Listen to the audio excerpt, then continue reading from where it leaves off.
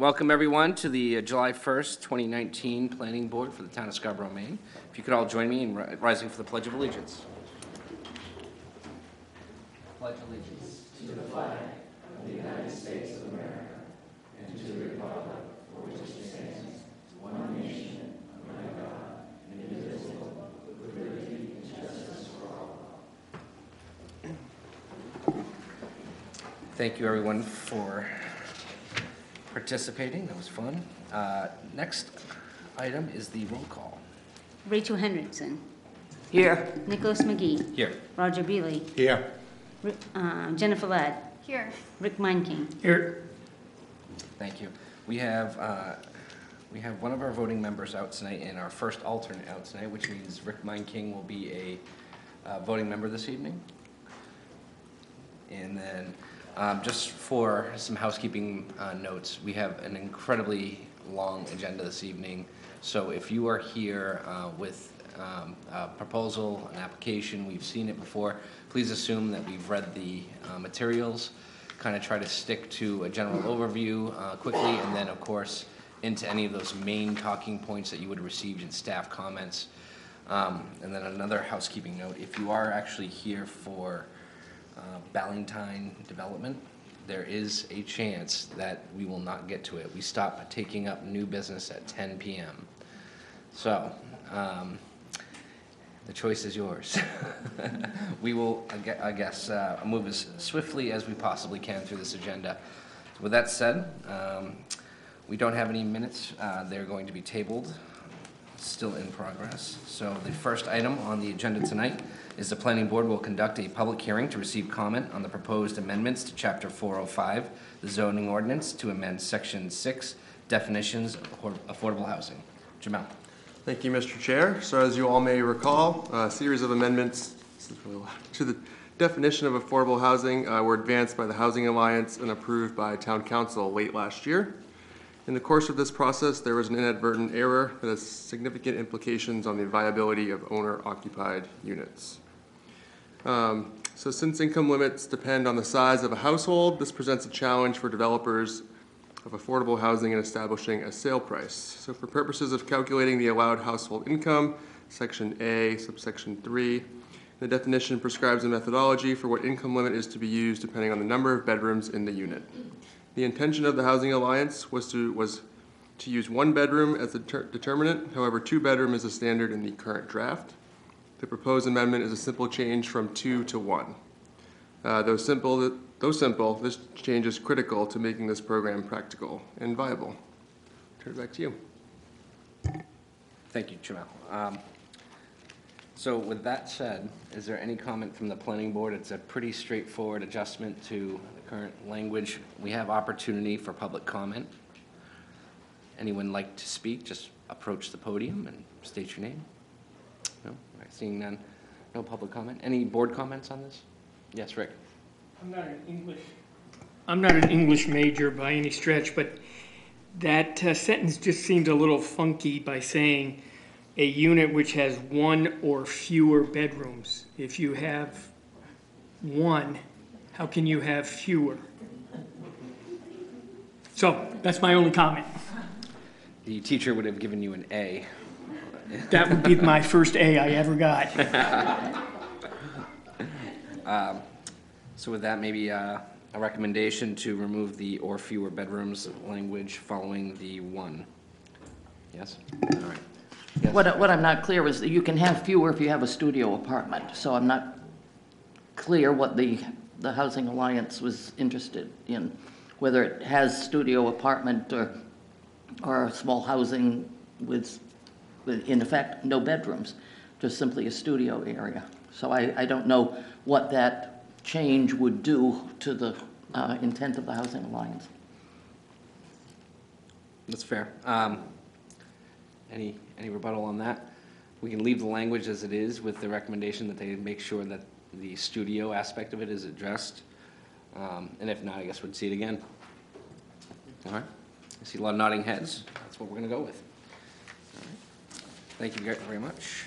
Next item of business is the Hospice of Southern Maine requests a site plan review for 390 US Route 1, Assessors Map R62, Lot 29B. Jamel? Thank you, Mr. Chair. Uh, So this project's located in the B3 zoning district, uh, located uh, sort of kitty-cornered behind uh, Holy Donut along Route 1. So the applicant was was last before the board at your May meeting. Um, Just a reminder, they're proposing a 14,550 square foot, single-story building. It will serve as the main office for clinical and administrative staff. The applicant's also proposing two ground-mounted solar arrays and a geothermal well that will serve the building. So as requested, the width of the entrance-only driveway along Route 1 has been reduced to 16 feet wide. The applicant is proposing to install two entrance-only signs facing Route 1. Uh, Given that motorists will be allowed to enter the site from Route 1, staff has recommended that these signs be removed.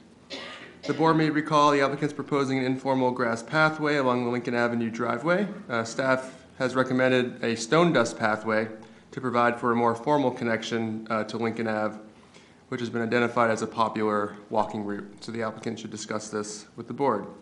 And staff has provided the board with a draft motion with, uh, with conditions for your consideration. Thank you, Jamel. Thank you. Andy Johnson from Atlantic Resource Consultants, uh, representing Hospice of Southern Maine. As Jamel said, I think we covered most of the, the staff and the board review comments at the last meeting. We were in fact really just waiting for the DEP permit, which we now have in hand. And the last two items, uh, I was a little uh, neglectful in getting back to Jamel, asking for clarification on the signs, the entrance-only signs. We're fine with removing those, and we understand now the reason for that is just to get rid of some of the sign clutter along the frontage of the site. So um, the applicant is, is absolutely agreeable to that. On the um, pathway, the applicant would prefer to maintain that as grass. Um, we do hope that it gets some good use throughout the year, and um, we, we see it really specifically as a seasonal trail. We'd like to think that people will use it uh, more frequently, but in lieu of some of the comments that we had from the board, particularly a couple of members of the board, uh, Rachel's here, Robin is not this evening, regarding how little impervious area we could put on the site or what we could do to reduce impervious area. We really didn't want to make that a stone dust trail until we see that there's going to be significant traffic there, at which time we may come back and ask for, a, for an amendment to the site plan to do that. But until we know that there's going to be that volume of traffic along the trail, we'd prefer to leave it as pervious and a more natural looking trail. Um, that they are the only two outstanding items I think left for the board, but of course we're here and happy to answer any questions you have. Thank you very much. And uh, just to- for clarification, there are no other issues in staff comments that you, you have an issue uh, adjusting? No, no, Thanks. good. Okay. Um, So it sounds to me like we really just have one, one item to provide some direction on, and that's that stone, stone dust path versus a, just a grass uh, path. Does anyone want to try to jump in and maybe provide some guidance for the applicant? Yes, Roger? Um, I would tend to um, agree with the applicant on this and uh, go along with that, uh, as long as it's a condition that should, um, you know, uh, the sidewalk be warranted in the future, you come back, you know, and deal with it through staff or something like that. Rachel? Yeah, um, well, my name was just used about the amount of impervious service. I'm, I'm gonna just kind of throw that, um, throw that statement out. Because I, I, I think what I see here and i- is the question of the chicken and the egg. You're uh, proposing going, taking a look at seeing how many people use the maintained grass path um, to decide if there's enough traffic to warrant the stone dust uh, path.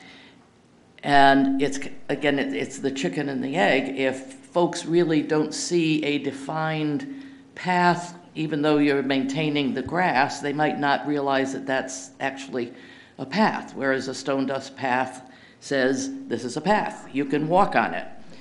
So without the stone dust, you're not going to get an accurate picture of how people are going to use that path. Um, But you're asking that we wait to find out how many people are going to use it, and that starts to take us down a rabbit hole. So I guess um, this is a case where I would come down on the side of the uh, stone dust path uh, to make it clear right from the beginning that, folks, this is, this is a place that's open for you to walk. Thank you, Rachel. So we've got one of each, so we're gonna need Jen and Rick to weigh in, please. Oh, there we go. Um, so I actually was thinking the same um, chicken and egg, egg phrase as well as Rachel. I, I think especially if when you're establishing a new site like this, um, to provide that visual cue to people that this is an option would certainly be helpful and that once once you once people get accustomed to working and or visiting here um, our human nature just sort of tends to be a little bit more difficult to change. Um, and that if you were to establish that as an option for recreation or healthy walking at lunch or whatever um, those are behaviors that might be harder to encourage say in a year you know if the applicant does decide um, to switch it over at that point I, I do have a question about um, where you're where you're talking about potentially coming back later if you deem if the applicant deems that the um, the stone dust treatment is warranted. Would you be accounting for that um, difference in your stormwater calculations now, or would you be doing that in the future? I haven't, to be honest with you, I haven't run the numbers, but I suspect, and, and I've sized all the bioretention cells, they're actually all oversized, so I suspect we would have to do nothing on that front. The issue we were more faced with was, we went through the, the whole thing about the parking and trying to reduce the parking and trying to reduce the impervious. And so, once you put in the stone dust, It's you're not going to come back and take it out. So we were trying to take a kind of precautionary approach to it and see what the level of traffic is, and then come back and put the stone dust trail in afterwards. And you know, we can work this either way. It's we were more concerned about the impacts of the impervious, perhaps, than we were about the, the high traffic.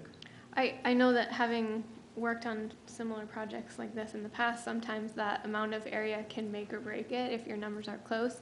Um, but if you're confident that there's there's room allowed in your um, in your calculations, um, I, I think this I noticed this option um, very quickly upon looking at your site plan right off the bat, and I just think it's a really great amenity for both your um, employees, you know, the employees that would be working there, and maybe and maybe folks that might be visiting.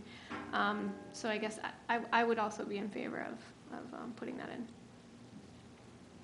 recognizing that you've done a good job looking to to limit um, impervious areas elsewhere. Yeah, Thank you. Rick? Well, we can make the chair be the deciding vote, huh? Fantastic. Um, I would be in favor of allowing the use and see how it goes, uh, given the, all the other stuff you're doing on that property, uh, the solar panels and those kind of things.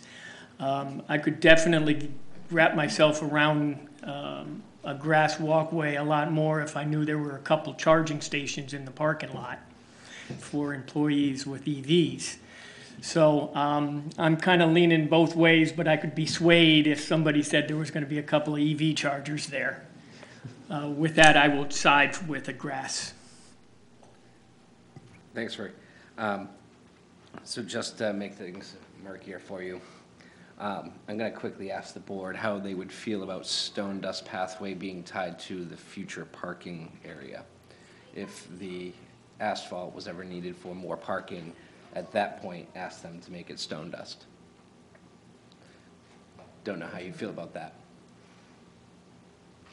Just throwing it out there. Yeah, I- and I guess what I would have to think is, so if we agree that there's more impervious, then I would say no to the storm, the stone dust, um, because that would add even more to the impervious surface.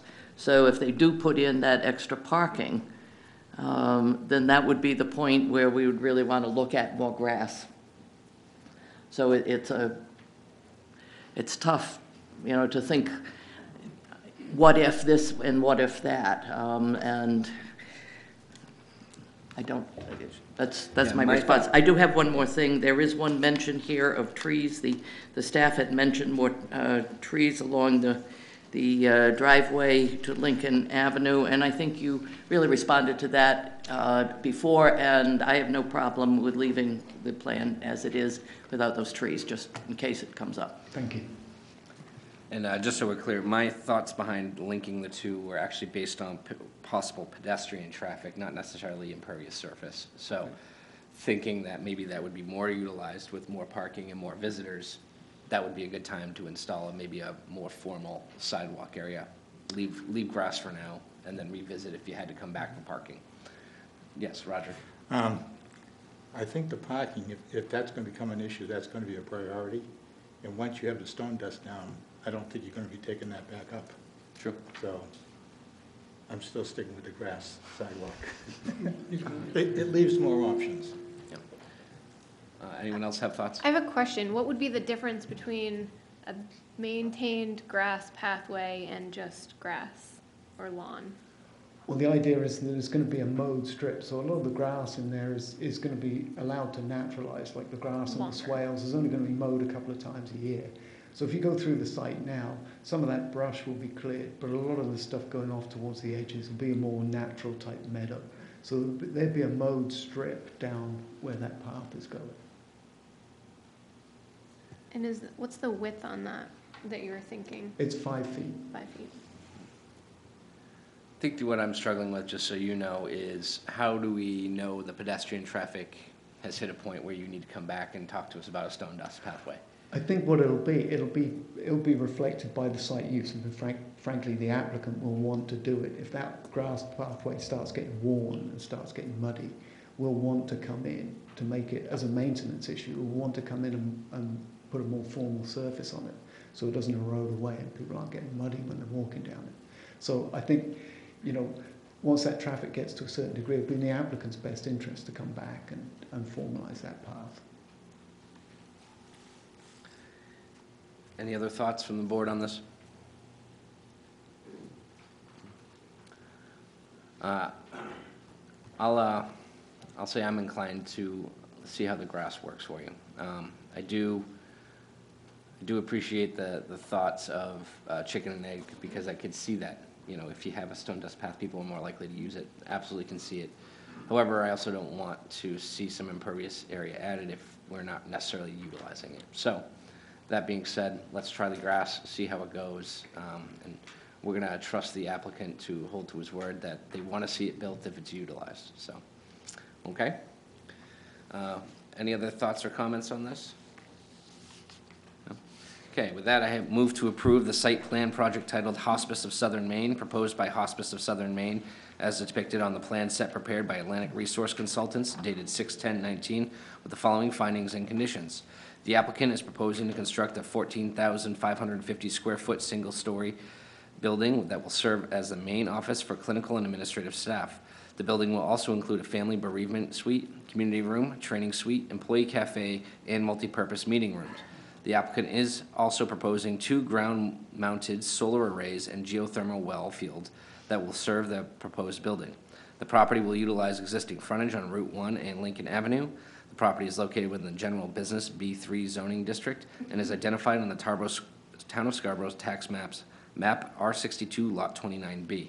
Planning Board has reviewed the application and supporting documentation and finds that the proposed design of the site plan adequately addresses the site plan review and zoning ordinance requirements for site utilization and layout, access, internal vehicular movement, pedestrian ways, landscaping, stormwater management, architecture, signage, utilities, and storage. Conditions are as follows. One, prior to the issuance of a building permit, the applicant shall revise the plan set to include A, the removal of an entrance-only signs associated with the Route 1 driveway, B, a plan note indicating when the parking lot lights shall be dimmed as discussed with the planning board. C, update the Route 1 trench detail as noted in the staff review comments memo dated 7/119. This shall be reviewed and approved by the planning department. That is the motion. There's more. On the back, there's more.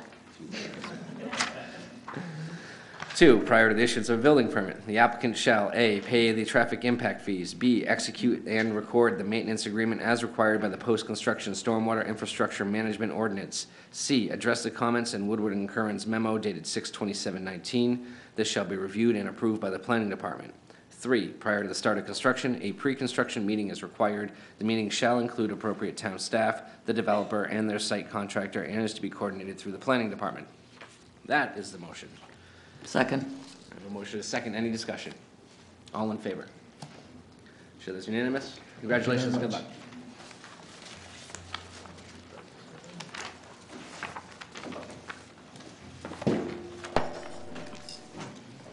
Next item on the agenda is Central Maine Power Company requests a site plan review for 35 Broad Turn Road, Assessors Map R47, Lot 8B. Uh, Right before I turn this over to Jamel, I just want to make one last housekeeping note. Item 17, if you were here for this, item 17, ENF LLC requests a site plan amendment for 371 US Route 1, Assessors Map U39, Lot 46A. If that is something you are here for, the applicant has requested to, to be tabled, so we will not be hearing that tonight. Okay. Jamel? Thank you, Mr. Chair. So this project is located in the VR2 zoning district uh, along Broad Turn Road. So the applicant's proposing a new substation facility uh, comprised of sto- a crushed stone yard, a single-story control house, a transformer, and associated electrical components. Uh, So the sanitary district has a pump house along the southern, southern portion of the property. Uh, Staff has recommended the applicant eliminate the existing access to the pump house along Broad Turn Road and provide a new access along the proposed gravel driveway. This would help to eliminate turning movements on Broad Turn Road. Staff would also like to point out that the majority of the proposed light fixtures appear to be full cutoff as required. However, the applicant is proposing to install some working yard lights that do not appear to be full cutoff. So the board should provide direction to staff and the applicant if you are comfortable with the non-cutoff fixtures, given they will be used infrequently on the site. And now we'll ask Angela to provide some additional comments. Thank you. Um, I just wanted to point out in the staff memo, we talk about um, that the town has recently put in a lot of effort, time and money into developing a Phillips Brook watershed management plan. And essentially, this is, um, it identifies the impairments. This is a urban impaired stream that this is with, actually just next to. Um, And it- so basically, the plan that we have put together identifies a roadmap, getting us just to- steps towards making this a healthier stream in the watershed, improving the watershed. And so, um, what we have, what I've listed out in bullets is actually from the watershed management plan, and we're looking, um, recommending that for this project, we look at some specific things out of that plan, which I've bulleted out, um, I guess, five things. Um, the setback to the streams at seventy-five feet, um, the preservation of the floodplain and minimizing the wetland impacts, that's very crucial for this watershed in particular. Um, the reduction of the impervious area, essentially, once a watershed reaches ten percent impervious area, you start to see a decline in the, um, health of the stream. We are at that tipping point in this, we're at eleven percent, so this is a savable stream, is kind of why we put a lot of effort into this watershed in particular, because we can see, um, with, with any kind of improvements, it, it could, you could re, bring it back, and I think that's really essential in this watershed. Um, another big thing was a lot of undersized culverts within this watershed. DEP looks at essentially the width of the stream when you start looking at stream crossings and replacement or um, adding new stream crossings.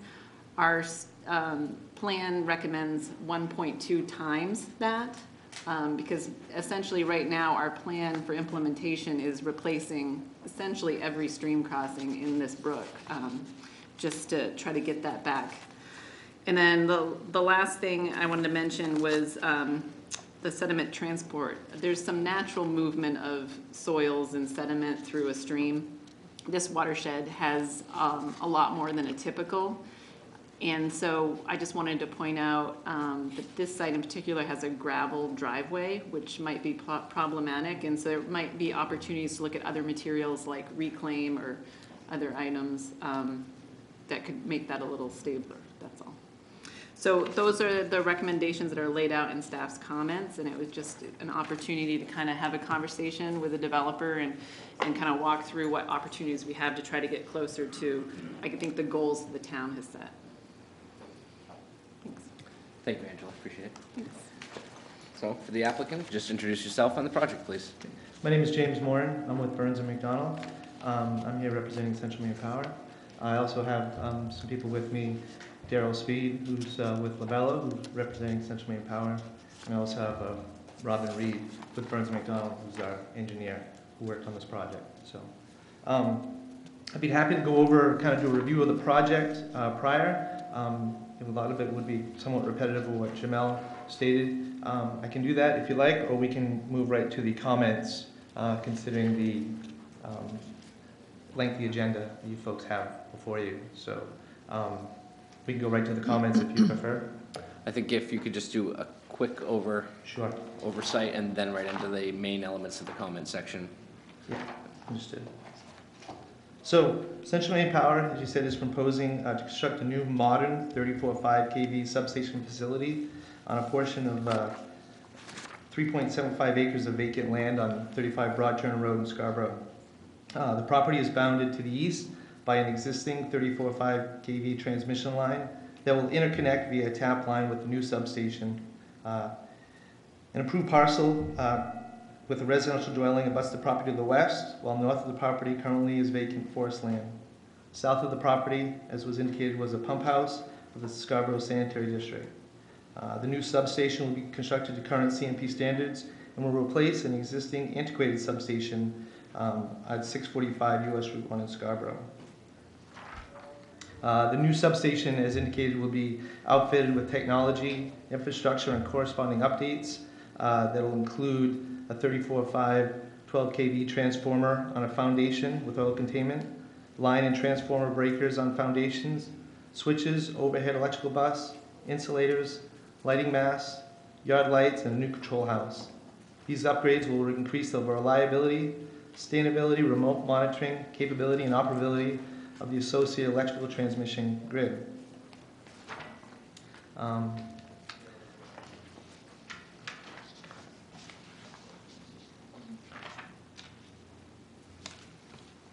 can now um, go over the comments. Um, I can start with the uh, peer review comments um, by Woodard and Curran. Um, I can read the comments and then uh, we've gone through all of them and prepared a statement on each of them. And uh, I'll read the statement and then we can have some discussion if need be. I think for purposes of just kind of fostering this along, the, really what you um, want to seek from us this evening is anything that you would consider uh, directional from this planning board. You know, if there's path A or path B, you want to be talking to us about some of those issues. Okay. Any issues you've seen come up in staff comments or peer review that, that you might take issue with. Okay. So if you think you can rectify it on your own with the, um, with the planning department, some other place, some other time down the road, Understood. we don't need to, we don't need to go over it, so. Going to need to go over all of them. Right, just the ones that I think that you find, you want to highlight for us, that you could use some guidance on. Maybe Okay. We don't see eye to eye with the town. Okay. Um, That would probably be uh, the, the best use of the board and your time as well. Okay, understood. Um, Let me see if I can go through these quickly.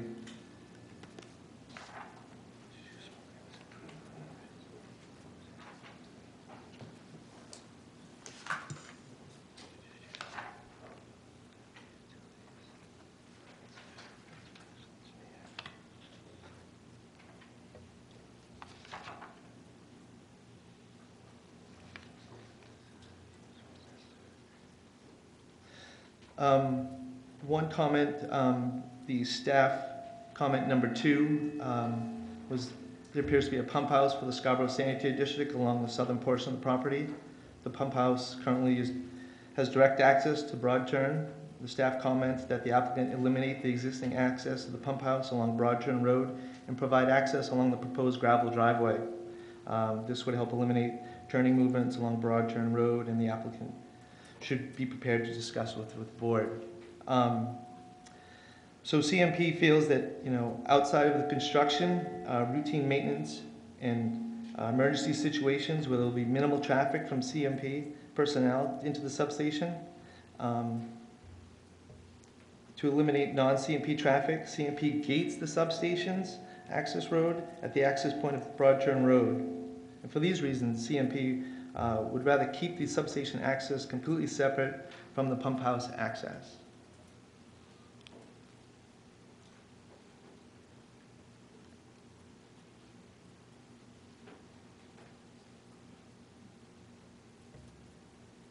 I know the board was originally wanted to discuss the option of combining the two, but we don't feel that it would be necessary. Okay, all right, very good. Sure. Um, In regards to the um, watershed, um, the substations, I can read the comment if, to, to stage it first, and then I'll give our response. So, um, the project is located within Phillips Brook watershed. This watercourse has been listed as an urban impaired stream by the Maine DEP. Both the town of Scarborough and the Maine DEP has put time, money, and resources towards identifying the specific impairments uh, in creating a framework to restore the stream. The Phillips Brook Watershed Management Plan outlines many measures and opportunities for development to preserve the project, uh, this natural resource, preserve and protect this natural resource. The applicant should review the watershed management plan to consider the following measures, as Angela indicated earlier. The preservation of a 75-foot setback to the stream. The applicant should consider avoiding disturbance within the setback area in order to maintain existing natural buffer. So the substation's design with regard to the property boundaries and the site topography do not allow the limits of disturbance to be outside of that 75-foot resource setback. Relocating the substation's footprint further away from the stream would likely result in the need for retaining walls and significant cutting in the northwest corner of the property. In addition, the re- relocation would impact the access road approach and maneuverability of a mobile transformer, which is a critical piece of the equipment. Now, with regards to minimization of wetland impact, the wetland associated with the stream plays a vital part in the path, the health of the stream and floodplain. It appears that not all the proposed disturbs are located within wetland areas have been calculated in the total wetland impact of the site. The applicant should consider whether the layout and grading of the site to minimize all impacts, especially adjacent to Phillips Brook and the tributary stream. So all of the proposed disturbed area within the wetlands were accounted for in the original site uh, plan set. It appears, excuse me, there may have been some confusion in regard to the location of the existing wetland, as the existing wetland hatch markings was similar to the proposed vegetated buffer hatch. In response to the next portion of the comment, the access drive width has been reduced and results in a reduction of proposed wetland impacts from 4,062 square feet to 3,862 square feet.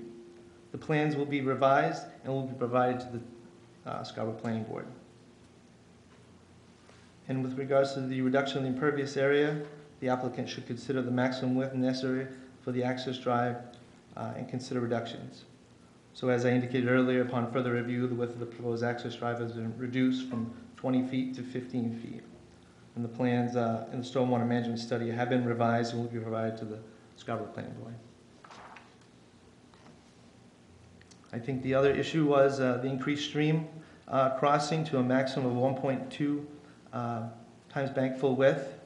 And As you indicated, it's not clear whether the measurements of the bank width has been measured for the sizing of the stream crossing. Undersized culverts are a major contributing factor to erosion within the watershed. In many cases, two times bank full width should be considered. So the original 14-foot span culvert was sized in accordance with the culvert size for stream crossings 3x rule, the culvert diameter given in inches, which is the table provided by Maine DEP at our pre-application meeting. Field and survey measurements were taken in the area of the proposed crossing, as summarized in the stormwater management study. The culvert was upsized to 20-foot span to provide 1.7 times the bank full width, which exceeds the U.S. Army Corps of Engineers crossing standard of 1.2 times the bank full width. And the last issue that was brought up was the sediment transport, which is a major contributing factor to the impairment of Phillips Brook. The designer should consider the construction of the access drive so that uh, the loss of gravel and sediment from non-paved areas will no further, will not further impact the stream. So upon further review, uh, the construction of the proposed access drive has been changed from gravel to asphalt pavement. The plans in the stormwater management study have been revised and will provide, will be provided to the Scarborough Planning Board. So the next issue of question was the, uh, the lighting. And as the Scarborough Planning Board staff comments indicated, uh, in accordance with section 4 H three, in the site plan review ordinance, cutoff light fixtures shall be used to control glare, sky glow, and spillover onto adjacent properties. It appears that a majority of the light fixtures proposed are full cutoff. However, the applicant is proposing to install working yard lights that will be used occasionally for maintenance and operation purposes. These lights are flood-type fixtures and are not full cutoff. The board should provide direction to staff and the applicant if they are comfortable with the proposed working yard lights, given they will be used infrequently on the site. So the comment about the working yard lights um, is correct. These lights are only used in emergency uh, maintenance situations. They are turned on manually and will not be used continually. Um, Number five uh, of the staff comments, the applicant has indicated the existing substation located at 645 US Route 1 will be demolished, uh, decommissioned once the proposed substation goes into service. And the applicant should update the board onto their plans to restore the site once the decommissioning has taken place.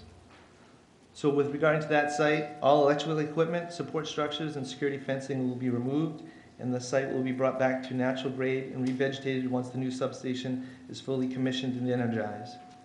If decommissioning of the old substation is done during the winter months, final restoration will be completed once weather is acceptable for seeding and new vegetation.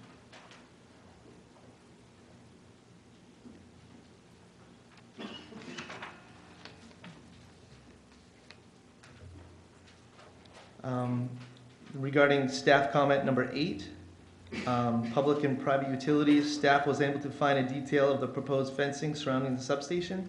Staff recommends that the applicant provide a stockade or vinyl fence design instead of a chain link fence.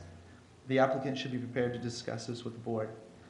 So CMP does not use privacy fencing for two reasons, security and safety.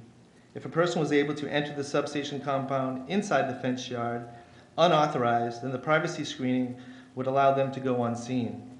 In addition, this would lead to a potential safety situation due to the high voltage conditions present. CMP, CMP believes that the current landscaping plan provides adequate screening for the substation.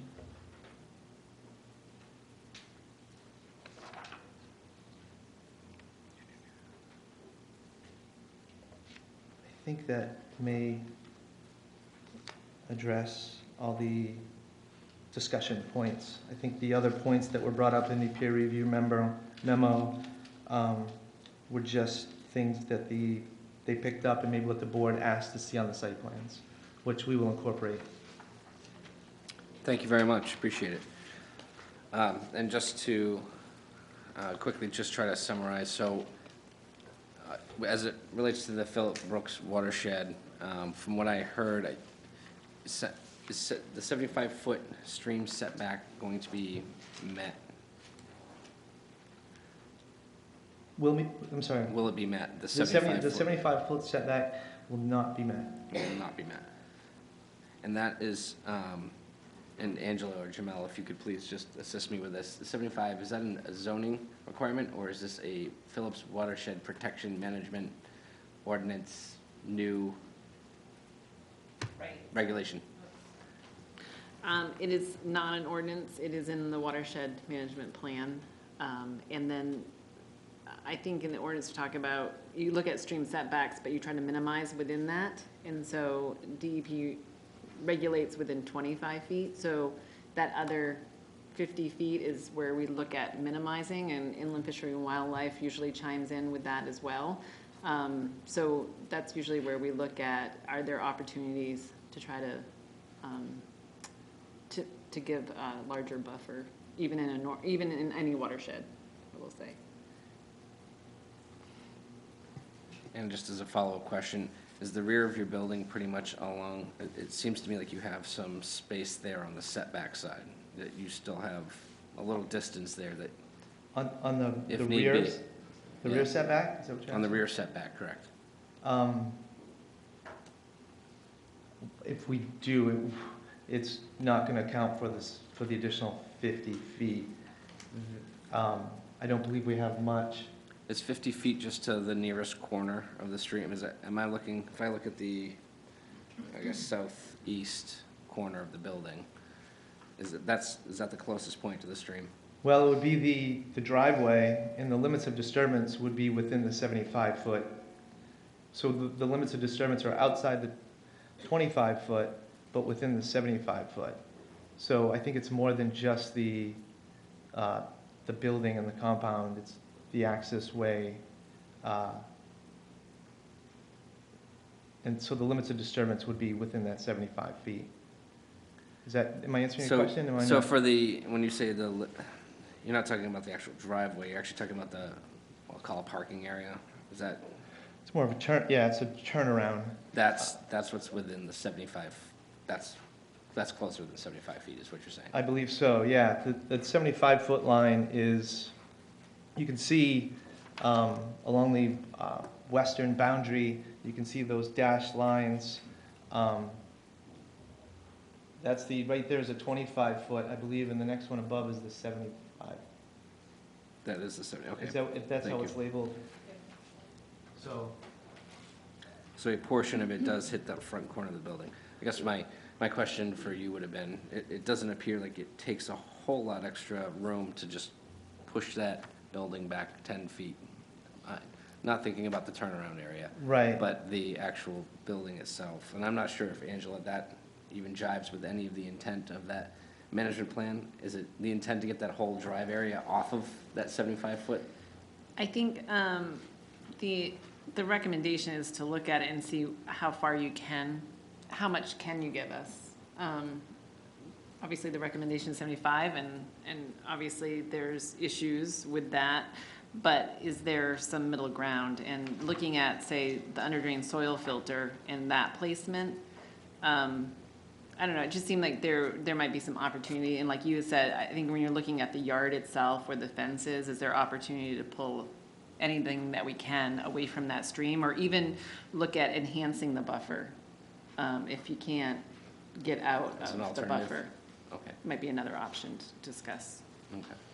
And uh, just out of curiosity, is the applicant, uh, initial thoughts on, on the options there? Um, I think getting it be out of the seventy-five foot, um, as I indicated earlier, is just the, what it would take to put in the retaining walls, as well as to bring in the turning radiuses for a mobile transformer. I, it's just, it wouldn't be possible to get it outside the seventy-five foot. It, it, it, the dominoes don't line up to where it, it would be feasible for the substation and what's needed for the components of the substation. Go ahead, yeah, yeah. Just, yeah, please come up to the podium and just introduce yourself and.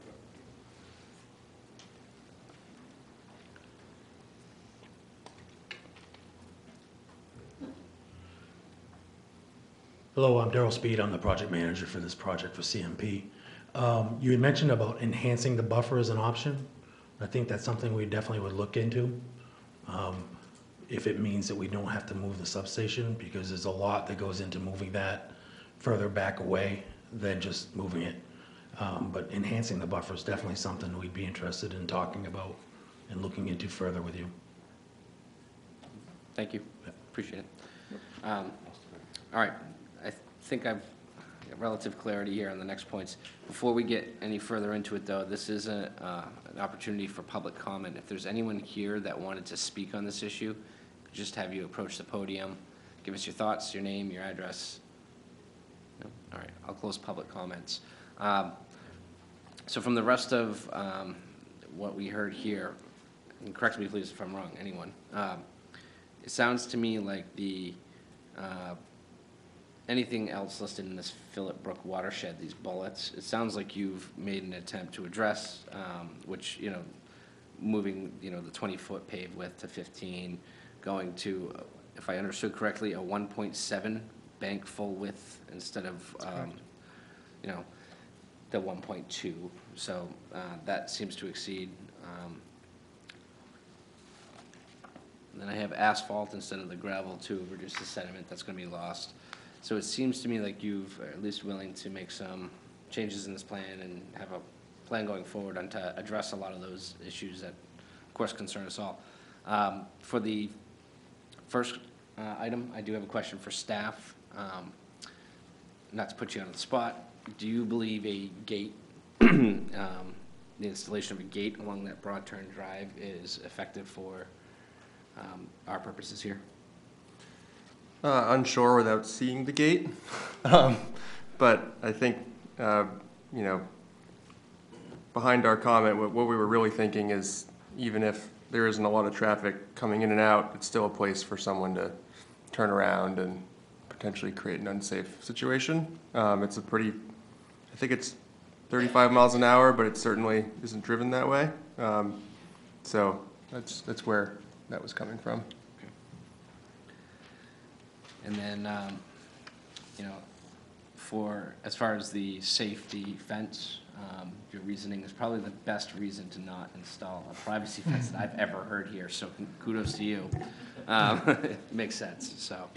um, All right, so that's my piece, guys. I, I jumped in first. Um, Rachel? Yeah, I, I have a question uh, for Angela or Jamel, and, and that is on that pumping station. Does the pumping station have, currently have a driveway that accesses Broad Turn? All right, what? Yes. Yes, what would be the space, the distance between that driveway and the proposed driveway for the CMP f- facility?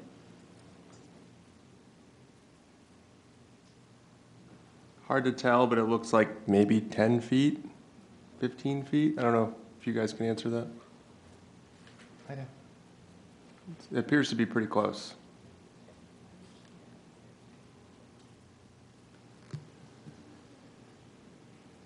I'm concerned about two driveways is as little as they're likely to be used, but two driveways onto Broad Turn Road within 10 feet of each other, or 15 feet even. Um, I, I guess I, I don't see why it's not possible to somehow or other merge those driveways to ensure that there is only one. And as you talk about an access gate, since it's not here on the plans, it's tough for me to figure out uh, how that would work, or how that access gate works. I, we could, the staff would like to point out, there is driveway separation standards. Um, so it, it looks like that would re- require a waiver, um, based on the speed limit. What would be the separate, what is the uh, driveway separation standards? Uh, for 35, I believe it's, I'd have to look at the ordinance, but I think it's 100 feet. Um, but I can take a peek right now. All right, so we have a problem then with an ordinance, uh, with those two, two facilities right next to each other. Uh, And it makes sense for you folks to reconsider uh, a way to link those two facilities, given especially the traffic on Broad Turn Road. I'm with uh, whoever said it, that while the speed limit may be something, that's not how people travel along that road. Um, So the more we can look after the safety by linking those two, I think the better off um, both uh, sanitary district and uh, CMP would be along there. Um, Gee, I'd like to see a different fence other than a, a, a chain link, and I, I understand the, the concept of um, the need to be able to look in there to make sure that there is no mischief going on. Um, I would love to see an alternative, uh, somebody taking a look at what some of the other options are. Doesn't have to be a closed stockade fence, uh, full closed, um, but it also doesn't, I would hope, have to be a chain link fence.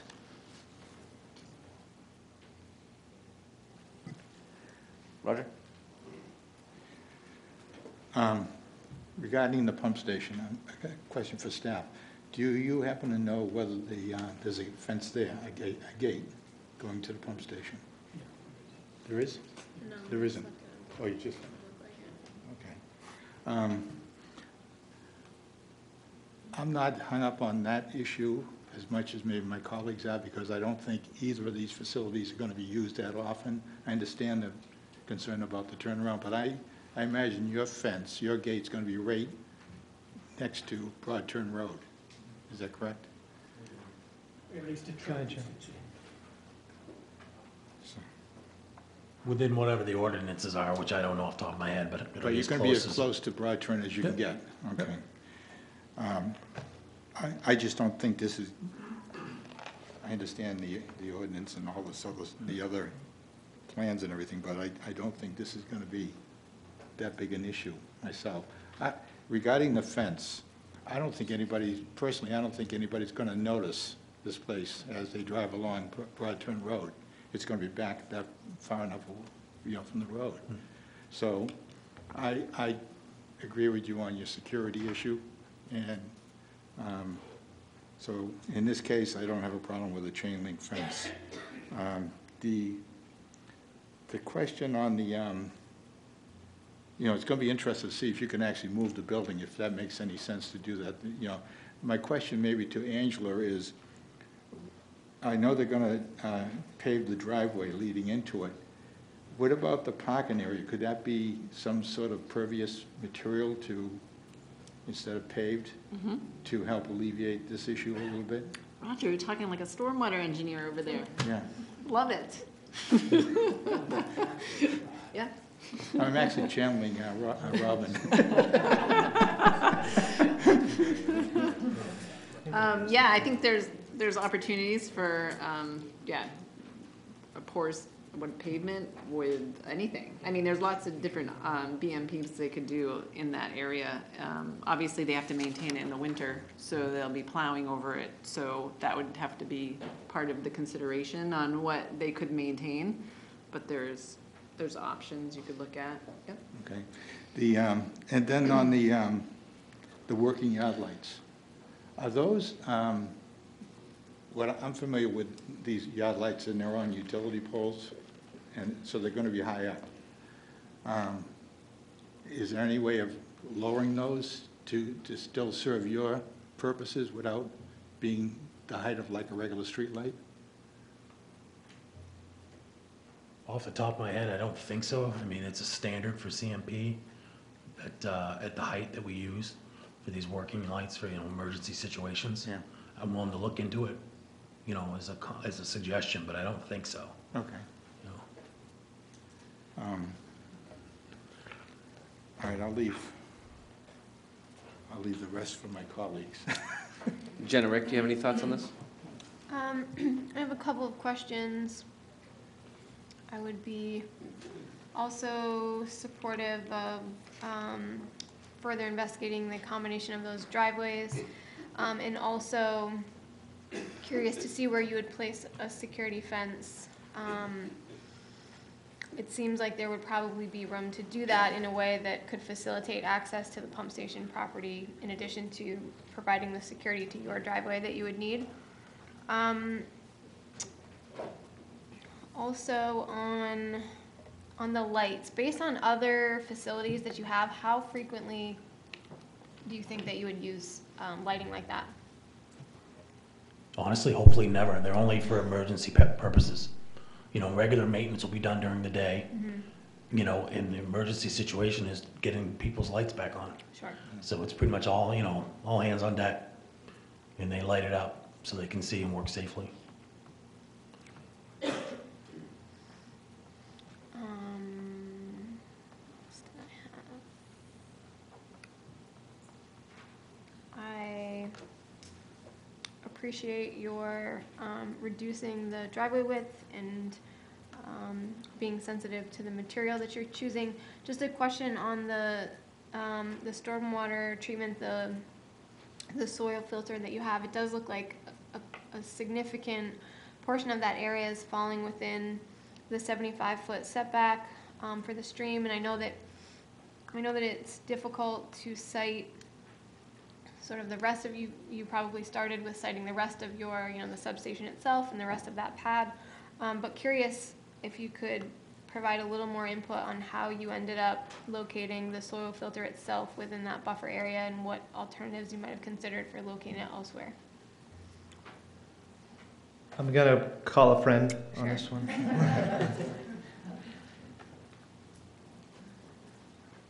Uh, Robin Reed with Burns and McDonnell. I'm the stormwater engineer on this project. Um, Just to give a little bit of feedback on the location of the grassed underdrain soil filter. um, At first, we had sited it kind of in that southeast corner to capture as much of the runoff from the substation pad as possible. Uh, We've got the system draining um, from west to east, kind of across the yard. The other constraint that we had was just north of the underground, of the filter, we've got overhead lines coming into the station. And while those lines are about 30 feet in the air, we did want to try to limit um, the amount of work that may need to happen to maintain that basin, to be out from, you know, underneath the overhead lines.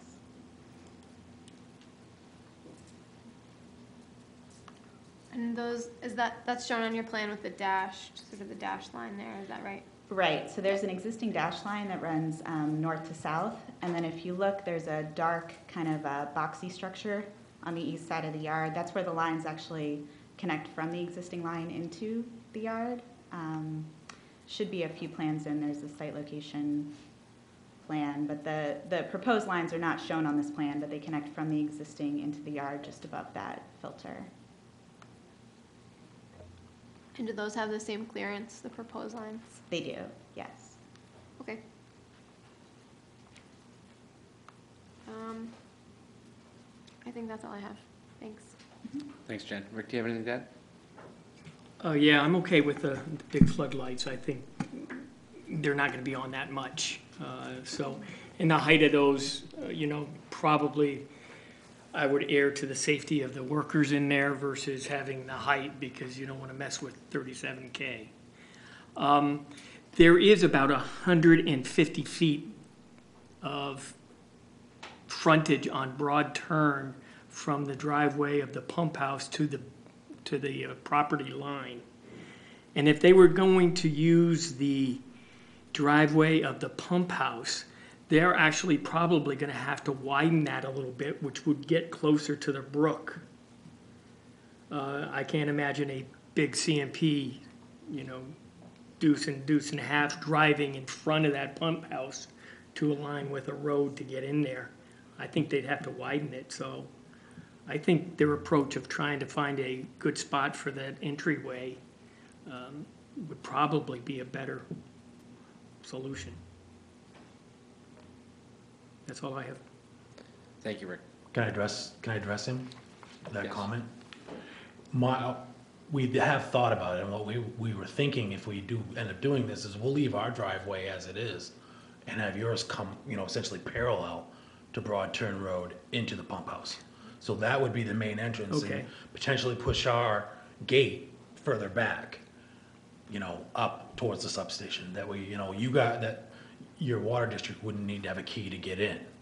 It would just, you know, be All right. perpendicular to ours. Thank you. Rachel?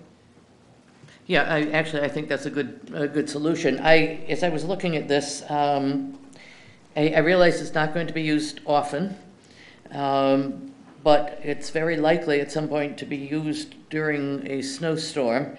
And where are you going to put the snow? How are you going to handle this driveway and plowing to move the snow without, um, encroaching on some wetlands? I mean, what, what, what are your plans? Um, The plans would be, good, you want, okay.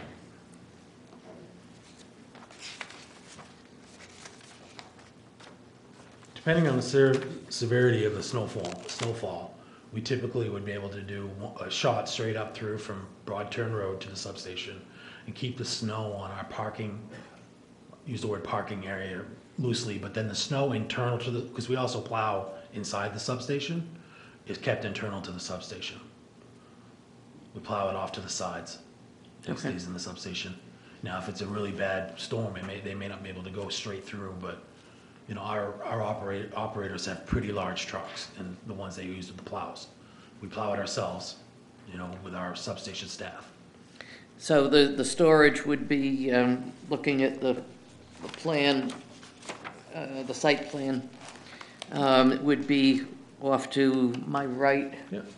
Uh, That in little that, parking in area. that, that parking area? Okay, all right, thank you, that's, I I have, needed I to know have, that. we have a very similar, much even longer driveway down in, in uh, Berwick. And we go straight shot unless it's a really bad snowstorm. Right straight up to the snow, up to the, uh, substation. Thank you. Thank you. So with that, um, does the applicant have any, uh, do you feel you have a good handle on what you need to be doing for your next visit? Yes. Okay? I- I- Staff, does do- staff have anything that they need more clarification with? Go ahead. I do just do have one comment or question or conversation. With combining the two driveways, you know, CMP needs the, to back in and back down the road. I don't know what requirements the, uh, the sanitary district would be, and they, it's gonna create an extra wiggle to get from our driveway over to their property and then to, into the pump house. So depending on what the sanitary district's interests are, um, they may require something to be at a 90 degree off a broad turn, similar to what CMP. It's just a, just a thought, I don't, I can I don't know the answer to that. but just- I can speak to that. Um, During our staff review meeting, the sanitary district was there, and they were open to the, to a discussion. Um, They just asked you, asked the applicant to contact them and start working out the details, so. Understood, thank you. All right, thank you very much. Okay, thank you. See you next time.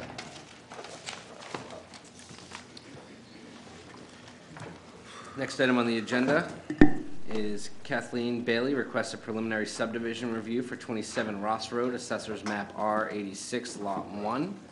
Jamel. Thank you, Mr. Chair. So this project's located in the R2 uh, zoning district along Ross Road.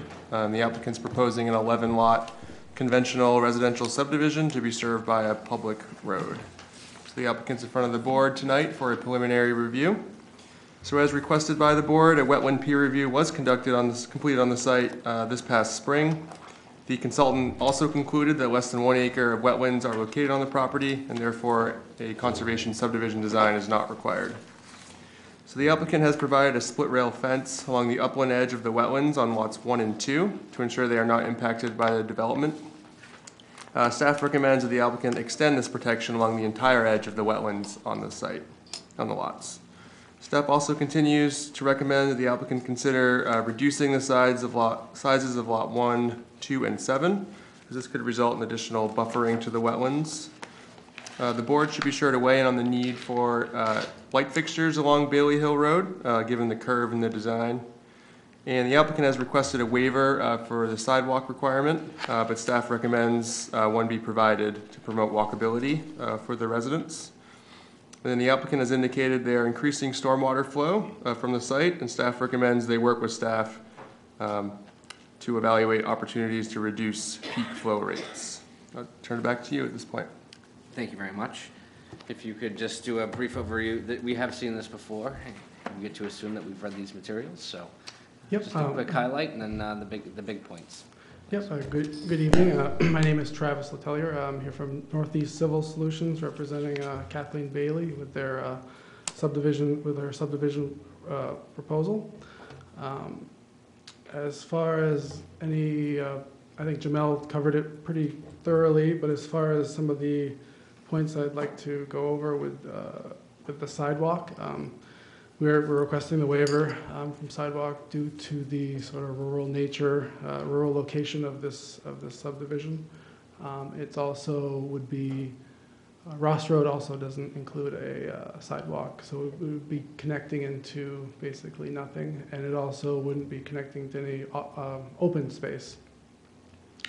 Um, As far as the size of the lots, um, we feel that uh, reducing the size of the lots would create sort of an awkward uh, open space situation in the back of, of lots one and two where it was suggested.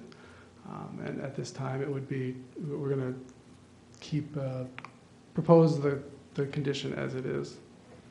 Um, uh, As, as with lighting, um, we are amenable to the, to the light at the, at the intersection, but we, we do ask to get your opinion on the lighting uh, along the road, and, and uh, we don't feel that is also necessary due to the rural nature of the, of the subdivision. Um, With that, I think that's the, the, the high points, and I open to any questions you may have. Thank you very much. Uh, We do have an opportunity for public comment on this item. If there's anyone that would like to speak, please just approach the podium, state your name and your address for the record.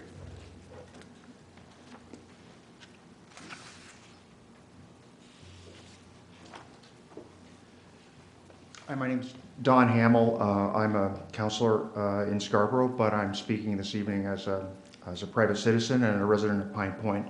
Uh, So I know that this has been under consideration for some time, and the reference was made at the beginning about uh, review of the wetlands. Um, The question I had is if you view this proposed subdivision as an overlay of the the broader property, uh, uh, then this may uh, be an issue that's no longer has any bearing, but there was a significant um, uh, series of issues going back to September 2016 that required, under the terms of a consent decree, that there would be major restoration and mitigation measures, you know, in the area immediately adjacent to the proposed subdivision. So, you know, my, I have three questions really, and I won't go through all the detail, but at that time, it, uh, this was something that was basically, uh, uh, that also required enforceable conservation easements and so forth. So my first question is, what, what is the status? I mean, is that uh, consent decree of, know, not more than three years ago, has that been fully fulfilled? Has that been complied with completely? Uh, Number one.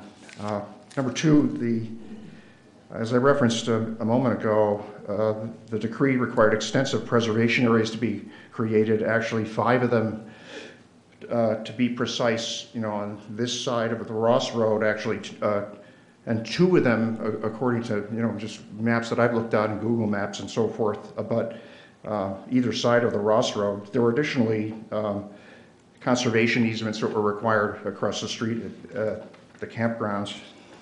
The third, the third question I have is, uh, considering uh, how fragile this area is and uh, all of the concerns that we have, uh, growing concerns about stormwater drainage and proximity to the marsh and, and other areas. Um, if this is something that's, if this is, uh, is a development that is deemed appropriate by the planning board, wouldn't it make sense for there to be a requirement to, to have sewers put in in this area rather than um, uh, the traditional approach uh, to RF zones, which may not require that?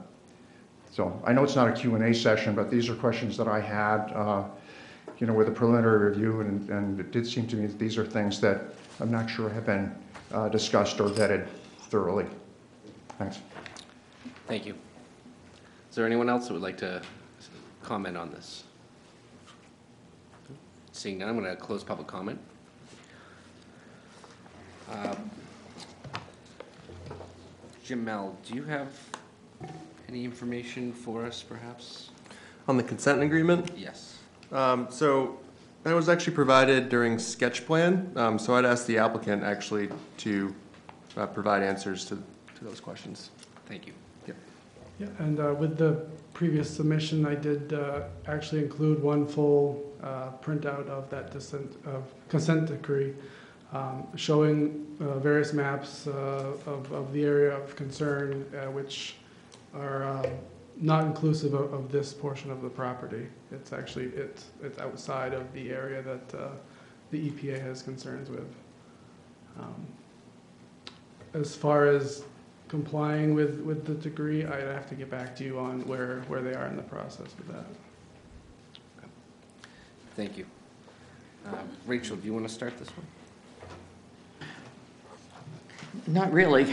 'cause I- Now I'm confused, but um, yes, certainly. Um, I, I want to address a, a couple of things, and, and that is uh, the need for the lights along the Bailey Hill Road, um, and also, I believe, the need for, for a sidewalk. When you're selling lots to families to build family homes, you're going to have um, children. You're going to have parents with children. You are going to have people who want to walk down a sidewalk rather than the middle of the road. Um, you're going to have elderly who are going to be doing some power walking down there.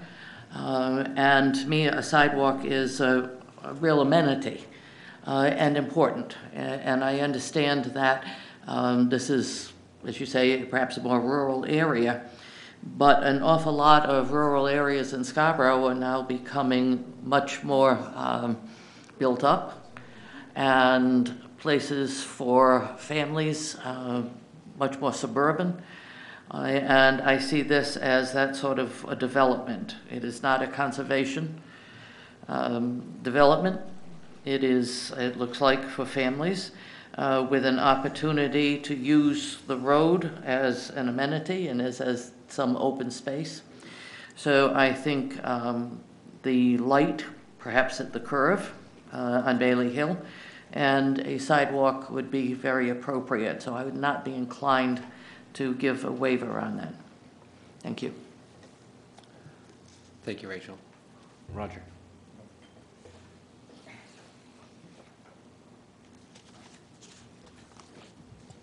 Um, You know, is- is- maybe staff knows, Angela, um, are there sewers on uh, Ross Road? There's no sewers on Ross Road, right? Um, I'm not aware, sorry. Okay, Okay, so, so basically that, really not much of an option then, About how far it would be from, yeah, um, I have, I can, we can look into that, I can pull it up, and get back to you. okay. Um, um, I'll just, I'll just deal with some easy ones then for, for the time being. Um, The, um, what about the, um, the staff's recommendation for a split rail fence along lots one and two? We did provide that in the, the last submission, and it was uh, suggested that we extend it a little bit Yeah. further, and we have no problem with that. Okay, all right. Um, On the street lighting, um, I can, I can actually see where it might make some sense for you to consider, I, I believe staff is talking about the curve, and Yes. um, you might want to consider a couple there, you know, but, I- you know, I don't, I don't know. It's, I'm kind of in, you know, indifferent towards that. I, I, I could see where it would make some sense. I'm torn about the sidewalks.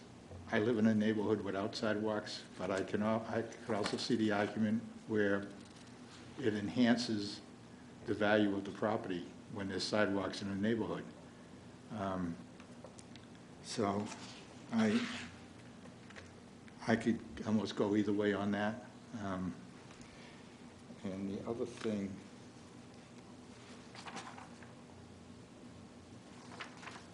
I, I guess there's no more easy ones for me.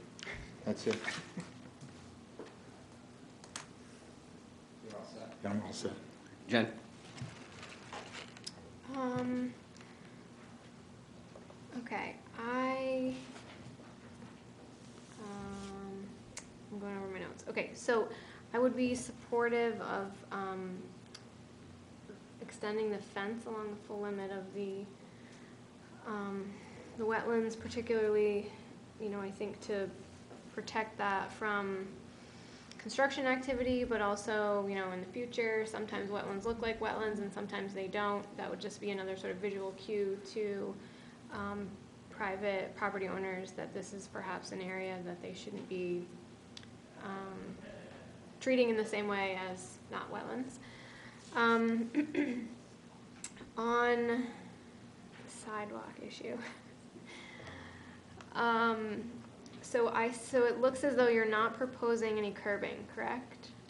No, we're gonna be collecting stormwater with ditches. uh, Ditches, okay. So have you given thought, let's see, your initial proposal was to not include sidewalks, correct? You were Correct. asking for a waiver Correct. from that? Yep. So if you were to include sidewalks, would those be adjacent to your roadway? And it's possible you haven't thought about this because you're seeking a waiver, that can be your answer too.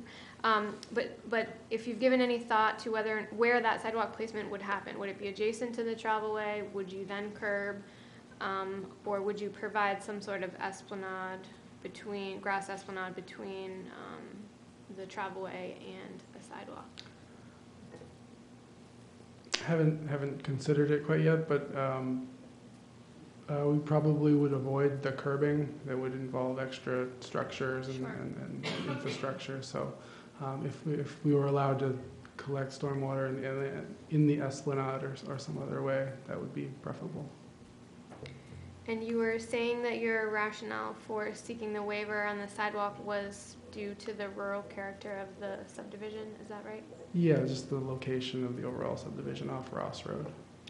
And are there any, there's no sidewalks anywhere on Ross Road, right?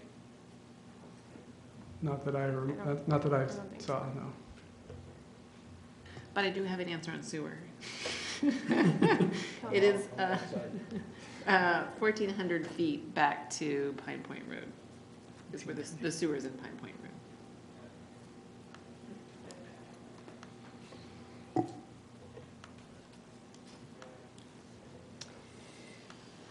Um,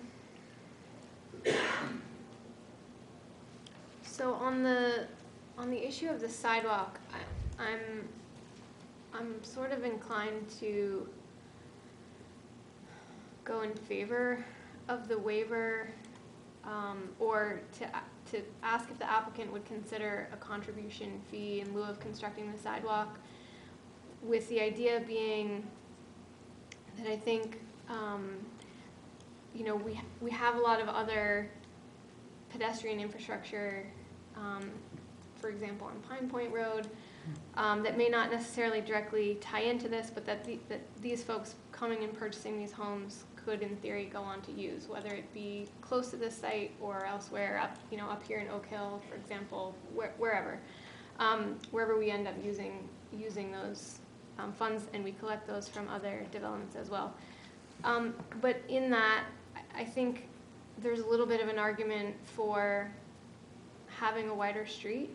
Um, and that would be to sort of facilitate a little bit more of a shared street feel. Um, so not necessarily providing dedicated separate space for pedestrians and for vehicles, noting in both cases that those are going to be very low in this, you know, you've got eleven lots, so presumably, you know, eleven families, um, or other homeowners. The, you know, it's just, it, it- it, it shouldn't be all that busy. Um, and I think that, um, you know, if, if adequate space were provided in the roadway to sort of, um, encourage some of that shared space use, that we may, it may not warrant dedicated facilities for each. Does that make sense? Mhm. That makes sense.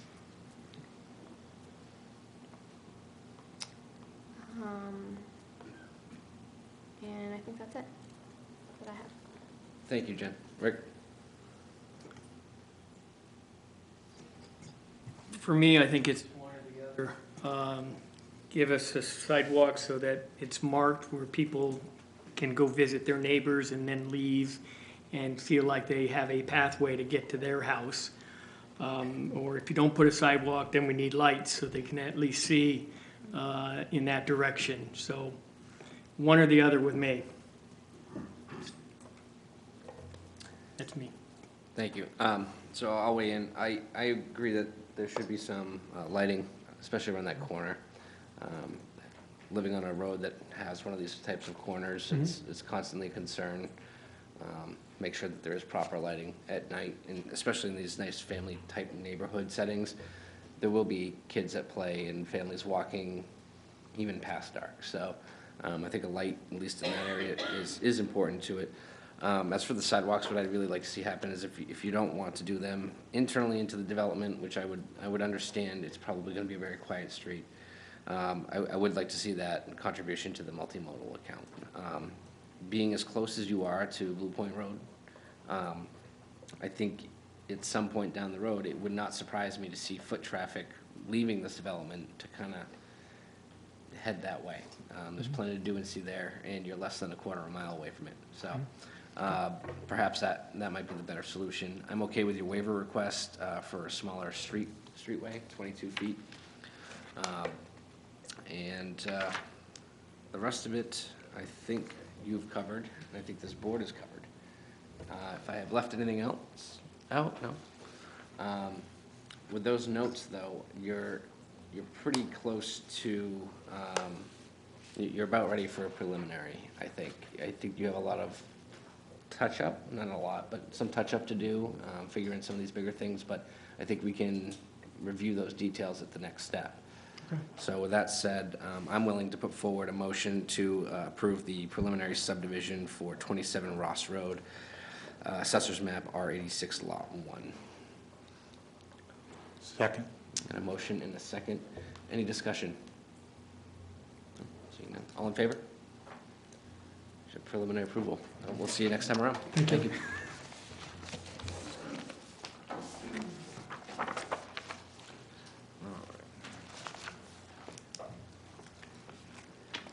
Next item on the agenda is Roger Hale requests a final subdivision review for 263 Broad Turn Road, Assessors Map R8, Lot 13.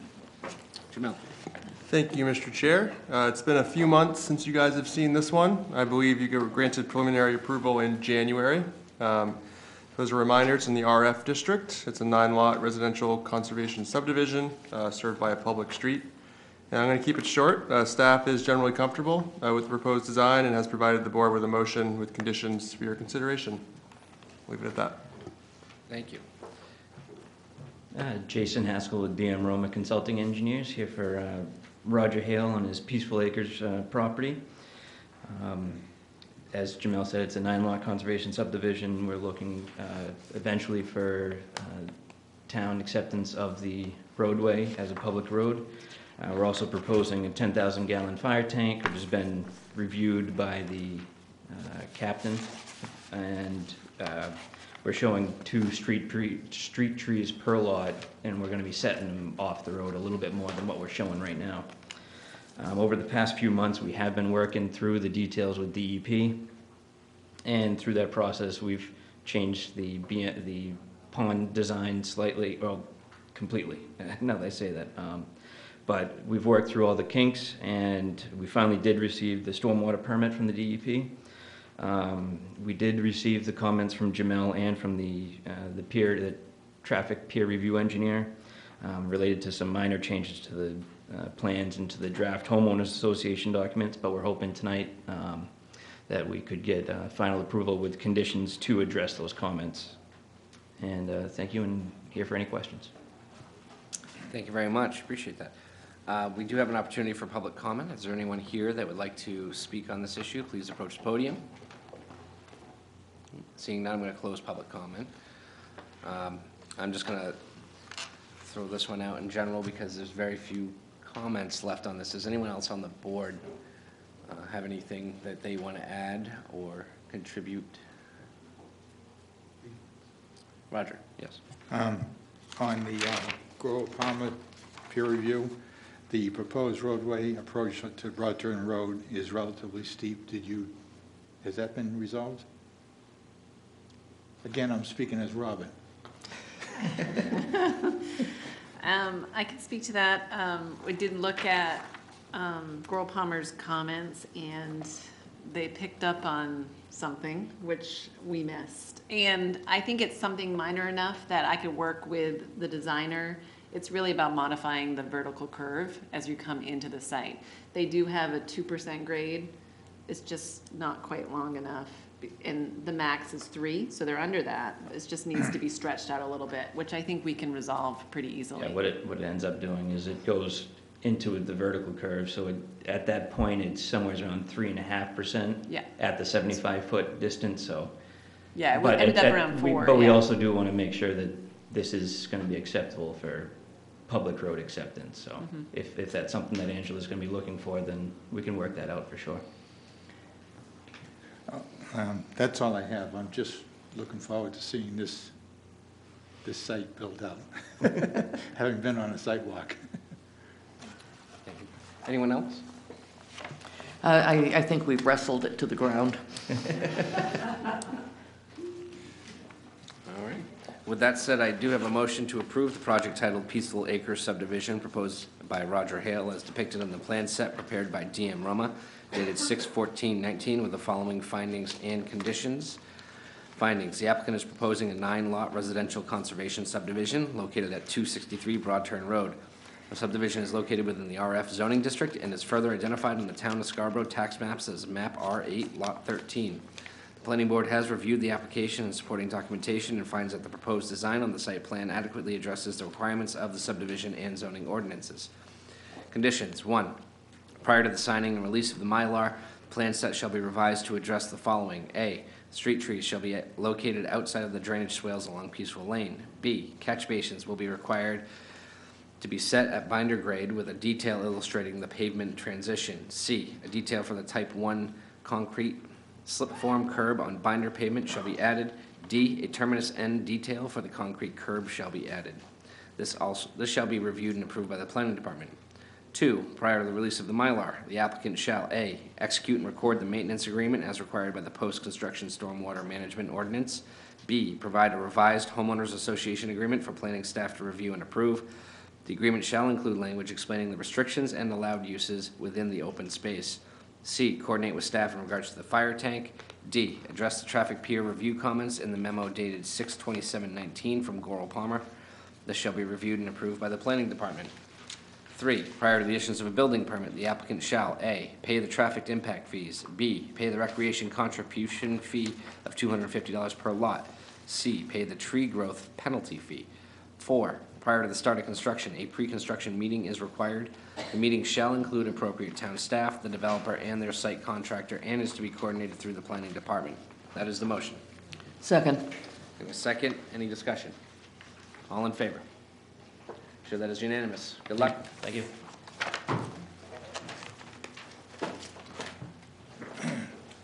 All right.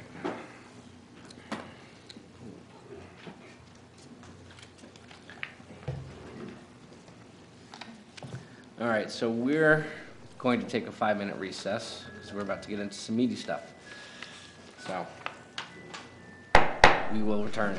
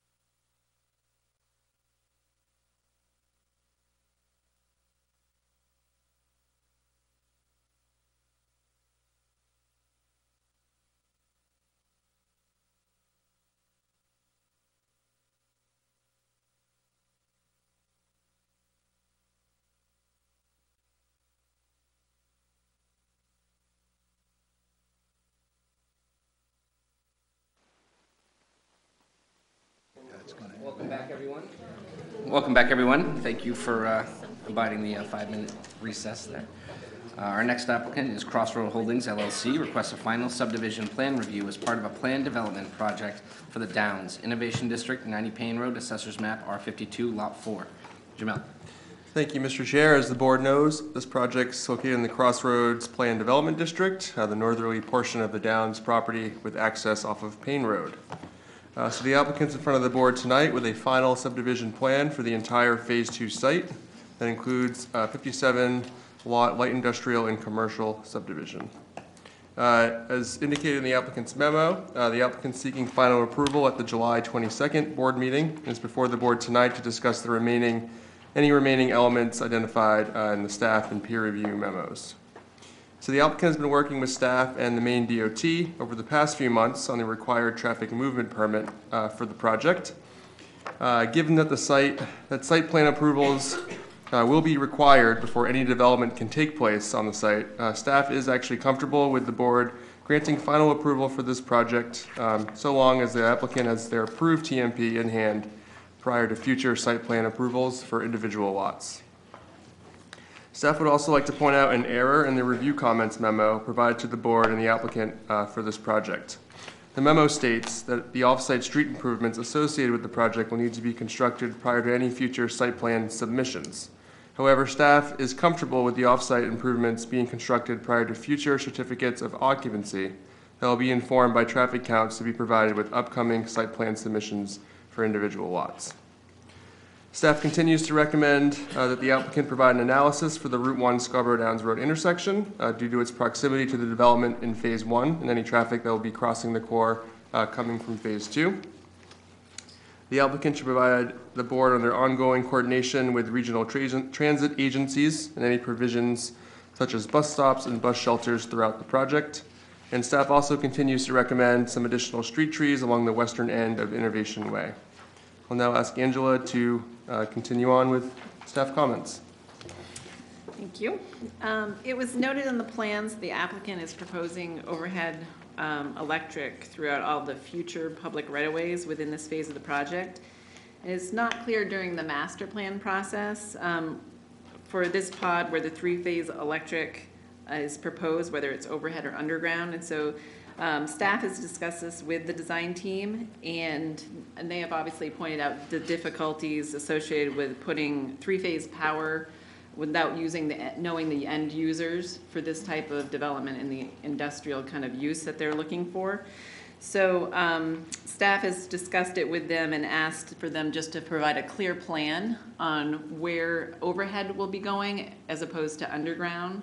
Um, And we should probably be looking at this throughout the phases as we go. Um, This one in particular, though, being industrial, I think they can make the point um, associated with that three-phase power. So it's just getting a clearer picture of what is proposed.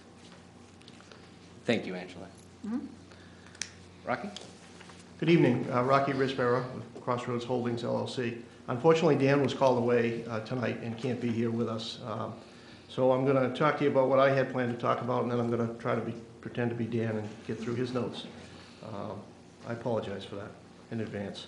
So I want to talk to the board tonight about the Innovation District, um, this light industrial phase of, of the project that we're, you know, really excited about. Um, We've had a lot of interest in that, uh, as I've explained in the past, and uh, we're really feeling like we're getting close to, to making something happen here. Um, We've worked pretty hard to address staff comments uh, recently and uh, to try to get to a final plan. Um, Our permit status right now is we obviously have a preliminary plan approved by the town. Uh, We got that in April. We got Portland Water District and Sanitary District approvals in May. We have a pending DEP approval. Um, It's expected by July 14th. It was originally expected by June 14th, but they needed a little more time. They're quite short-staffed, and so we're working with them on that. But we expect to have that in hand by July 14th.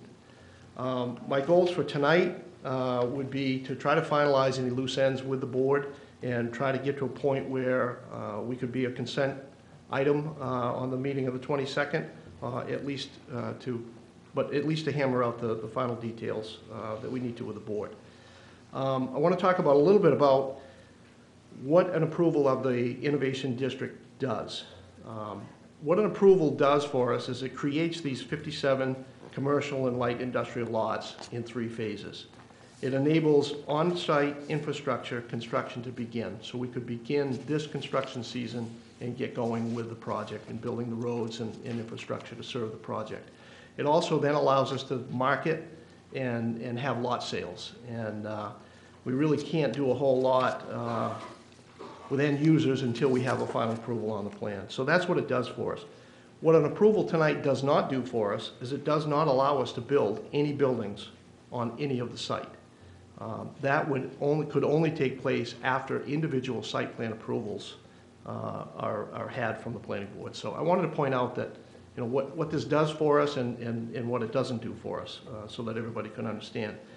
The timing of the subdivision approval is critical to us, uh, so that we can accommodate end users that, that we have in hand, that, that have known about the project and are very interested in coming. And then that helps us meet our requirements of our TIF and, and credit enhancement agreement uh, that we have with the town.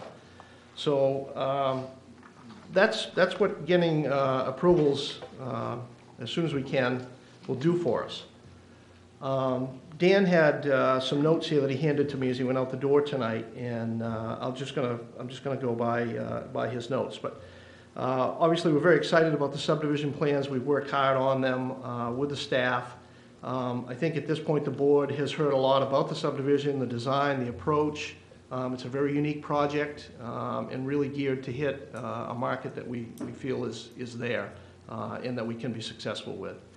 Um, In addressing some of the staff uh, comments, I think basically there were five that uh, we felt that the, the board needed to weigh in on. The first one talks about traffic. Um, And regarding the, uh, the DOT permit, um, the permit's in process. It'll be issued at some point, uh, probably in August. Uh, But at this point, it's really not required for us to do uh, what we need to do with the project and, and to get started um, is because we need site plan approvals um, for anything we actually build in the project.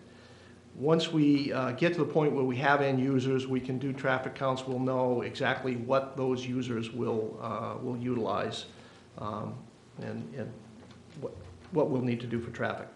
Um, uh, Bear with me a moment. So, on-site improvements, um, off-site improvements will be done as part of this project. They'll be covered in a uh, letter of credit uh, that will go to the town. So the, the improvements that have to be done uh, will be covered uh, in a letter of credit uh, agreement with the town. Um, Another uh, description of the impacts of the Innovation District on the Downs Road and Route 1. Currently, Route 1 intersection of the Downs has a level service A and a B when included with the current residential development underway. Now, the Phase 1 is very close to completion, and COs will be being issued here in the next uh, four weeks or so. Uh, So there will be, there will be people using that. The roadway will be open. Uh, Roadway should be open in about two weeks. Um, so right now, we're, we're at a level A, we're gonna go to a level B uh, with phase one, and the um, Route 1 intersection operates at a high level. It will not warrant uh, any improvements associated with the Innovation District. Uh, A very low percentage of the Innovation District traffic will travel through this intersection. Randy's actually here tonight, uh, if the board wants to talk about traffic. We did talk about traffic quite a bit at the last meeting. So I think that, uh, that addresses uh, the staff's traffic questions. Um, The staff, we did meet with the staff again this morning, and they wanted us to talk a little bit about uh, the utilities and um, how we envision them, uh, not only for this uh, phase of the project, but the project in general. And I think we did talk about that early on. Phase one has overhead power on the main road, and then we drop down underground to feed all of the individual subdivisions. And that's really what we envision happening through the entire project, but specifically with the uh, Innovation District, um, the main road, the public road, which will be Innovation Way, and Center Street uh, would be overhead, and then we would drop down uh, as we're feeding individual lots. Um, And so that, that's been our intention. It's been on our plans uh, since day one. Um, The staff felt it wasn't super clear, uh, and I guess we agree that it, that it wasn't, so we wanted to uh, address that. But In uh, this section of the project especially, uh, we, we need three-phase power. We're bringing three-phase power through the entire project to serve all of the needs that, that may be coming. So in this particular part, we need the three-phase power, and really the best way to do that is, is with the overhead uh, main lines, if you will. Um,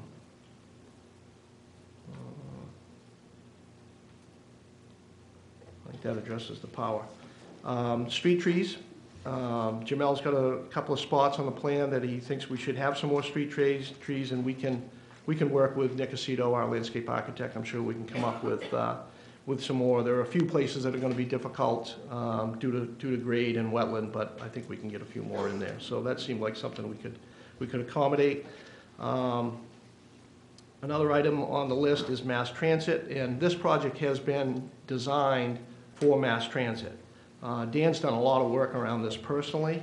Uh, Had a handful of meetings with different providers as well as uh, uh, the Maine uh, Turnpike Authority. And we've designed the Innovation District to be transit-ready with sidewalks, with bike lanes, areas that can be easily accommodate a bus stop. What we don't have is end users at this point. Uh, And that's really something we, we will need to justify transit, uh, any kind of an extension. Uh, We'll also need some help from the town, we think, with some matching funds to do that. But all of that really has to get figured out when we have users and when we have people that are willing to, uh, willing to use the transit. We have plenty of area on-site uh, within the, within the project to accommodate bus shelters uh, as they become necessary. So we intend to, to deal with that as, as demand, uh, as we get demand. Um, Finally, uh, I want to talk about an MOU for public access uh, and use of the uh, Downs Road. Um, We're working with the staff on that. Our attorneys have, have spoken. I think we're pretty close with, with something that will be finalized that the town can live with. But basically, we are uh, setting this up so that um, the, the public will be able to get from the Payne Road to Route 1 during construction uh, in some manner or another, and we'll, we'll work through uh, with the fire department and the police department as- and the staff as to how we address that. But the road will be open no matter what, and we're agreeing to that in an MR uh, MOU with the town uh, to, to accommodate that. I think that's all I had for notes. Um, The staff had a handful of other uh, items, uh, probably more than a handful, and and Dan's got okays and will be on the plan next to everything else. So I've addressed the, the items that he felt were, were important. So uh, happy to answer questions. Uh, I do have Randy here. If you want to talk about traffic, and our engineers are here as well, uh, if anything else comes up. Thank you very much. Uh, We do have an opportunity for public comment on this item. If there's anyone here that would like to speak, just please approach the podium, state your name, your address. Thank you. Good evening. Karen Martin with the uh, Scarborough Economic Development Corporation. I don't usually comment directly on projects at the board level, but I wanted to take a moment um, really to compliment the planning board on their work with the Downs project. You've had a bounce back and forth um, between the big picture portrayed by the master plan and the day-to-day details of um, the individual projects. So this project obviously is complex with a lot of moving parts, uh, but you've tackled the big picture one project at a time. Um, and both the board and the developers are working through a project of a scale that I don't think we've ever seen in town, um, as well as one that is pivotal to the future of the town. And while the whole project is important, I have to admit that my board is particularly interested in the Innovation District, given the um, lack of industrial or production space in Scarborough and in the region as a whole. And I just wanted to remind all of us that there are businesses, some of them homegrown, um, that we are talking to at SEDCO that are just waiting uh, for this opportunity um, to look at the Innovation District. And you guys are making that happen. So I just want to take a moment and say thank you. Thank you, Karen. Is there anyone else here that would like to provide some public comment on this item? Hi, my name's Sam Marciso, a resident of Scarborough. Um, I'm in support of this development. Uh, I own two businesses in Westbrook, employ uh, almost 100 people. Uh, For for a couple of years now, we've been looking for a new home for those businesses. We've outgrown where we're at, and it's very difficult to, uh, as you know, find industrial space and/or even land to build something. And when this came up, being a resident for a long time, I was really excited about what was going to happen. And uh, actually, some of the folks that work for me uh, plan on living in the, in the residential side for the work-play uh, side of it, work-live, I mean. So um, I believe it's a great plan. I'm looking forward to, uh, I've actually reserved a couple of the lots, hoping that this will happen and happen quick. Time is of, of the essence for us, and uh, I hope you guys give it final approval and work, work swiftly. So thank you for listening. Thank you very much. Anyone else like to provide some public comment? Seeing none, I'm going to close public comment. Rachel?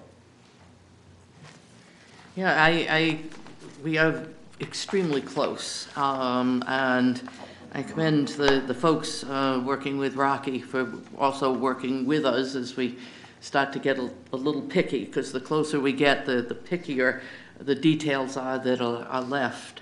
Uh, I had one question. One of the staff comments was that the applicant provide some sort of infrastructure at the entrance to the trails on the site, i.e. bollards, to ensure motorists do not use them. Was that one of those comments that Dan had that said, yes, we'll do that? Yes, we, we've got a plan for that.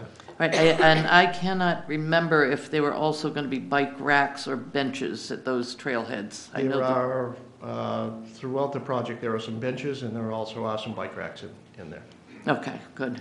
Um, I commend you for the, the work that you've done in terms of, of thinking of the, um, the, the placemaking and the effort to merge the Downs area, the open space with Warren Woods. I think the trail system that's going to end up there is, is going to be one of the jewels of, of Scarborough. Uh, I'm really pleased with where this is going. Uh, I understand fully the need to move ahead, and I'm all in favor of moving ahead as speedily as possible so that folks who want to bring jobs to Scarborough know that they can do that and they, they can have a time certain when they can start to plan that. Thank you. Thank you, Rachel. Roger? Um, First big question, where is Center Street? Uh, I didn't bring my pointer to Jamel, can you show where Center Street think- is on the? That's what I thought it might be, but I've never seen it identified. So that street, we envision, will eventually come down through the downs and come all the way to Haigis Parkway. Right into the core. Correct. Just- Okay, that's where I thought it was, but I wasn't sure. Um, I totally agree with you on the mass transit. I mean, you have to have demand, because they're not gonna come there if there's no, no demand. Um, Rocky, on, Bill Bray had quite a number of issues regarding the Holmes Road area. Um, Do you have any, any problem with any of these things? Um, I don't. I'm not gonna say a lot. Uh, you sit down.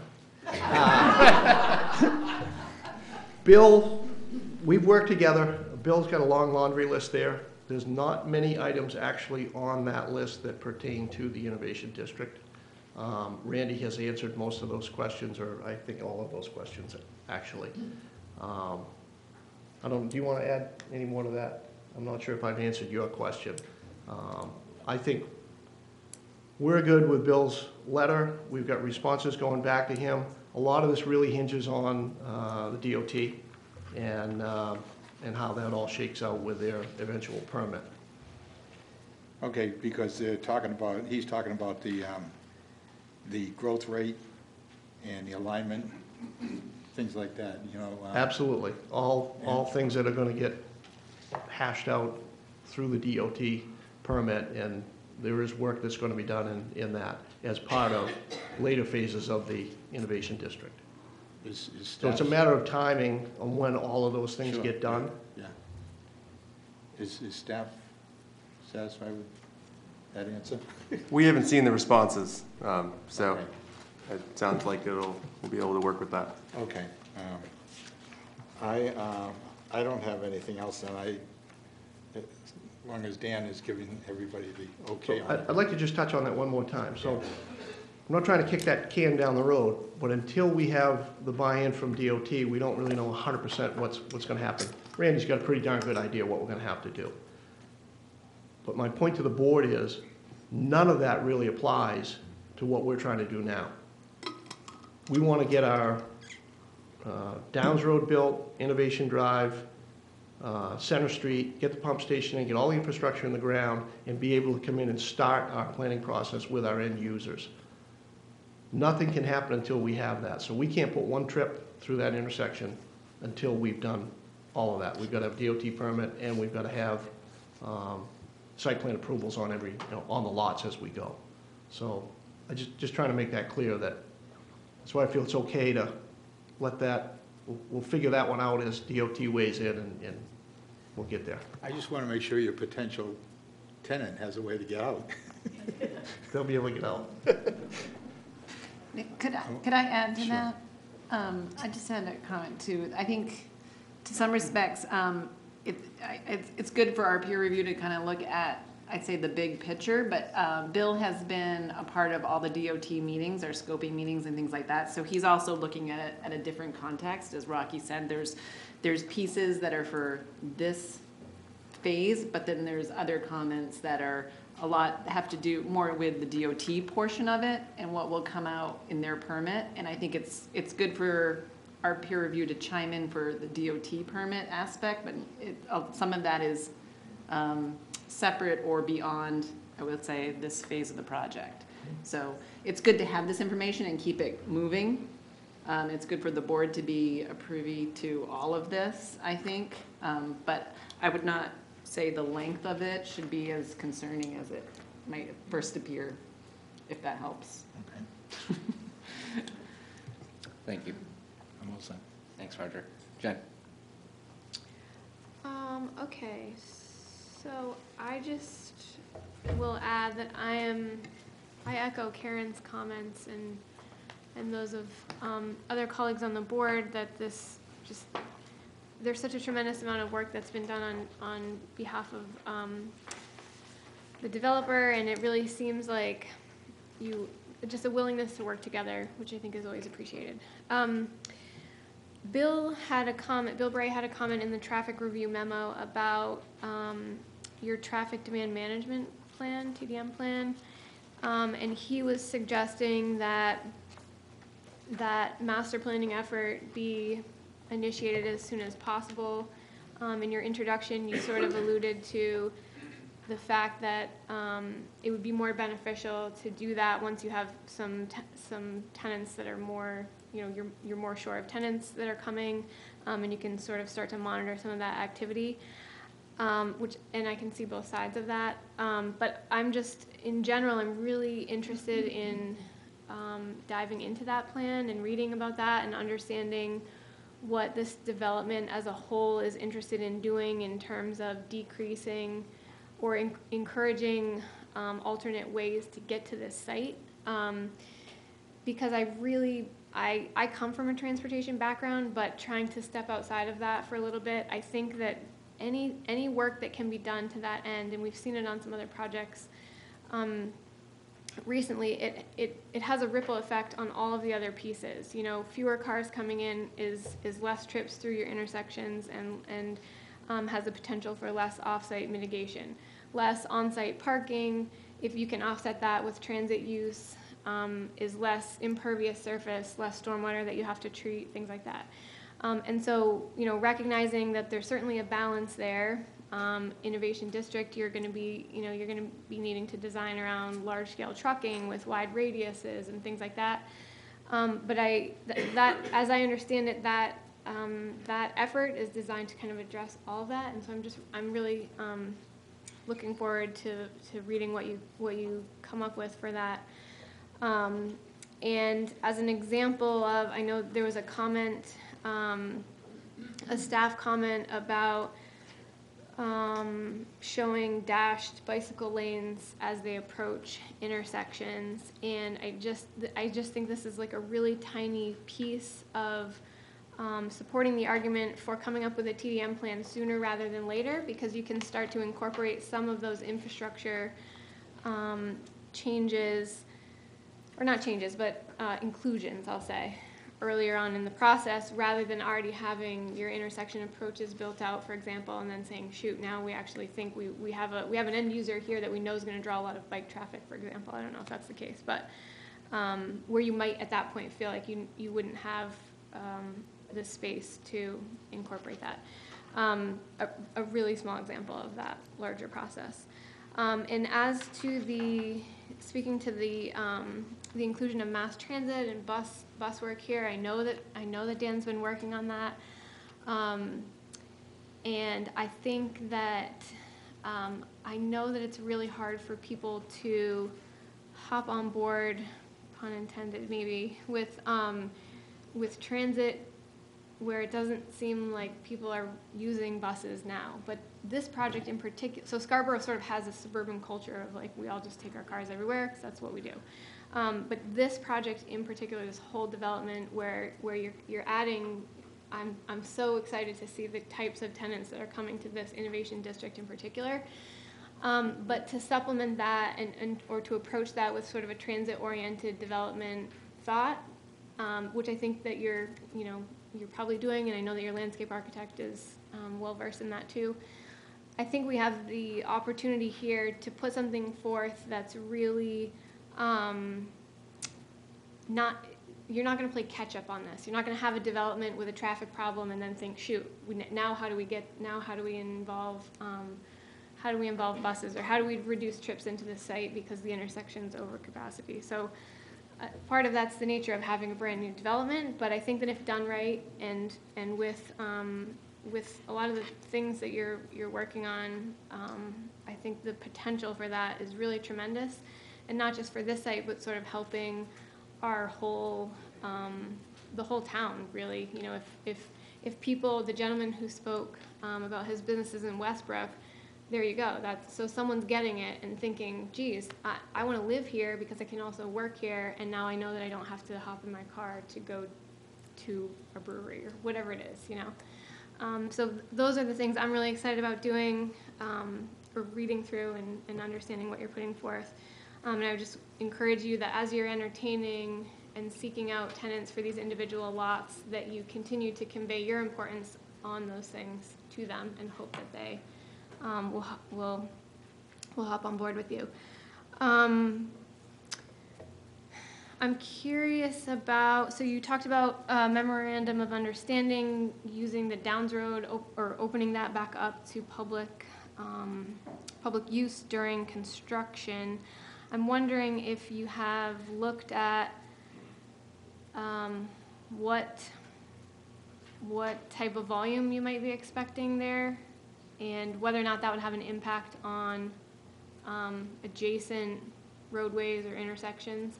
Understanding that the road has been there for a while, and sh- I'm sure that people have, a certain number of people have been using it as a cut-through, but um, given that it's in, uh, it's improved, it's a little easier to drive on, I just didn't know if you had a sense for whether or not, um, what, what type of traffic you think that might be handling. Um, I was told that about 1,100 cut-throughs a day is what occurred before we closed the road.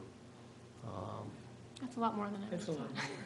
I don't think we're going to get 1,100 back, because people are going to realize that it's not the quick way anymore. Yep. Uh, Obviously, there will be some Sure. cut-through. Um, I don't know if Randy can, can address that, that better than I can, but uh, it's, that's, that's what it was. It was 1,100 to, to start with. And uh, obviously, it's been closed now, you know, since fall. Sure. So we've, we've lost a lot of that. In the meantime, the business is still open. The track is still open and doing business. Their customers have been coming, uh, coming off the uh, Payne Road. Uh, They've been longing for us to get Route 1 open because they do feel like some of their traffic will, will use that. So that, it will, it will get a little bit busier. Um, And our, you know, our agreement with the town is that we'll, we'll maintain a travel way through there and, uh, and keep it passable. That's all I have. Thanks, Jen. Rick? Yeah, I feel like every time you come and and share stuff, I get really excited with what, what's going on and then hearing, you know, local contractors wanting to move their shop into this. This is, this is what Scarborough needs. And, um, He's you not know. even, he's not even a good one, Rick. Uh, he's not. Uh, he's a good one for somebody that what I know he does.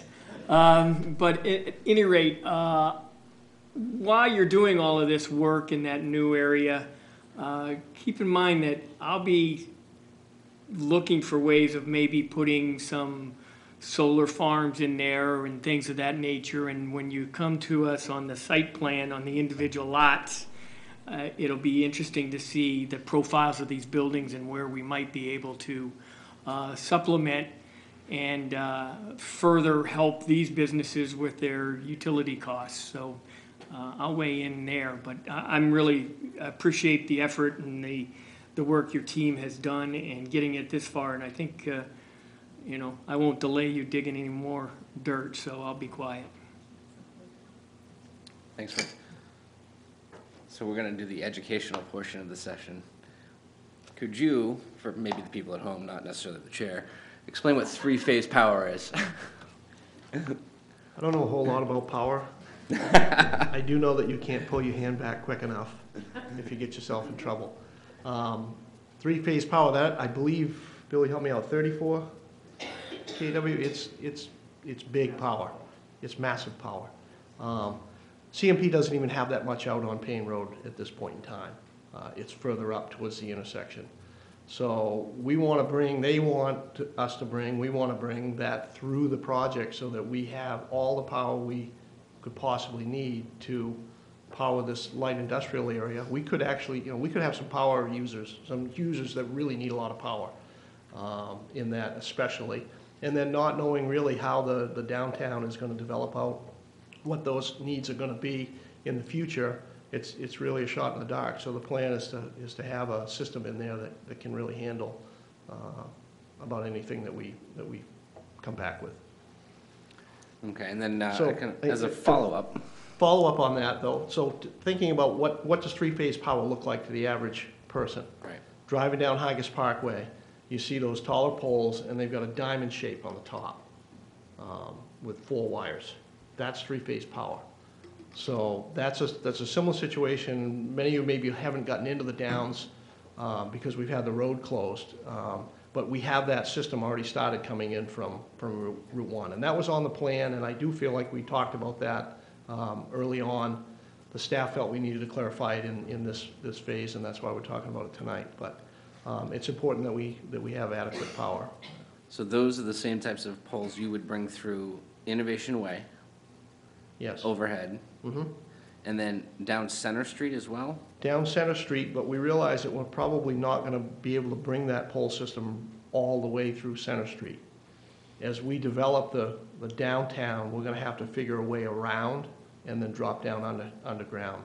And I don't know whether it's going to involve in the future on the back side of the track or whether it'll be on the front side of the track, but somehow we'll have to connect those links. We know we can bring it in from Haigis Parkway uh, and connect in, so. But your main, your main road, your Scarborough Downs Road will have that, that pole system on it. Just like Haigis Parkway, just like Enterprise Business Park next door, same type of system. But outside of the Downs Road, Innovation Way, and Center Street, that is all the overhead you will see? I could not make that commitment to you tonight, uh, because I don't know enough about it.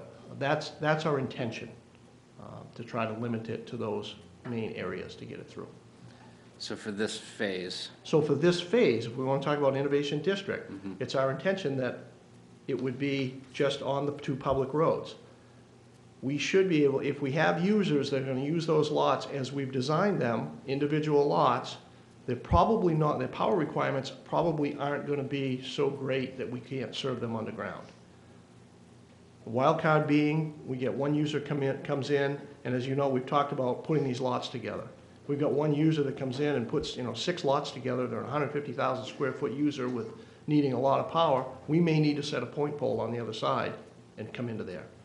So, but that would be, we would talk about that with the board at site plan approval, figure out how best to serve those users. and I think this is, I think, probably goes to the heart of what staff is expecting over the next couple weeks, that you guys can iron out and solidify on the plans. Is that, is that an accurate statement?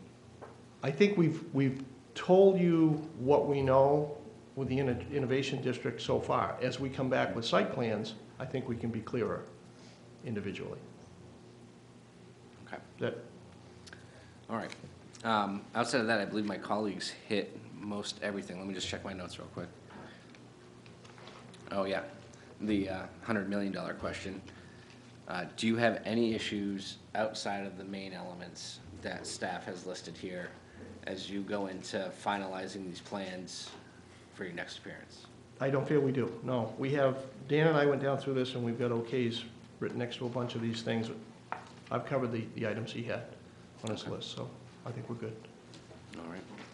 Uh, So the request here um, from our board is to have this on the, as a consent item on the 22nd. Uh, Is the board comfortable with staff working with the applicant until the 22nd to get this ready for consent? Bunch of nodding heads. Congratulations. See you a Thank little you. later. Appreciate it. Thanks.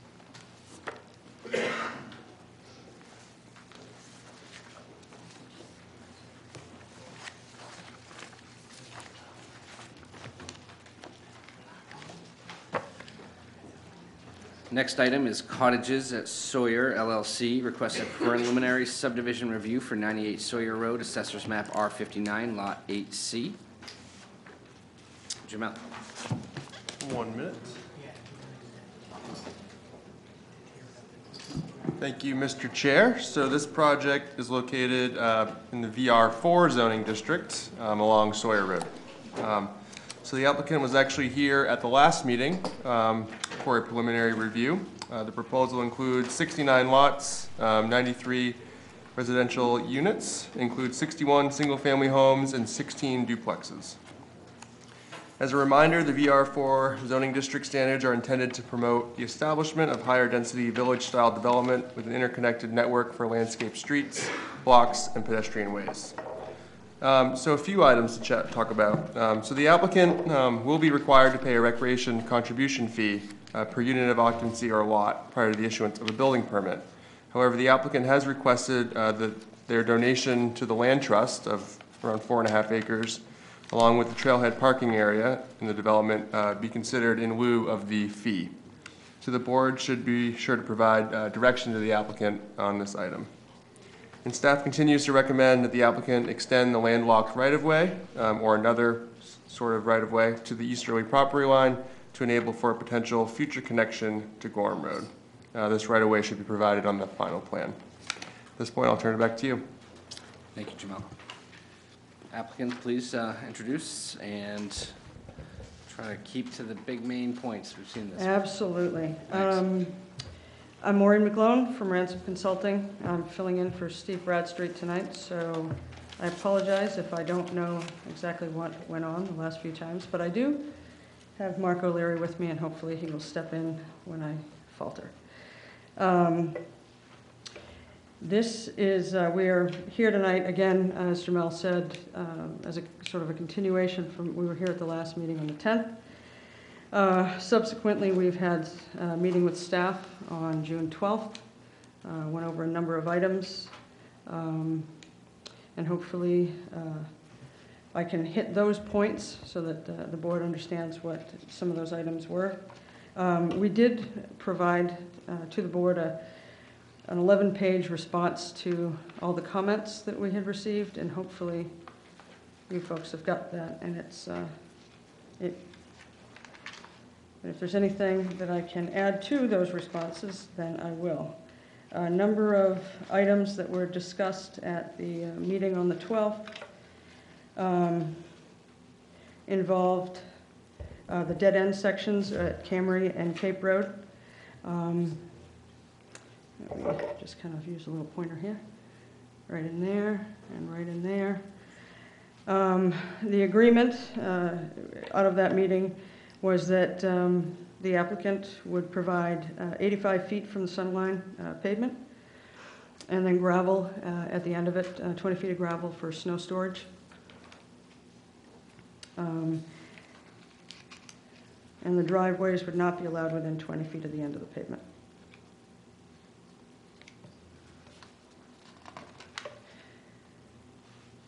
Um, In addition, uh, the terminus of Preservation Way within Phase One, which is in this area right in here, uh, was discussed with uh, Jim Butler on the 17th um, in an effort to get emergency vehicles to be able to back up and, and uh, move out. And they have agreed to go It's a little bit more slanty from here, uh, 90 degrees off of the roadway, so that they can back in, turn around, and we will be showing that on the final plan.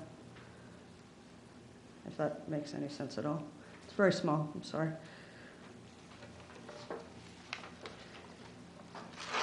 Those were the key points that um, they had had with the meeting with the town. There are other points, as Jamel had discussed, the rec fee.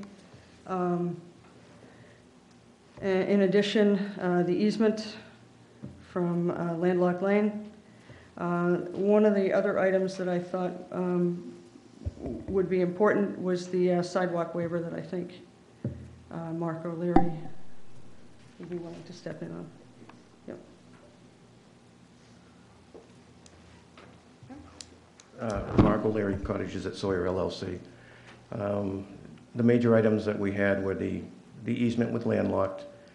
Uh, And the conclusion we came up with is to make that part of Lot 3, uh, that 50-foot stretch, and make it an easement um, for future uh, development, whether it be a road for the town or a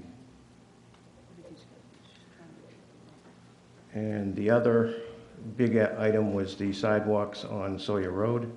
Uh, We were looking to make the recreational fee um, or a contribution uh, to the fund uh, to be only used for sidewalks on Sawyer Road. Those were the bigger issues. Can I just ask you to clarify real quick? Uh, You sure can. The, the contribution you speak of, is this the recreation contribution fee, or is this the sidewalk multimodal reserve? fee? Well, with what the town came back with on, it was in the uh, comments twice. And I do feel that, uh, from a recreational standpoint, what we're doing with the donated land, but the, the- as well as the parking lot, and we're probably spending a little bit more than that whole recreational fee on the seven open spaces that we're we're creating within the subdivision. Um, That's where that waiver was requested. The, we had a sidewalk on one side waiver that the board was okay with, and they looked for a contribution. Um, That's the contribution I'm speaking of, that uh, I would want to make sure it was used for sidewalks on Sawyer Road and did not go into a, a bigger fund that may be used for something different. Thank you. Is that uh, the end of your presentation? Let's go. All right. Thank you. Uh, We have an opportunity for public comment this evening. If there's anyone here that would like to speak on this item, please approach the podium. Seeing none. Rachel? Yeah, um, I'd like to wait a little bit. Defer your time. I defer. We'll, we'll, uh, we'll mix it up. Rick, you get first stab at this one. Um, I didn't see a design for the trailhead, uh, the parking area on the trailheads. Is that, have you worked that out with staff? Uh, Not with staff, it is all designed. Uh, We knew we couldn't submit it after our submittal for this meeting. It's basically a 50 by 60 gravel area with a trail going into the corner of uh, the donated land. Which would be right there.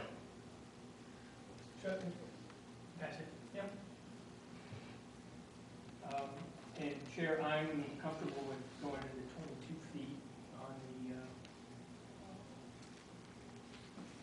pavement width. I think that's all I had from the last meeting. I mean, I, I think we kind of talked a lot on the last board meeting on, on concerns, um, mainly the sidewalks, and I agree if you're gonna put the funds in for sidewalks to, to go on those, for those sidewalks. That's all I have. Thank you, Rick. Jen? Okay, um, can staff give a quick summary of what the town's recreation fees, what types of things those fees typically go for? like maintenance of parks and things like that? I can try. Um, so typically, as I understand it, the recreation fee is, um, you're adding more folks to town parks and facilities. Uh, so it's an, it's a fee to account for the extra use. Sure, okay, that's what I thought. And it, it's typically, I think, for, um, capital improvement, not maintenance per se, but added Okay. features and amenities. Sure, okay. Is that how we got the cricket, or the, uh, not the cricket, but the paddle ball courts? Perhaps. Um, and will the land trust be fully taking over the maintenance of this, the open spaces that you're talking about? Uh, The open space with the parking area will, re- will be part of the open space within the subdivision. Okay, so not, not the, um, not for the land trust? No, I thought it was easier where that's going to be plowed once it's given to the town. Um, It's a direct, Okay, so will be made, so the town will be maintaining it? Correct. The, the trail, the parking anyway, okay. Um, will you be, um, any type of signage there at the trailhead? Park here, don't park here, that kind of thing, trailhead here? Um, and/or signage elsewhere, um, throughout the project limits? and there'll be one uh, sign uh, meeting the ordinance uh, as you come in, so it won't be larger than the 32 square feet.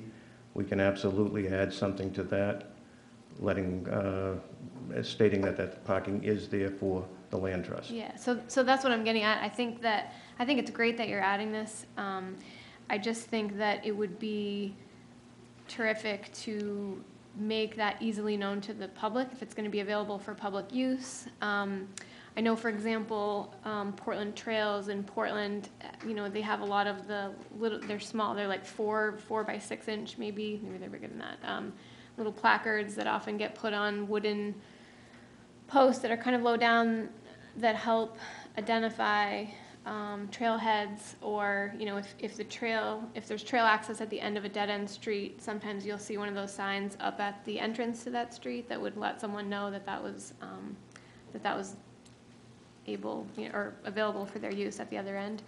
Um, so something like that, I think, would just be really, would sort of emphasize that, that you are providing that, um, that offering to the general public and not just um, to the people in this development.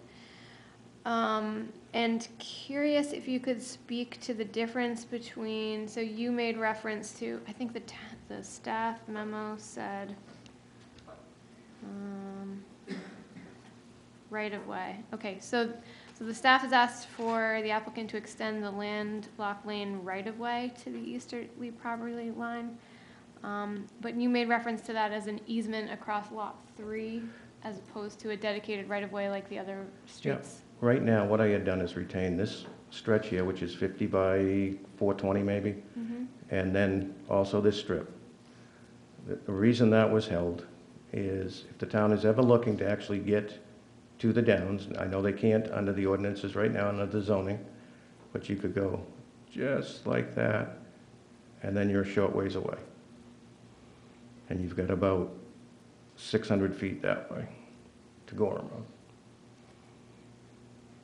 So in holding this as part of that lot, uh, originally I was going to hold it as open space, but in hindsight, looking at it now, um, I think the easement directly from me, where I'm going to retain Lot 3, uh, would be to keep it with that.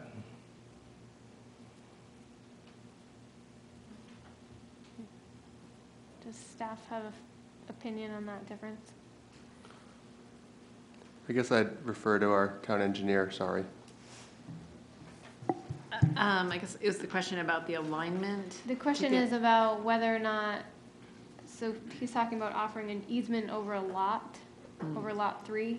Right here, And the Rachel. difference between that and a dedicated right-of-way, like what is shown for the interior network of roads. Right, and I, I think we talked about that with staff, and, um, it was something that we were gonna, um, refer back to our attorneys, Okay. because in order for us to, in the future, build a road, we need more than an easement. We need to have we need to hold that, that title and that fee for that land. So I, I think that's a legal question, but from what I have seen in my experience, I think we need to actually have that as part of the right of way.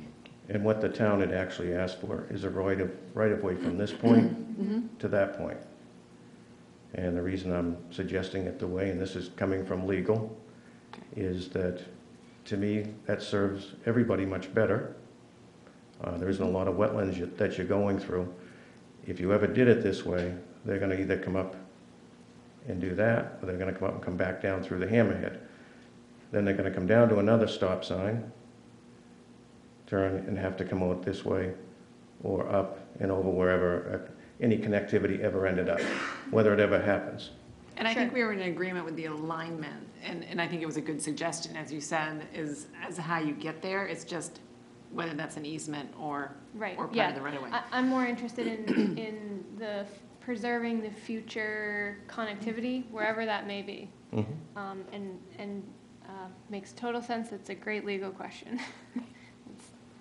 A little above my head. Um, last question, again, maybe for staff, so, um, or I'm in, I'm supportive of the, um, the contribution for sidewalks on Sawyer Road. I think it's totally appropriate that, um, that you ask for those to be used in that way. Does the town have a, a path forward on that? I guess I just want to clarify, when we talk about, um, just a little history lesson, I think, first off. When we talk about the multimodal fund that's set up, we set that up specifically when a project came through, and actually it was on Gorham Road. And as many of you know, Gorham Road is under construction. Um, and it was further down Gorham Road, a future phase on Gorham Road. And while we have a conceptual plan for sidewalk, and our intention is to put sidewalk, and this was for the brewery further down, um, it made sense for them to say contribute now, um, instead of building it, not knowing exactly where we were gonna put it, but conceptually it was there. And what we were told is, is setting up this reserve account. It does go in as kind of a general account for us to be able to use for sidewalks throughout town, that is true. But if you specifically are calling out um, for the sidewalk to be built on Sawyer Road, that would be a different fund. That would be something that we would have to set up separately. And my understanding is that it would have to be spent within the fiscal year, which um, I'm gonna su- probably assume that the developer is not putting up the full hundred percent to build that sidewalk, which means um, we would have to look for town funding to match, to be able to construct that out. Um, And so it really puts us in a situation where I don't see that it's feasible, um, especially in this, where the budget is just passed, so we're waiting a whole nother year, um, that we would have that ability to even have the conversation, um, to be able to have some match money to be able to- finish the project. So I don't know, is, um, we'd have to investigate further on if we would do a separate reserve account, which is a council process, um, or if there's other options or opportunities. But I think when you get into specific, it's not as simple as contributing to multimodal, so. So that makes sense, and I would just want to make sure that you weren't contributing towards a project that either we didn't have a plan for, or that wasn't feasible in a, you know, in a, in a timeframe that needed to happen. I wasn't aware of the one-year, um, the the fiscal year expenditure requirement, um, but that makes sense, so that the town probably doesn't collect fees and not use them. In, in my research, I was told five years on that. Hmm. And uh, this is out of respect to the, the residents of Sawyer Road that I've spoken with. This was probably their number one concern, Mhm. was there's no sidewalk. Mhm. Um, And I just feel like if there's money that's coming from this, whether it be from the recreational fee or other funds, Mhm. that's where it should be used. Mhm. Um, The term, the, the timeframe to do it, there's gonna be a lot going on on Sawyer Road. Uh, I'm okay if it's a different timeframe. It just, I would like to see it allotted to that. Sure. Okay. I think I can speak for the town and say we're very supportive of a sidewalk on Sawyer Road as well. It's an important connection to the town center and It was in the Oak Hill pedestrian plan, so I think we're all in agreement there. Thank you. Jen, you all set? Roger? Um, Regarding the, um, it- it's Lot 4, I believe, is going to be donated to the Scarborough Land Trust, Yes. and have they agreed to that? Uh, They have been given all the information. I talked with uh, Rich Bard, I believe it was. They've sent me over everything uh, with the understanding that once we move forward, that they would be given the deed information, and uh, they're very interested. Okay, good. Um, I, uh, I would echo what um, Jen said about the signage, uh, especially down on uh, Sawyer Road. I- Is that what you were referring to also, down on Sawyer Road? Just so people know that there's something in there. The public knows that there's, a- there's a trailhead inside the development, you know? Absolutely, that's Yeah. not a, Um, And, you know, this, um, this blank piece of land, right at the end of Landlock? Right there, yeah. Wasn't that supposed to be, there's four cottages going there, oh, that's what I thought, okay. And then you have duplexes going. three down duplexes down here. Okay. That's what I thought, okay. Um, No, I, I, I- I'm pretty well satisfied at this point, I think. Um, I do have, a just out of curiosity, um, are these, are these, um, these go- all going to be manufactured homes, is that correct? I would like to tell you yes. Uh, There's a possibility that I'll sell off 10, 12 lots, Okay. and I probably won't have the control over those. Everything else will be modular. And would they be similar to, just out of curiosity, like the, um, the newer section of Hillcrest? I'm sorry? The newer, cr- newer section of Hillcrest? You know, uh, state manufactured homes down the back? To a degree. Yeah, okay. Um, I think there's a little bit more design factor to them, Okay. but, but similar qualities. Somewhere between that and like Magnolia Place or, Correct. okay, all right, good. Um, I think I'm all, I'm all set, I think, I think. Thank you, Roger. Rachel? Uh, Actually, some of um, the concerns I had have been addressed. I was doing just fine until you said, uh, talked about the easement along route, along uh, Lot 3. And I was trying to find what was going to go on Lot 3, and it took me a while to figure out that it was actually split into two. Correct. Um, So you're still planning, even though there's an easement, you're going to adjust the location of the cottages? Yes, it- there's enough room to adjust whatever I need to, to get those in. Uh, It may change the configuration of the cottages a little bit, but that's all. All right, so we're still looking, i- in spite of that, we're still looking at the same number of houses, proposed houses? Numbers are not going to change. Okay. Um, Did you have any questions or any issues with the recommendations that the staff had in terms of the, um, some of the proposed open spaces? No, we've designed all the open spaces, and I can give you a quick overview. Um, We are going to use the hardscapes that were recommended, from split rail fences to uh, designating with oversized rock. Uh, We're going to do a lot of planting as far as uh, buffering uh, any neighbor to an open space. For instance, right in here, that's an open space. I will certainly make sure that this is buffered right in here.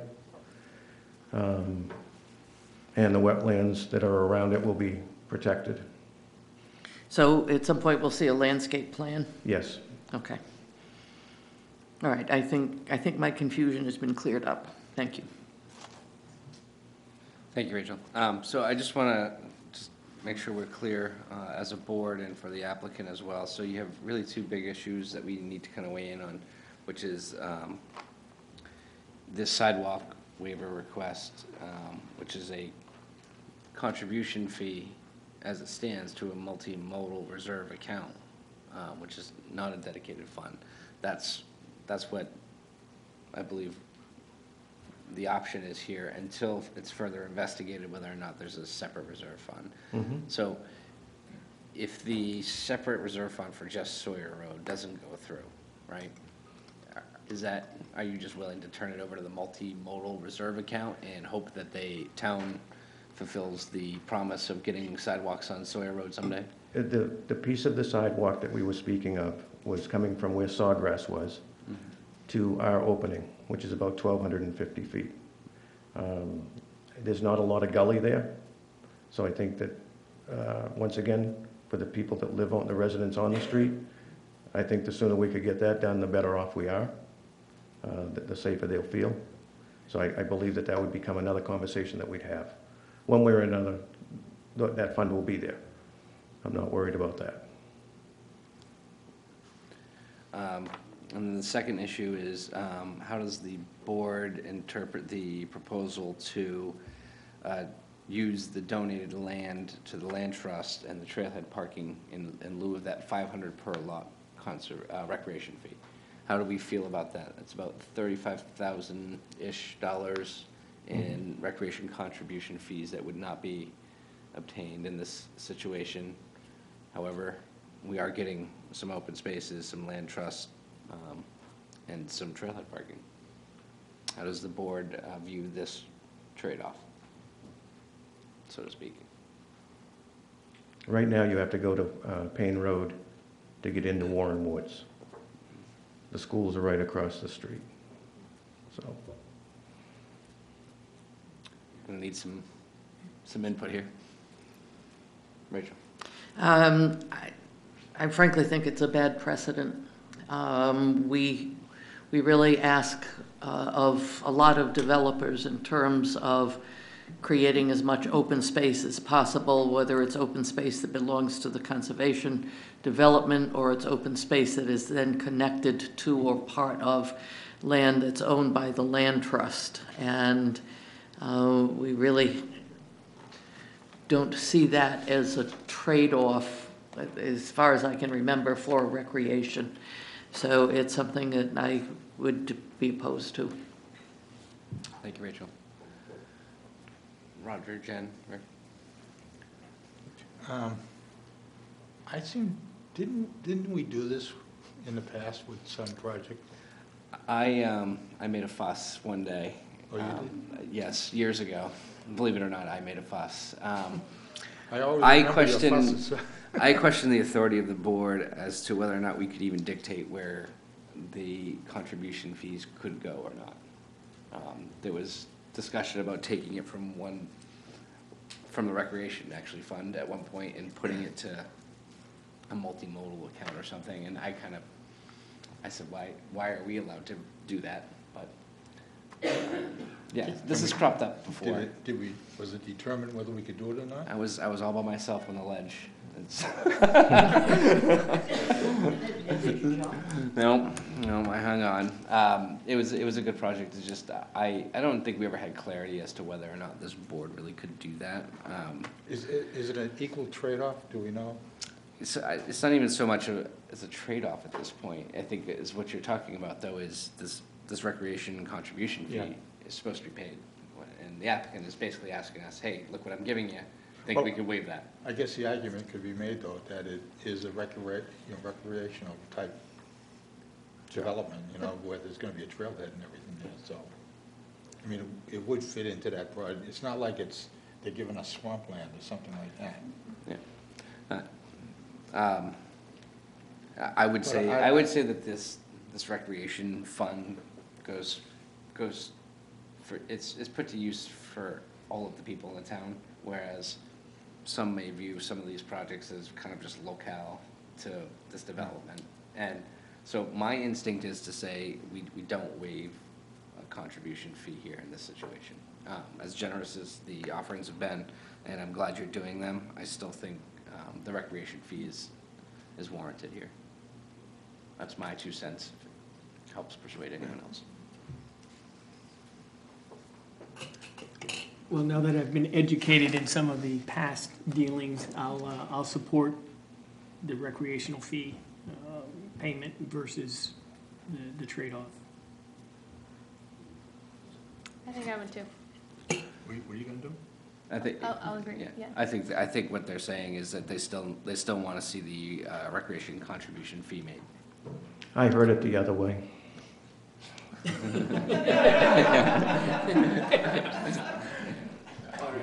So, think you, uh, that's four. Roger, Roger gets to remain silent unless he'd like to Well, chime. I'm not going out on any cliff. All right, so you have your answer there. Um, Outside of that, I believe, uh, is staff and the applicant comfortable with all the remaining details that you get to work out going forward? Nodding heads. We had a comment uh, in the town comments, and that was that they wanted to see stubbing on the uh, force main down Sawyer Road. I've had multiple uh, conversations with David Hughes with the sanitary district, and he has said multiple times that he wanted to just see the trunk. Um, If you want to have Ts or Ys off it, I'll gladly put those, but to stub on the properties or anything, that's, rebuilding the road to a degree. Um, I don't think that's my job here. The, uh, one of the things that I saw in the ordinance is if you're creating more for the town benefit uh, than your traffic fee, then those can be waived in comparison. Um, I can tell you the sewer line coming down Sawyer Road um, is better than twice the cost of uh, the traffic impact fee. Then you throw the sidewalks on top of that, I, I think a lot is being put out there in lieu of.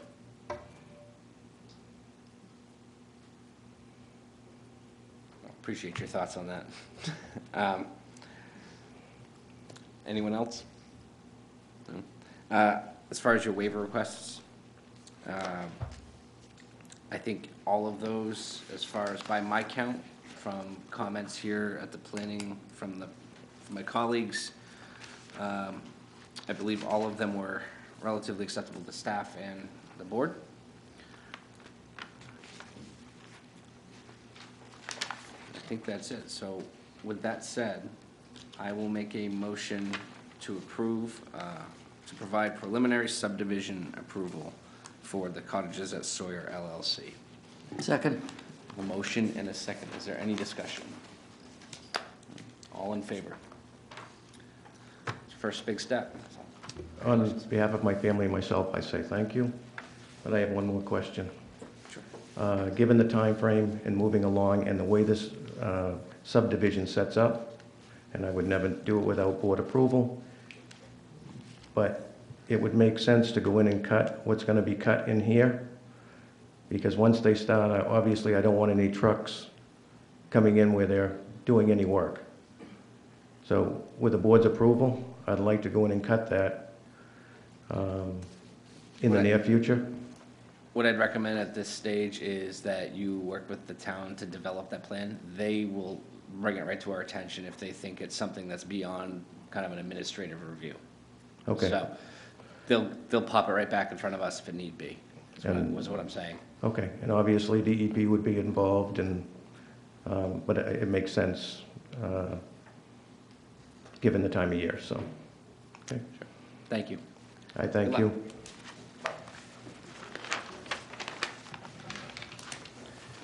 Next item on the agenda is the Rock Church of Greater Portland requests a site plan amendment for 66 Gorham Road, Assessors Map R58, Lot 19. Ready? Oh, yes, sorry. Jim. Thank you, Mr. Chair. Uh, So this is located in the R4 zoning district um, along Gorham Road. Um, So the applicant's proposing a 10,760 square foot building addition to the existing Rock Church. Uh, The board may recall the applicant was granted approval um, for a slightly larger building addition in, I think it was May of 2018. Um, So staff has offered several comments about the proposed, uh, I guess, redesign of the building um, that- that the board should discuss, including the proposed siding, materials, and uniformity. And at this point, I'll ask Angela to address some comments on Gorham Road. Thank you. Um, I think when staff first, actually, even this morning, Jamel and I were talking about tonight, um, uh, Gorham Road is obviously well into construction. Um, we've been coordinating with the Rock Church, um, and their services, the, the utility services, um, out to Gorham Road. And we're kind of at a critical point. That's where I kind of wanted to put it in, in the comments, just to make sure we had this conversation. Um, as of today, I know, um, I have coordinated with both Shaw Brothers out there as well as um, the church's um, liaison.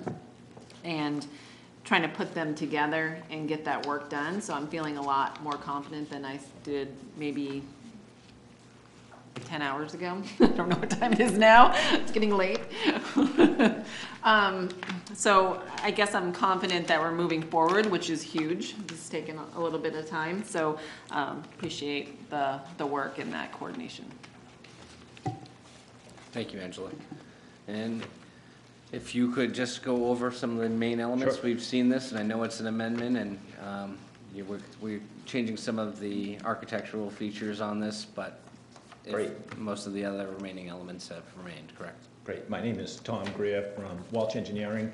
Um, We've done the civil engineering portion of this. The uh, site plan is changing very little. The um, building has shrunk by a couple hundred square feet. I don't think that will be noticeable as you drive by, whether you'll see that or not. So from a visual point of view, um, the size reduction is really uh, no change at all from, from that point of view. We have changed some of the entrances around and a little bit of the sidewalks at those. And again, I think those just accommodate the new building footprint. Uh, One of the things we have changed is the utilities coming into the building, and we've simplified those so that there's uh, a little less conflict. Uh, And we think that those are going to be a little simpler to build, and, uh, and speaking to Angela's comments, um, a little easier to coordinate. So we'll be, be moving forth on those with tonight's approval um, to make those, make those connections work a little easier. Um, With me tonight is uh, John Leisure, uh, the architect, and I, based on the staff's comments, I think he's really the one that you want to talk to. So I'll let John do the introduction.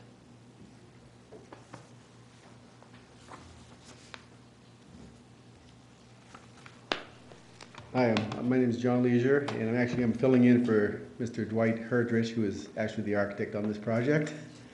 And um, I understand you've seen this project before, so it's um, not completely new to you. The, the main design changes are in the siding.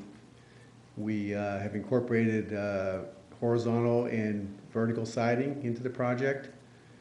And the, the colors, the light dark gray and the light gray and the banding, the brownish banding, have remained the same as the previous submission. And I'd like to address maybe some of your comments uh, by the board. The first one is in reference to the, the, the metal being reflective. It certainly will not be reflective or, or bright colored in any way. We're going to provide a low luster Kynar paint finish to all the panels. And the, the vertical, the vertical metal will have ribbing, which is about six, six or seven inches between the ribs. And the horizontal banding metal will be about 12 to 17 inches between the ribs to create a diverse effect. So it will not be a reflective surface at all. Uh, the second item references the, well, actually, providing horizontal siding on the entire building. We- We don't feel that's the proper approach to this building. As, as the building is over 100 feet long, we would need some vertical elements to break up the facade to create some kind of, to create the interest that I think the building needs. And the other item was about the stone. We are planning to wrap the corner of the building. On the east elevation right now, it's about 18 feet in width along that east elevation. We are going to wrap the corner and, and continue to the south about two and a half feet. And that change was, was mostly because the roof, the roof on the previous submission was flat. So we're able to, to ex- extend the stone further. In this, in this submission, the roof is pitched to the north and the south. So it would be difficult to provide more stone on, along the, uh, along the south elevation. The other item that you mentioned was the spandrel glazing panels on the east elevation. We are planning to do a, a Lexan opaque black panel with the same window frames as we are using in the storefront entrances on the, on the north and south side entries, which will create the effect of looking like glass. The other item that you mentioned, the canopy colors, they, we certainly are in agreement with you on the banding of the canopies to remain the same color, which would be the brownish, the brownish color. That will certainly be changed to reflect that. And I believe that's the list that you have. If you have any more questions, I'd be happy to try to field them for you. Thank you very much. Um, We do have an opportunity for public comment this evening. If there's anyone here that would like to speak, please approach podium. Seeing none, I'm going to close public comment. I'm just going to ask uh, staff a quick clarifying question on that comment with the horizontal surfaces, or the, sorry, provide horizontal metal siding on all sides of the building. Were you referencing perhaps this long stretch out in the bath on the north elevation? Uh, no, we didn't really look at the existing building. Um, that was in reference to the proposed, um, structure. And, and please help me here. Uh, Where, where specifically on these elevations did you think it would work? I'm no architect, um, but typically, you know, in New England, you see horizontal siding, so I think the comment was uh, intended to mean that all vertical siding be horizontal to meet the New England vernacular. I see what you mean, okay. Thank you very much. Um, This is, um, this is a case of beauty, beauty may be in the eye of the beholder, so I'll just open it up in general to anyone that wants to jump in. I personally think the, the the design is, is a nice-looking building, Um, and I I appreciate your taking the time to answer all of those uh, outstanding issues. And I I personally do not have any, um, anything to uh, contend with after your responses. So, Yes, Roger? Um, I agree with you on the uh, building. I think it is a handsome-looking building. And um, on that second bullet, the word, it says the architecture, architecture of the building shall. That's pretty definitive to me, but I, I, I disagree with that. You know, I, I think this building looks nice, and I agree with the architect. If you went with the horizontal, you need, you need some of the, um, the vertical to break it up, and I think it looks really very attractive. So, I don't, I don't know. Thank you, Roger. Anyone else care to chime in on any of these? Um, I will just say that I uh, ex- extend a thank you for working with the town on getting what sounds like we'll be able to get those utility connections in um, prior to finished paving. Yeah. Um, works best for everybody that way. so I know that sometimes that can mean maybe accelerating your schedule beyond what you were initially intending, but on behalf of the town, I think it's um, worthy of a thank you. And uh, just a question about the contrast between the existing and proposed portion of your building and whether or not um, any thought was given to kind of, um, what's the word I'm thinking of? This, join, to, to How to- ha- have some sort of consistency or connection maybe visually between the two. Well, they're- they're gonna be, there's not gonna be a gap. Right, no, I be no mean, gap. I mean the aesthetics of it. The aes- the aesthetic, the existing building right now has the horizontal clapboard look to it, Mhm. and you see a lot of roof. Our building, you will not see any of the roof, even though it's gonna be the same color, of the metal roof. Um, As far as the connection, um, it's just gonna be metal trim as we turn, as we turn the corner there. It's not gonna be anything that's gonna really stand out. So no other improvements proposed for the existing portion of the building, say a continuation of any of the materials or anything that you're proposing on the front end? No, no. Okay, that's all. Thank you. And I'll, um, go ahead, Rachel. Yeah, um, there was a request, if you could do that, to provide a sample of the material. We are, we have ordered the materials, and they will be here within the week, and we'd be happy to bring them to staff to, to look at that. I, I would appreciate that to just check the reflectiveness so I the do staff have a- has a chance to weigh in a bit. I do have a copy of the profiles of the, of the metal panels and the colors, if you'd like to see those. I could- Yes, I would. Could certainly pass those out to you.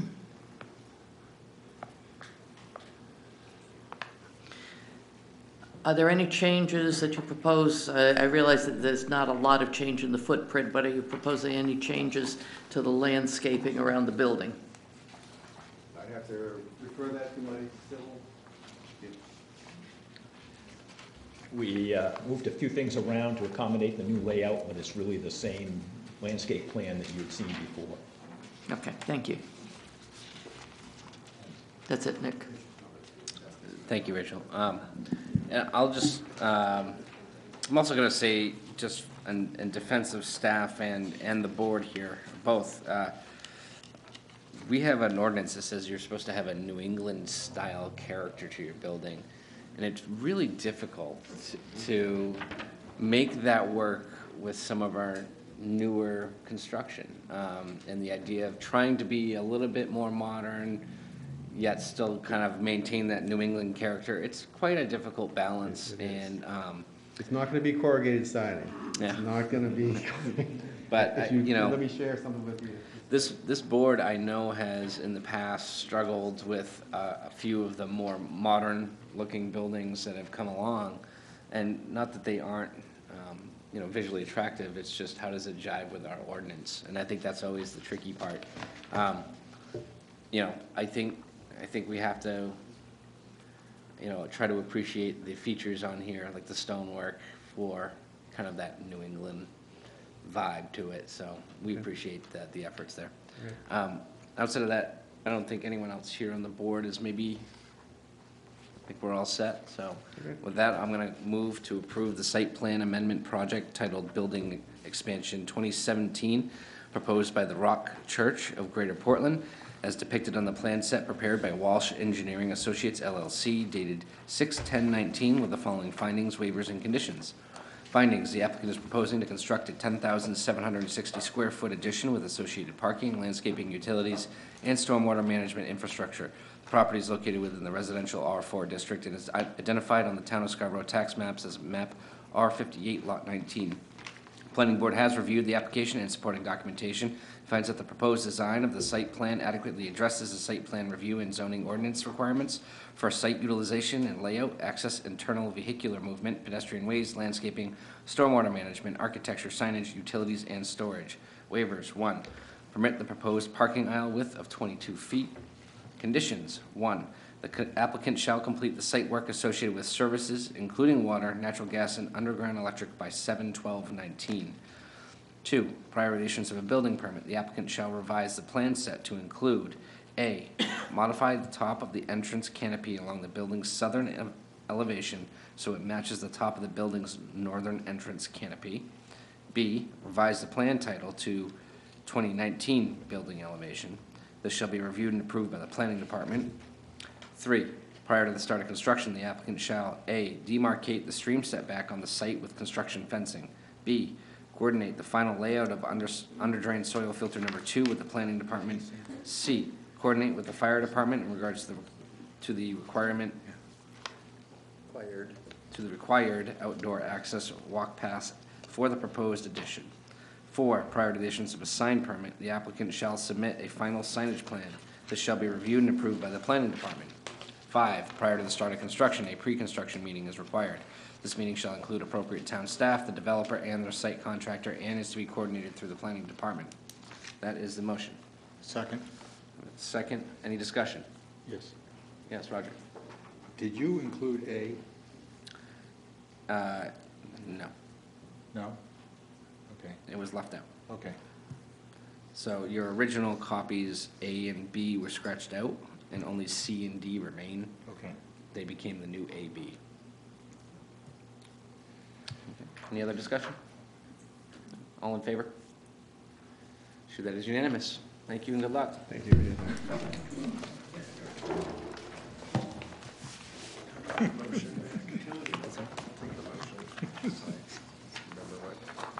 Jesus Christ.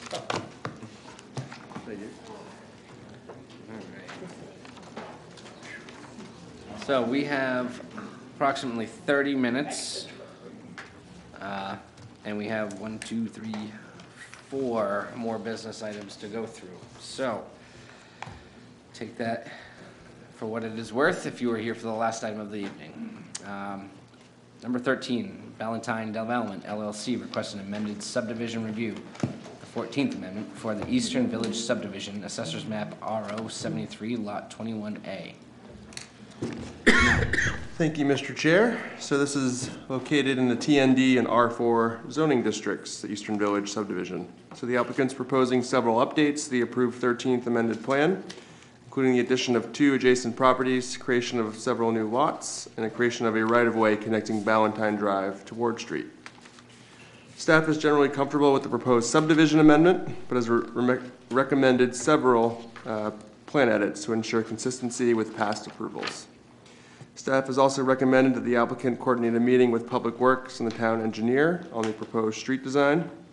And in terms of the subdivision amendment, um, not the next uh, item on the agenda, the motion has been provided to the board with conditions for your consideration. Thank you, Jamel. Kerry? Uh, Good evening, Mr. Chairman, members of the board. Kerry Anderson representing Ballantyne Development. I would be happy to go over any and all comments from staff, peer review, and also uh, uh, neighborhood homeowners. I think most of those are probably for the next agenda. This preliminary to subdivision request is really pretty straightforward. Um, and I, we will work with uh, town engineer. We had a meeting with town engineer, staff, fire department uh, a couple months ago. And, uh, but we can get back together with town engineer and public works if there's any more that we need to discuss regarding that. And um, a lot of the other details that came in that request, um, we have no issue with that. Um, I don't know if you want to get into road geometrics in this particular request or if you want to wait for site plan, which I realize is coming up next, but I'm happy to talk about that whenever you feel that's appropriate. We'll tackle site plan on the next item. Let's just look at the uh, amendments on this one and take from there. Very good. So with that, I think that uh, we have a road connection as for vehiculars that traverses through the property. Uh, We also have a pathway that uh, goes down from Ward Street and connects out onto Classical right through there. And um, uh, again, it's just, it's a pretty straightforward request. Thank you very much. We do have an opportunity for public comment on this item. Uh, If you would like to speak, you can uh, please approach the podium, state your name and your address. Um, This is the first of two for Ballantyne Development. This one is, um, as as Jamel and uh, the applicant have alluded to, this is basically to create um, a single-family lot, a um, a couple, actually three other lots within it, all within the same property already. So adding boundary lines and markers uh, to the existing subdivision plans we already have on file. Right. So um, this, this is more of a tidying up what's already been approved previously. That's correct. Okay. Anyone on, on the board have any comments on this one? The only, um, the only comments, question I have, uh, uh, staff discussed two angle points on the roadway design. Uh, I think, can you explain that a little further? Um, yeah, and I think that's what Kerry was talking about. We met, uh, meeting with staff. That was one of the items we talked about. Um, I know he has, um, some reasoning. Um, I think, I guess we get into the weeds a little bit with it, I think, um, part of the concern, and he can correct me or add to it if I'm wrong, was about traffic calming. But I think because of the minor nature and how those angle points are, I- and the fact that you have ninety degree stop, with stop signs on either end, you're coming from stops from either end, that, um, I think the value in having those angle points is, is less um, for the tr- normal traveling public who are gonna find and veer into the center of the road, and if they're gonna go fast, they're gonna go fast in that slight angle. Um, I don't see the larger benefit for traffic calming. What I see is that Public Works will then, who is actually following the curb line with their plow, having a tighter, it's, it's gonna be awkward. Um, and I, so I don't think it'll be awkward for the normal traveling public. I think it'll be awkward for town staff to maintain. So, um, that's where I'm willing to continue that conversation with the applicant, and that's where I, I guess had suggested to have uh, more conversations with staff on that. Um, So- to try so- to work through the issues with the wetland impacts and things like that, that they had brought up as concerns So where, where it. are these angled points? Um, on the Ward Street end, um, you can see it kind of does, no, uh, other end. Here's Yep. Ward Street right here. No, Ward Street's up here. Nope, yeah, yep, on, on the top. There's, uh, Yeah, okay, you can right see there. there's two points that actually, One's right there. and rather one's than a right there. curve, Okay, it's, all right, uh, that's what I like thought. even on the lower end, there's more of a curve to get out, which Yeah. is, uh, up there, it's, it's more of this, just, an- it's purely an angle, there's Okay. no radius there. So that's where I think, um, I understand the overall intent, um, but I- just see it as there might be, um, more opportunity to discuss that, because I, I think, I see it more of an issue with, for town staff than it would be slowing traffic down. The- All right, so that's gonna be, you know, discussed at the staff level and straightened out. Well, I think we can also discuss it more in the next uh, item, which is particular to site plan. This is Okay. really just a subdivision of lots, pretty straightforward, but when we get into the site plan end of it, I think it comes up more there because it's more pertinent to the individual development. Okay. Then the only other quick one uh, pertains to the uh, street, the LED standard lights. What, what do you currently have throughout the property, the whole development? Do Uh, You, the- you don't have these, do you? We just recently put up a number of the lights the town uh, approved, and they were LED. Um, The ones that are in, that we've been putting in for about the last 10 years are, um, are sodium. But I believe there's, I heard something about that was looking to be changed out. I don't know. But the ones that we just installed, about a dozen of them, those were all LED. Those were the fixtures that the town asked us to put in. So we're all set on that? Yeah, the newer phases that are coming on, I think Yeah, it'd from, be the same thing. as soon as we converted to LED, that's when the developers started converting, or or started moving forward. So we kind of drew that line and then moving forward. And so Kerry has been one of our first guinea pigs kind of coming through. And so I appreciate that with um, the work. And he's done to kind of coordinate with us and move forward on those newer phases. So that's good. Okay, I'm all set. Nice. Anyone else? That said, I'll move to approve the project titled Eastern Village subdivision proposed by Ballantyne Development LLC as depicted on the plan set prepared by Stantec and Gorrill Palmer dated 6/17/19 with the following findings and conditions. Findings, the 14th amended plan of the Eastern Village subdivision includes addition of two adjacent adjacent properties, map U43 Lot 24 and map U43 Lot 25, under common ownership to the subdivision plan creation of a new single-family lot, which is Lot 140, creation of lots 128A, 128B, and 128C, creation of a new right-of-way, Camden Street, connecting Ward Street to Ballantyne Drive. The property is located within the traditional neighborhood development, TND, option overlay, and R4 R4 zoning districts. Planning Board has reviewed the application and supporting documentation and finds that the proposed design of the site plan adequately addresses the requirements of the subdivision and zoning ordinances. Conditions, one, prior to the signing and release of the Mylar, the plan set shall be revised to address the comments in the staff review memo dated seven one nineteen. This shall be reviewed and approved by the planning department. Two, the existing conditions from the planning board approvals for the eleventh, twelfth, and thirteenth amended subdivision plans for Eastern Village will remain in effect. That's the motion. Second, anyone? Second. Rachel seconds it. Any discussion? All in favor? Show that to be unanimous. Thank you. Thank you. Okay, next item. Ballantyne Development LLC requests a site plan review for lots 128A and 128B, North Village Assessors Map RO 73, Lot 21A. Jamel? Thank you, Mr. Chair. Uh, So again, Eastern Village, TND zoning district. Um, The applicant was last before the board in February for a sketch plan review, and the applicant's proposing to construct uh, five three-story multifamily residential buildings consisting of 84 apartments served by a public street. The proposal also includes 21 garages, a community building, dog park, nature trail, and a new public street with sidewalks on both sides. The zoning standards require sidewalks to be connected to pedestrian amenities uh, located in abutting neighborhoods. Staff recommends that the applicant construct a sidewalk along Ward Street to connect the existing sidewalk along Route 1. Uh, This would provide an important pedestrian linkage from the Eastern Village to the municipal and school complex. The applicant has provided building elevations uh, with the submission, uh, so the board should be sure to provide feedback on these designs. And the board approved past subdivision amendments for Eastern Village with the condition that a traffic analysis be completed prior to the development of this phase to confirm traffic volumes to determine if any revisions will be need to made to the approved Maine DOT permit. This analysis will need to be completed prior to final approval.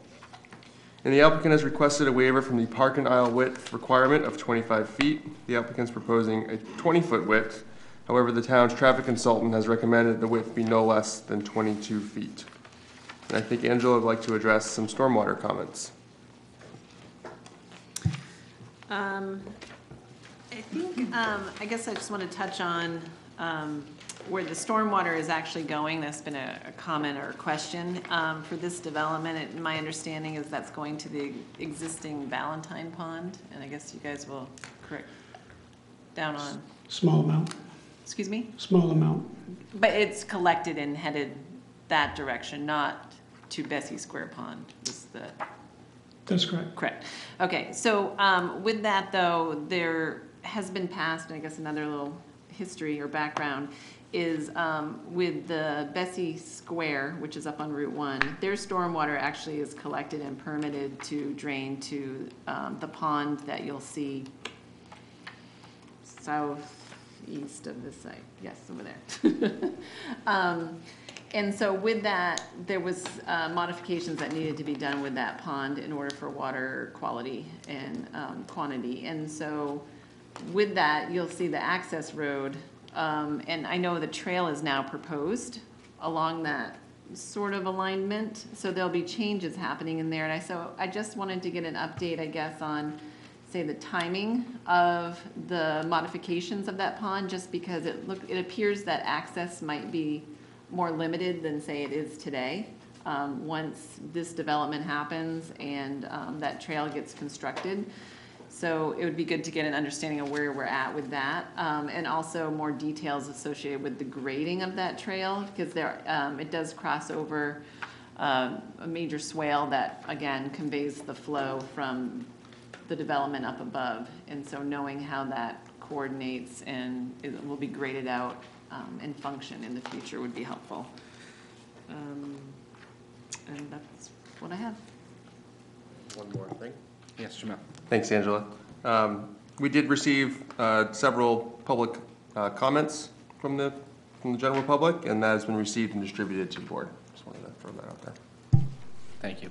All right, uh, Kerry, you're up. Good evening, Mr. Chairman, members of the board, Kerry Anderson, Ballantyne Development.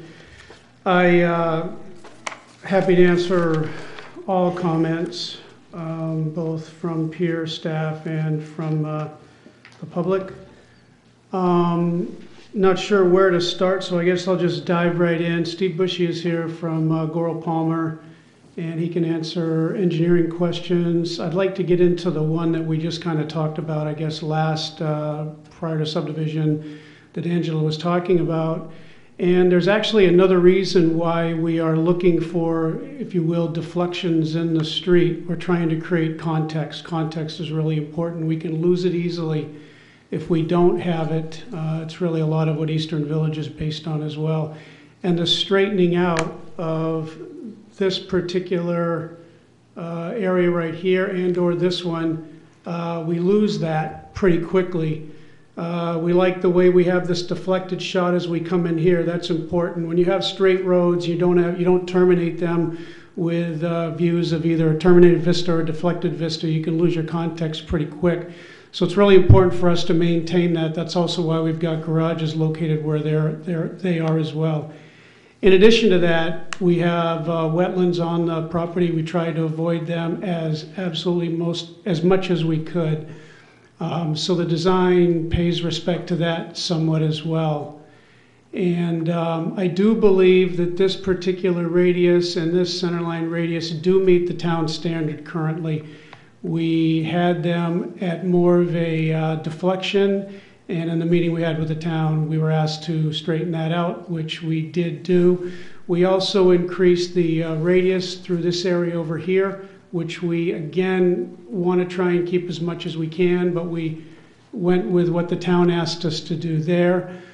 We also have a road section in Eastern Village that is 44 foot wide right, away. It's a 20 foot uh, curb to curb, then a six foot esplanade on each side with a five foot sidewalk on each side, and then one foot from edge of sidewalk to property line. We were asked when we met with town uh, a couple months ago if we would um, increase the pavement area from curb to curb from 20 to 22. Uh, we agreed to do that. And uh, we were also asked to reduce that uh, one foot that we lost um, on each side on the esplanade. And I don't know if we necessarily agreed to that, but what I am uh, suggesting that we do is we would like that one foot put back in the esplanade. It will be a tree-lined street. And we would essentially have properly, properly lined right at edge of sidewalk. So that's something that we um, want to have in that 44 foot wide section, as well as going from a 20 foot curb to curb, as you currently see in most of Eastern Village now, go to a uh, 22 foot uh, curb to curb. With that, uh, the other things that I can uh, talk about is um, in the uh, in the request is um, we, it is five buildings. Uh, there are two 24 unit buildings, three 12 unit buildings. The 12 unit buildings are all one bedroom. The 24 unit have some twos and mostly ones. The uh, site has also got a, um, a building that will be our post office, a building that will be community space, which we may have a gym or some other type of functional space and, um, and also uh, some storage buildings which will look architecturally um, a little different from the buildings themselves, but they will be wood frame, pitched roof, and they will be for people who uh, request uh, some type of storage. We get that a lot. I would say probably 60 to 70 percent of the people that are living in South Village uh, have requested that in some form. So we do have some of those. The garages we've also got as kind of a further amenity. We are looking at it as being a project that has more amenities and uh, of a little better quality than South Village, just in terms of some of the amenities. It also has a dog park, which has, um, we've gotten a lot of feedback on that. Off leash is really important. Even though we're in a walkable neighborhood, and we abut the Eastern Trail for uh, most of the project, there are still people who are looking for off-leash as more and more of the laws that come in today require people to keep their dogs on leashes. Uh, saw some of the comments that came in from um, from peer review about snow storage and whatnot. We will take a look at that, but we um, we think we've got a pretty good uh, handle on that. But we certainly will uh, take another look at that. And um,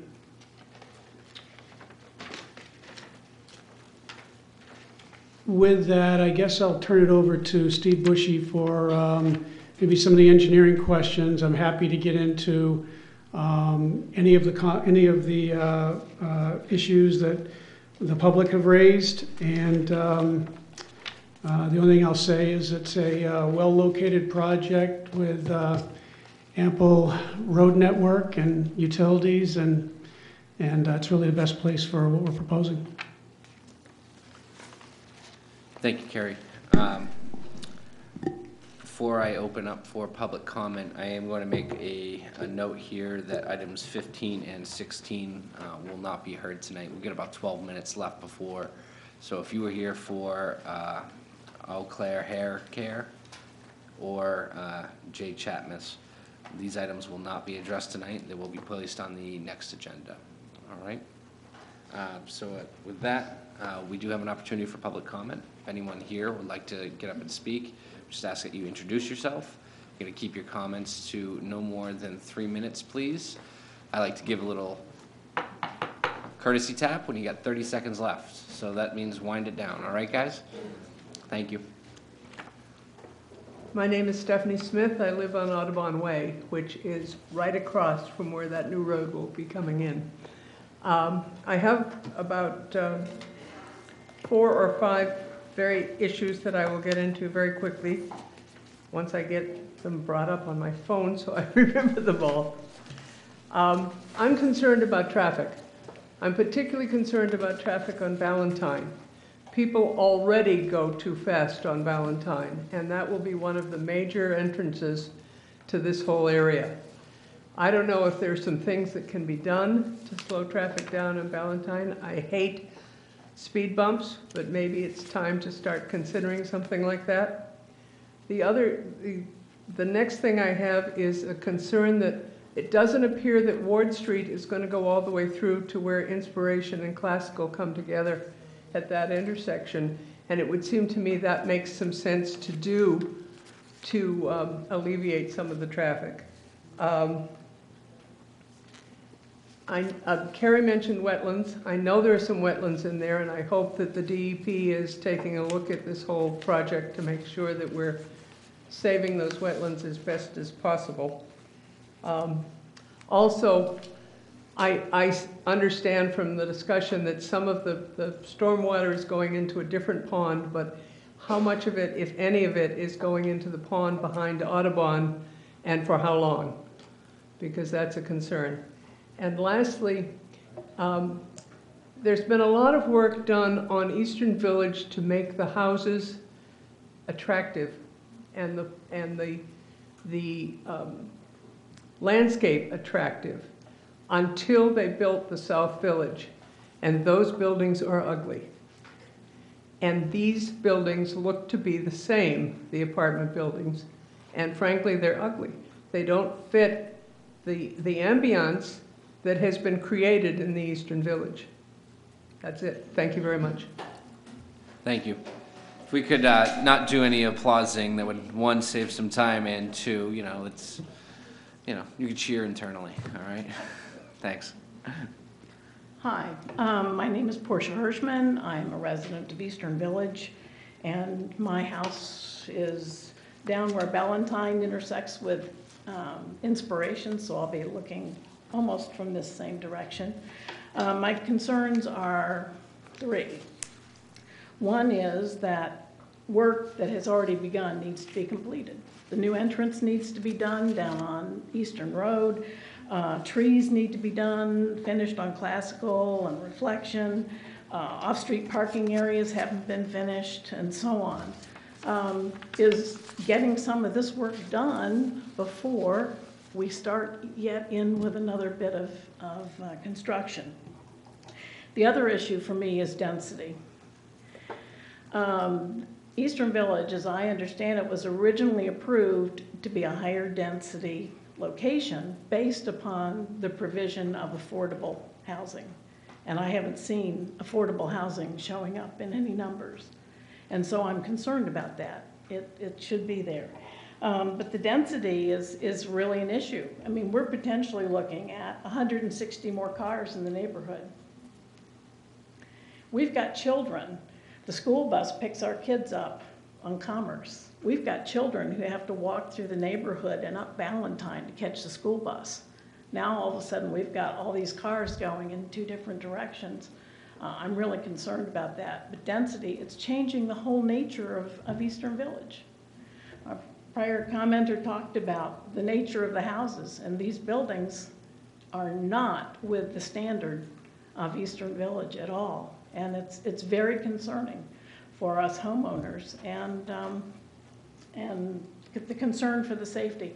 Also, I wonder about the wetlands, because a lot of this is wetlands and with snow storage and what the impact is on the wetlands and what is being done to protect wetland areas from um, further disruption. So, thank you. Thank you very much.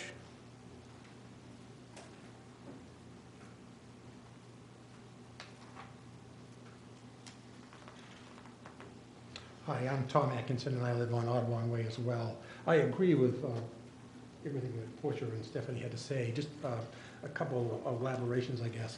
Uh, Would be very concerned in, to the addition of traffic, but specifically to the addition of heavy construction of traffic going down Ballantyne Way.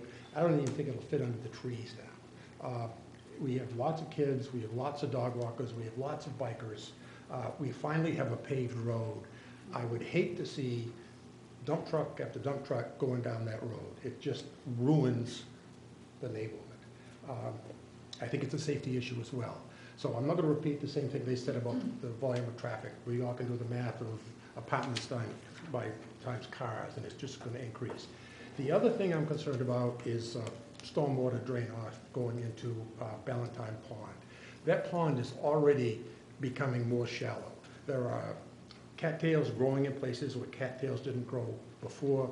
The, the, the slope of the pond, instead of being vertical, is now slanted. It's filled up with silt, a lot of plant material. I also suspect it's uh, runoff from the roads. Um, The pond is, could be uh, something attractive for the neighborhood. I think it's on the, the verge of being a- an eyesore. The more water that goes into it, the more stuff that runs off the roadway, it's, I don't see how it can make it worse. So I would like to see those two uh, issues, traffic and stormwater into Ballantyne Pond, uh, be discussed more. Thanks. Thank you. Hi, Chris McGee. Uh, I'm going to stand back. I'm hard of hearing, so I kind of shout. I don't want to overwhelm you guys. Um, I just moved to Scarborough. Uh, I retired from the Air Force after 20 years. This is the first time I got to pick where I wanted to live, and I picked Scarborough. If I could have moved here sooner, I would have. It's beautiful, and I love it, so hello, neighbors. Um, also, I have not been able to engage in municipal uh, elections or any sort of politics. I was a resident of California, stationed all over the country. So this is my first time engaging in municipal activities, so I'm pretty ignorant. I'll do my best. Uh, my primary concern, I live right at the end of Ward Street, is uh, right up near uh, Route 1. My primary concern is traffic and whether the traffic can, uh, the Ward Street can handle that flow of traffic. So, first of all, you have the unoccupied, looks, looks like it was a prior church. I don't know if that's going to be a church again, but I'm worried that any, any traffic surveys we do won't, won't necessarily include the traffic that's going to be coming and going from that. Uh, the second thing is, um, I'm not sure, and I'm certainly not an expert, but Ward Street, right at the outlet to Route 1, doesn't have a turn lane of any kind, so you're talking about a traffic backup down Ward Street. Um, my ignorance is probably showing here, but I'm going to assume that the majority of the traffic leaving the development is going to be coming down Ward Street, headed towards the 295 and the Scarborough connector to Portland. It's a higher density up north compared to the south. Um, but it sounds like the residents uh, along the southern or southwestern roadway is already looking at high traffic and high speeds. So it looks like it would be a competition between the Ward neighborhood and the south- southwestern neighborhood, and everybody's kind of at uh, traffic capacity. So my request would be just an exhaustive traffic survey of this, and I would ask that it's also not in a vacuum, that it considers the increase of traffic on Route 1 from Scarborough Downs development, as well as the Scarborough, uh, excuse me, as well as the Route 1 uh, survey that they're doing as well. I would like for that to be considered. So if those things are the standard course of action, I'm just telling you what you already know to do. I apologize, but thanks for hearing me out. Thank you. Thank you.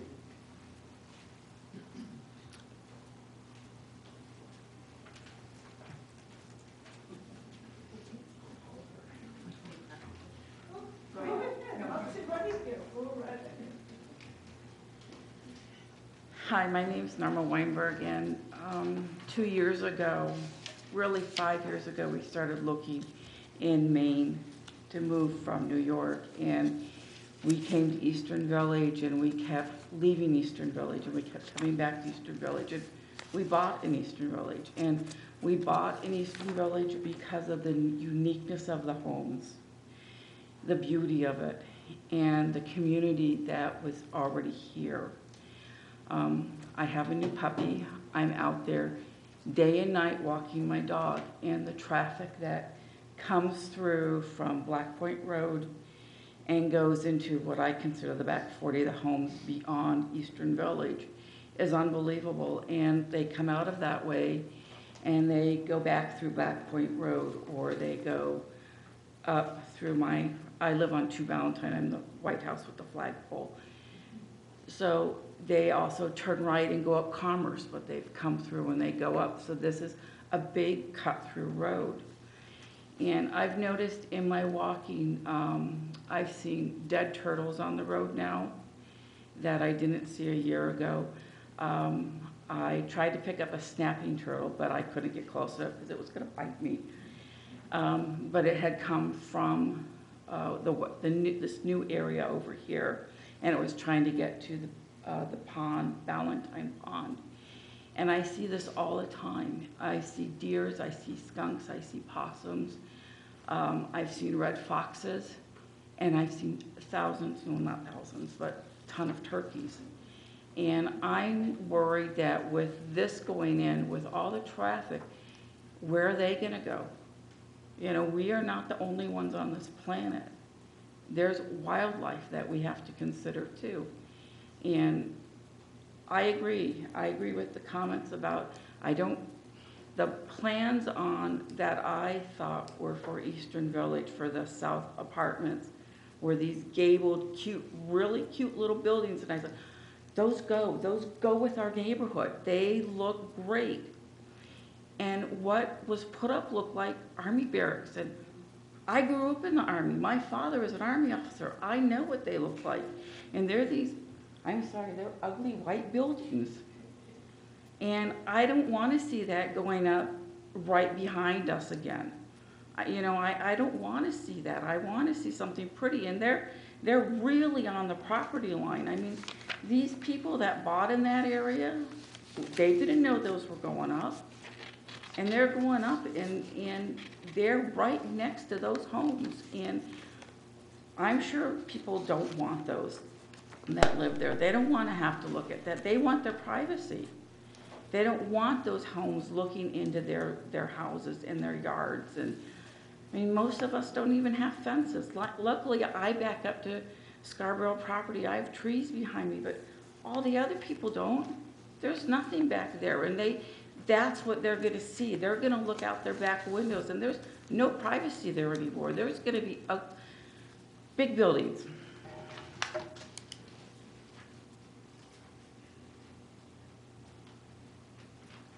Good evening. My name is Ellen Lyon. I live on Audubon Way. And I just would like you very much to take concern of that water and where that water is going to go. I live on Audubon Way, and there's times that we cannot walk on the property because there is so much water.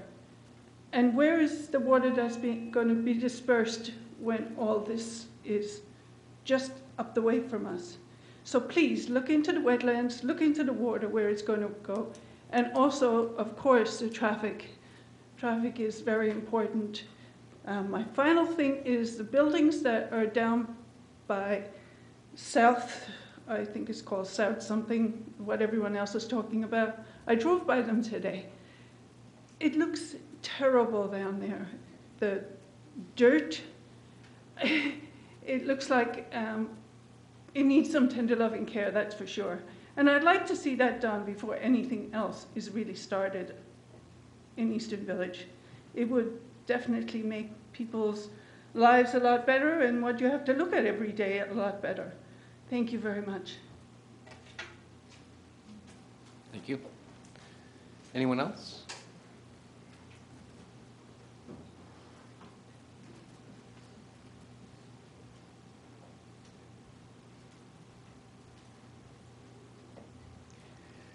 My name is Rick Hirschman. Um, my wife spoke earlier. We live at uh, Inspiration and Ballantyne and look directly as you, though we were going to be looking up there.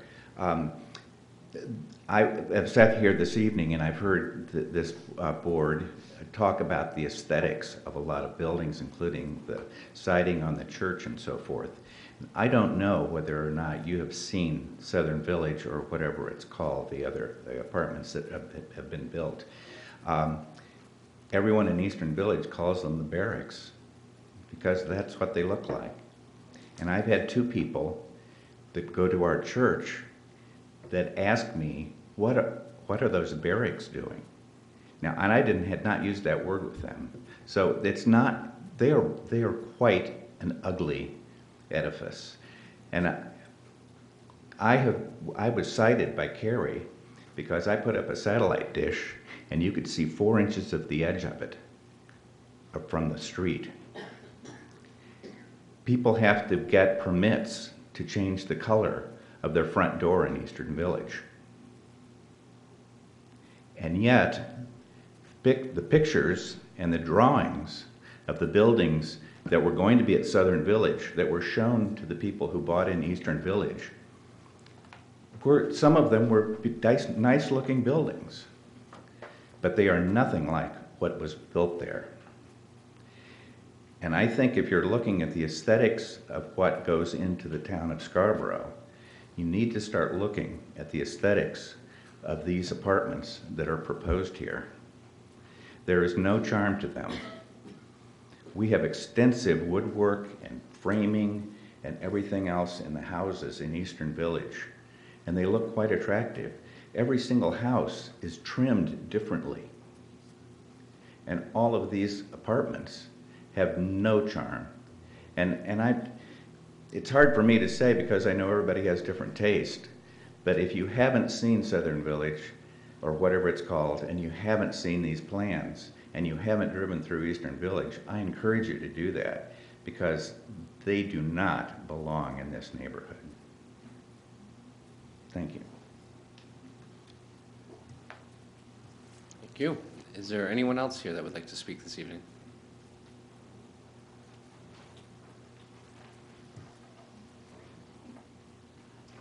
I won't take a lot of time because, and I agree with everything that's been said, but I am Brenda Frost and I live on Ballantyne Drive. And we moved there before there was Eastern Village. And Kerry, in the closing, Kerry Anderson said to us, there will be no houses built across the street from you. Oh, that lasted a couple of, a couple of years, and now we have seven or eight. And now we're gonna have this whole thing. And my biggest thing, I worry about safety with the traffic. Because already we have, how many families in Eastern Village? hundred and fifty? And often two cars. So all of that traffic has to come through Ballantyne because they can't get out um, through um, the other exit because you can't take a left. There's no light. You take your life in your hands if you get out of Eastern Village down by South Village. You can't, it, it rarely can be done. So all of that traffic comes through Ballantyne. And I'm really concerned about more traffic coming through. And I guess my wish would be that it wouldn't happen, but um, biggest thing is safety in our neighborhood. And, and I agree with the beauty, but um, the traffic, something has to be done about the traffic. Thank you. Thank you.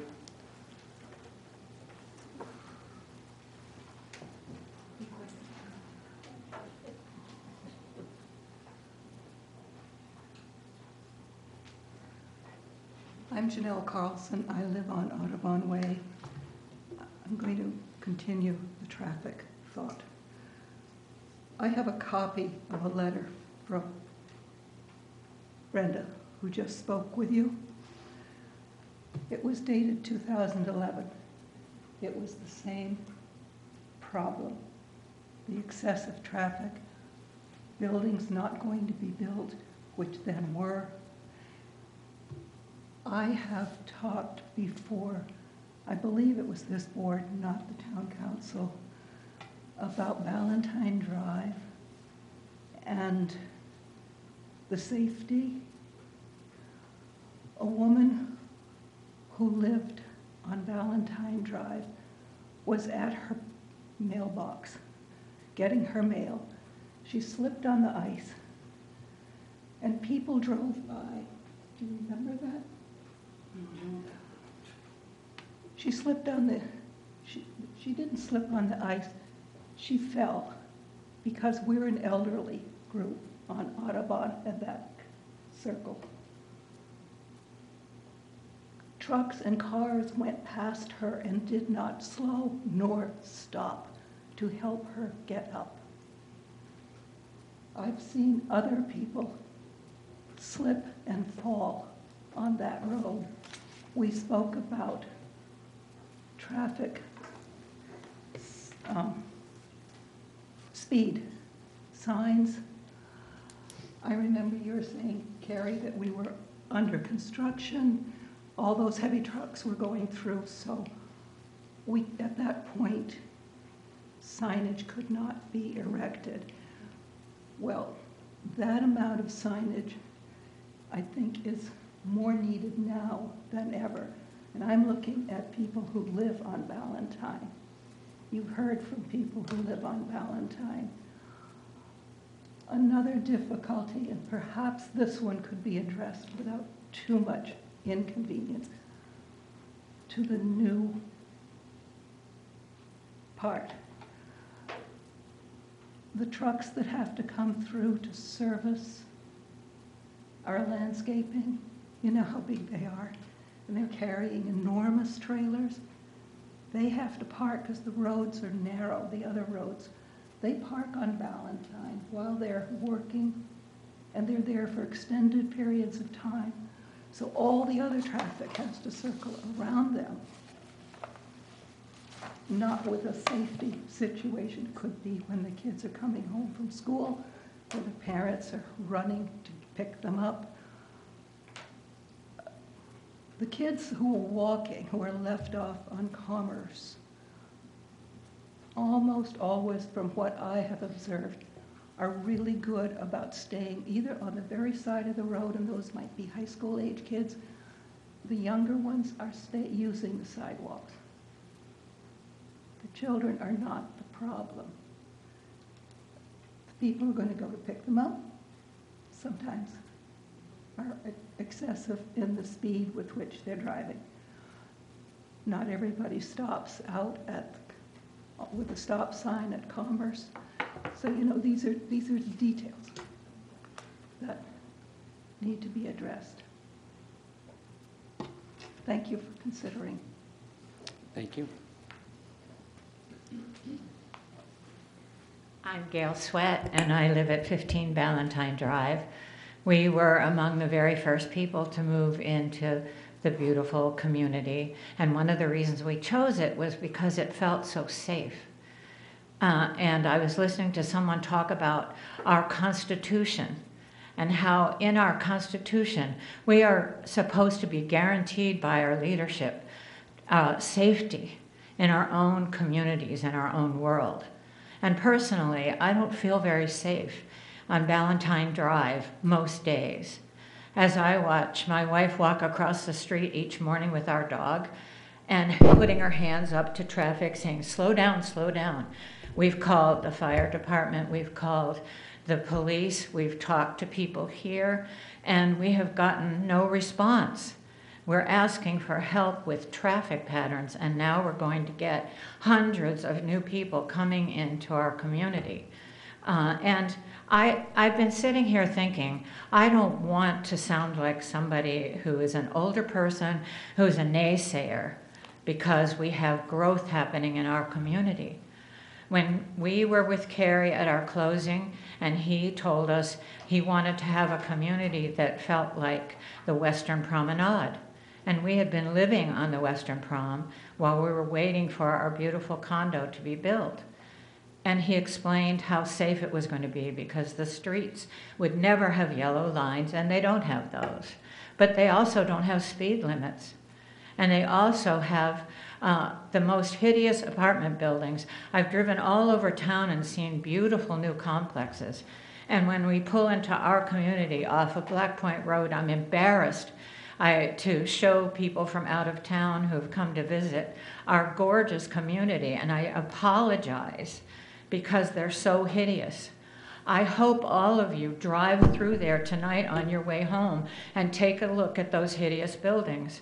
And I just want you to know I'm all for growth in Scarborough and having a beautiful community with beautiful homes of all different types, of apartment buildings that are beautiful. They can be beautiful. Kerry builds a gorgeous home. But what happened when it came to the apartments? Please help us with that and help us with the traffic so that we can feel safe in our own community. Thank you. Thank you. Is there anyone else that would like to get up and speak? All right, Seeing none, I'm going to close public comments, and we'll jump into it. Jen, want to start this one off for us?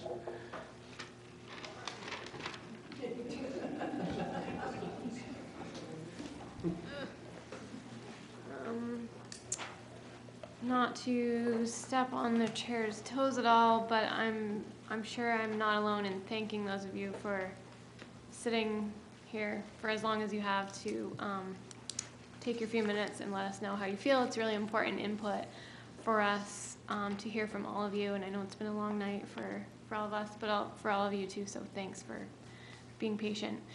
Um, I do have some questions on, um, okay, I'll start with the roadway. Where's my? Site plan. Okay. The, um, I'm curious why the, okay, you're looking at that too.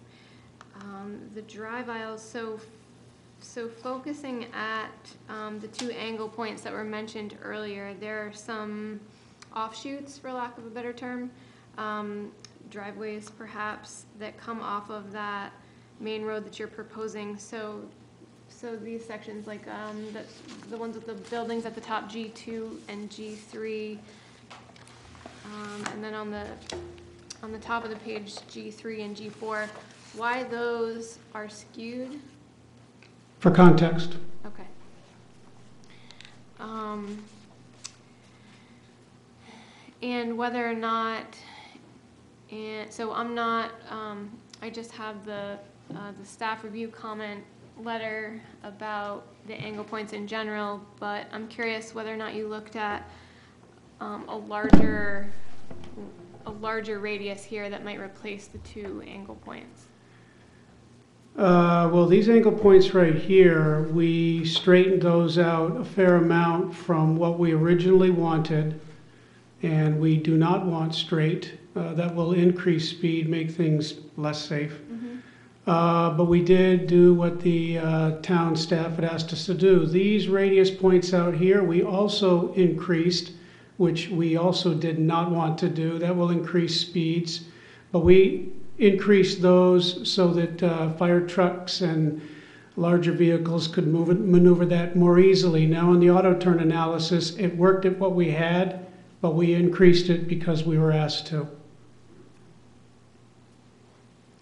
Okay, and I noticed that the de- there was a detail in the plan set that called, so the typical roadway cross-section called for either, um, vertical granite curb or sloped, uh, slip form. Yes. Concrete curbing.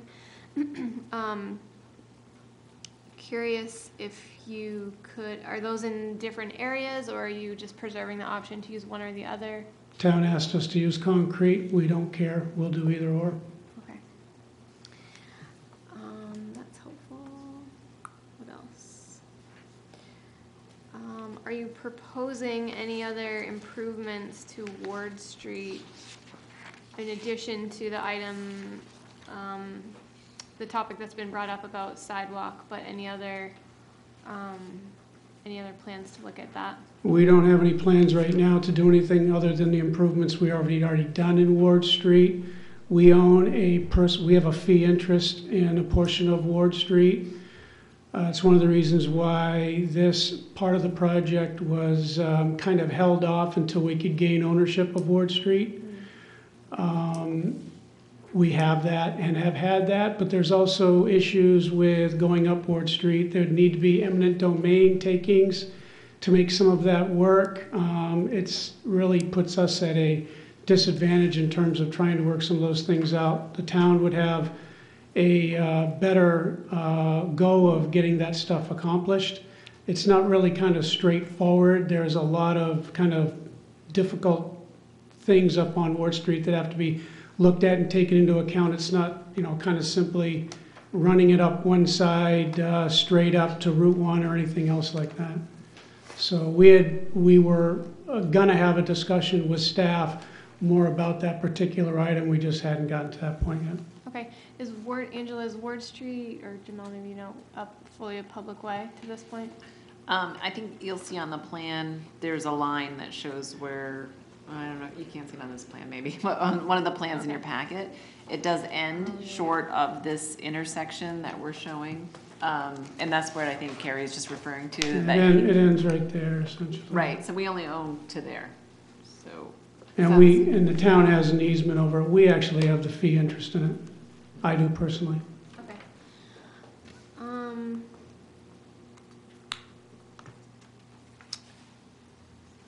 Any, uh, so one question that I have after hearing a lot of the public input was about, so there's obviously a problem, or at the very least a perceived problem, with um, cut-through traffic through the existing part of this neighborhood. And I was just wondering if um, you could maybe give any thought on what you think that is. I understand that there's still um, construction activity going on, so obviously there would be the presence of construction traffic. But um, I'm curious and trying to sort out in my own head about whether or not the, tr- some of the traffic and speeding and parking issues that have been mentioned are from other residents that we're not hearing from, or are there other people that we think are using this as a cut-through? I think there are some cut-throughs that go through there. We tried in the original design to implement a lot of measures that would discourage that, but it still happens. Yeah. Um, I will be right up front and tell you I'm perplexed by this supposed traffic problem down there. With the exception of the gentleman that spoke from Ward Street, every one of those individuals is retired along with 90% of the other people that live down there, and they simply don't go to work. They don't work. It plays a ghost town. I've said to staff uh, for the last two or three years, if you want a traffic count, let me know. I'm happy to do it because it's going to show a uh, credit to me, um, given what it was approved based on single family, based on uh, occupants that would be along the lines of families. We wanted families. We still want families. We don't get families. We get uh, elderly people, and, um, and they don't drive. Um, so, not during peak hour. You might want to open public conversation Guys, you've had your chance to speak, we're now going to let the applicant speak, please. Thank you. So, um, you know, we're comfortable with where that will all shake out, um, but, um, you know, we can't do anything about the cut-throughs. That's more of an enforcement issue. The roads are incipient dedication, so uh, what hasn't been accepted will be accepted, and I frankly think it's a police matter. Speed bumps is not the answer, uh, nor do we want them. Um, Again, putting in some of the measures that we have put in, and also we're asked to take out on North Village, are going to do better uh, at calming the traffic than, than anything else. But, um, you know, I don't, there's a lot of construction that's going on down there. There's a lot of vehicles that are construction when it's fully built out and it's just uh, occupied by uh, the demographic, it's, um, you know, it'll be less for sure. Okay, um, thank you for that. I guess, um, you just want those kind of general comments and then collect input on certain items at the end? I think, um, you know, clearly he's, he's gonna, you're gonna have to go back and uh, rework some of this based off of staff comments and, and any other comments that you may come across tonight. I think the, um, if there are big questions that we want to provide him some input, um, and staff as well, might need some direction from this board. Sure. Um, I would echo both the staff comment and Bill Bray's comment on the importance of a sidewalk connection, um, along Ward Street. That comes out at one of, um, only a few signalized crossings that we have for Route One. Um, and that feeds into, you know, the larger municipal campus on the other side.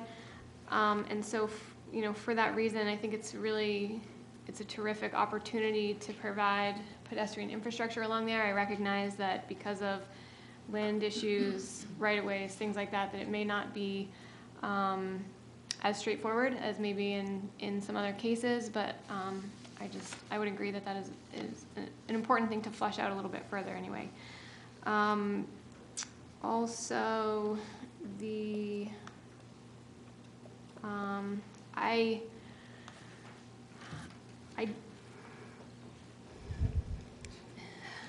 I'm not, um, so I, I too struggle with the angle points in the road, and I think that probably in your next iteration, I, I think that there's middle ground there in terms of meeting your, your desire for some context here and not having this just be a, you know, a straight shot, um, highway, but also, um, really wanting to make this, um, a safe and, um, functioning street in terms of maintenance and operations, emergency vehicles and all of those types of things. Um, so I would just, you know, I- I'm confident that the staff will continue to work with you on that, um, and I would just look forward to the next iteration there. Thanks, Jen. Roger? Um, I'm kind of curious, uh, curious, um, is it appropriate to allow Kerry to respond to some of the comments from the public, or how do you feel about that? I, I would prefer to see us incorporate some of the feedback we've received into questions that we can ask Kerry. I Okay. think, uh, for, I'll give you a perfect example, 'cause it's a question that's on my, my mind. Based on the feedback you've heard here tonight, is there any intention on your part to perhaps reconsider some of the architecture being proposed, whether it be through colors or different trim work or some sort of other points of interest? Okay. Well, with respect to South Village, the architecture's not done, uh, or not the architecture, the landscaping's not done. So yeah, when you drive over there, it's dirt. Um, and that's not gonna be done until all the work is done. Um, the last building will be completed by probably around the middle of August. Project's fully leased up. So that work will take place. As far as the entrance goes off of Eastern Road, we didn't get approval on that until earlier this year, so we really couldn't do that until we had an approval on that. We've been wanting to straighten that out for a while, but needed to uh, make sure that we uh, could go forward the way that we did.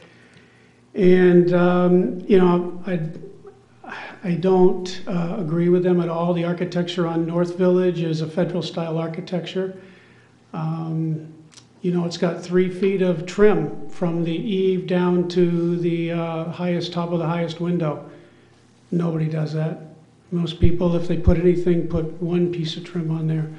We've got we've got, you know, double friezes. Um, and, um, you know, there's enough windows in them. We could take windows out, but we don't want to do that, so yeah, they're full of windows. Um, I don't see us really, you know, we're proposing the North Village colors to be of a Maine vernacular, so they would be white with red roofs, which is Portland Head Light. Uh, several other structures you've seen around Maine with that color scheme, and we're looking to stay that way. We don't want to make them multiple, and we want them to be white with, uh, with, with red roofs. Or green roofs, but green was more along the lines of what they would build barns with that vernacular, you know. Um, so, um, you know, we can talk about it, but I don't see us deviating from pulling out windows, dropping ceiling heights to lower the building down, or doing any of those things that frankly will make it look worse. Um, we're trying to keep along the lines of a clean federal style architecture, and that's what it is. And uh, that's what South Village is too. The floor's still yours. Sorry. You, you asked all my questions. I asked a question. No, um, what I'm kind, what I'm I curious about. mean, not, not to interrupt, but I'm happy to go down through the comments that came from public as soon as we're ready to talk about those. Um, But however you want to uh, take those as, you- as, you- as you want to, or you want me to. No, I think we're gonna stick with the, the board will incorporate some of the feedback from the audience into our questioning, and we'll leave it at that. Um, Okay. Um, I- Yes, I'm kind of curious, uh, Kerry, is the, um, the buildings that are in the South Village, and I'm, I'm going to kind of weave some of the comments in here. Um, Those, those buildings as proposed, as I recall them, uh, are they actually what has been built? Yes. Yep, absolutely. What's been built is exactly what was approved and what through came, and what came through this board uh, for several meetings. Absolutely. Because I have, uh, I have seen those buildings a few times. and For instance, on some of the buildings, and I'm, s- I'm assuming you're going to do something similar to this on the North Village um, regarding the building design. I'm not sure what, if that trim there call have a particular name. The, um, y- you know, where the, the the peak of the roof goes up, there's a piece of trim that goes across. Mhm. What is it? Is that what it's called? You're talking about broken pediment versus full pediment. Right. Yeah, the The buildings. full, the full pediment then, when the building doesn't have that. going- One, one of, one of the buildings down on Eastern Road doesn't have it. The, the uh, white and green uh, building uh, doesn't have it, wasn't supposed to have it. Yeah. It's kind of a different building in and of itself. Uh, The, uh, the four buildings that are kind of more in on the side away from Eastern Road, those are full pedimented buildings. Um, Again, it's federal architecture. Uh, It's got one uh, horizontal trim board for a frieze rather than uh, dual friezes like this particular building does, these buildings do rather. Um, But, um, you know, the only thing I think that looks uh, a little different or not as good as it could look down on South Village is some of those buildings down there are six-unit buildings. Um, So they're a small floor plate, but they're three stories. Uh, But the buildings that are bigger, uh, they look better proportionately. Uh, The buildings in North Village are along the lines of the bigger buildings. Um, That is the only thing that, uh, that, um, you know, but we were trying to separate the buildings, we were trying to create, you know, green space and whatnot too. We were trying to frame a square with those four buildings over there. And, um, but that's, you know, that's it. Again, there's no architecture there, architect, or landscaping rather. Landscaping still needs to be done, everything needs to be graded out, needs to be landscaped. Um, so it's, you know, it's not a good testament to the way it'll eventually look, uh, with respect to the site. But the architecture is, uh, it's a federal style architecture. Is, are you using the same architect for, the No, North Village is a different architect. okay. Um, I mean, I like, I like the layout of what you're doing in the North Village. Um, I, I think what you've done throughout Eastern Village looks really nice. I, I like the buildings, I like, I like the color schemes, uh, landscaping and everything. But I, I do agree with the audience that, um, those, those uh, units at East, at the South Village, um, they just, this, they just don't blend in with everything else. And I would, I would really not like to see the same, very similar thing occurring at the North Village. I think, it would, you know, um, um, Well, we can get into discussion about the differences of and having more of a discussion about the architecture if you want. Um, But I think that you'll see, given that North Village is, you know, the smaller ones are the 12-unit sizes, those are better proportionately. Um, You you talked about the um, the Eastern Eastern Trail, Black Point Road intersection a few minutes ago. What's, maybe Angela may know more about this. What's going on with that intersection? There, was- wasn't there supposed to be some improvements to that? Sorry, uh, at, is that what you're referring to down at Yeah, Eastern? Eastern Trail, Eastern, yeah, Eastern Right, I think Road. Kerry mentioned before that the- they were in front of the board and got approval to realign that. But we're holding money through a letter of credit, or it might be an escrow. Cash. Escrow, um, for the improvements associated, that was part of phase three, I believe. So, um, is that, That's getting done when, uh, when the site contractor comes back. Okay, is that when the, um, the access to the um, Eastern Village, will- you know, that road will be The straight? realignment, yes. Yeah, That'll all occur at the same Yeah. time? Yeah, I saw a comment in public uh, uh, comments about that. I'll, I'll agree and admit that uh, the upkeep of the uh, road, which is partially gravel where it connects onto Eastern Road, could be better kept up. I will admit that. Um, When we do go out there and grade it up, it isn't three days later, we've got potholes back. We could do a better job, 100%. But uh, we've left that down there like that until we got the realignment approved, which we just did earlier this year. And uh, when the site contractor comes back here in the next few weeks, they're going to make the realignment connection, uh, make the improvements down towards uh, Black Point Road, um, as well as do some other work in Eastern Village.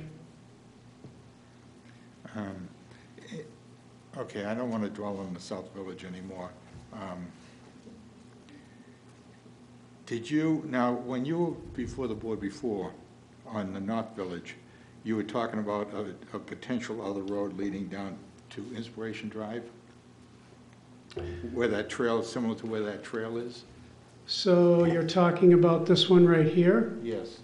Yeah, so we had uh, originally, uh, we originally were going to build that, and uh, some of the comments we got, we had, we had a neighborhood meeting, I believe it was last September, maybe October of last year. We held a neighborhood meeting uh, to talk about North Village, and uh, we made changes that we got from the, the homeowners uh, that we felt we could make that didn't, um, you know, obviously some people don't want it built.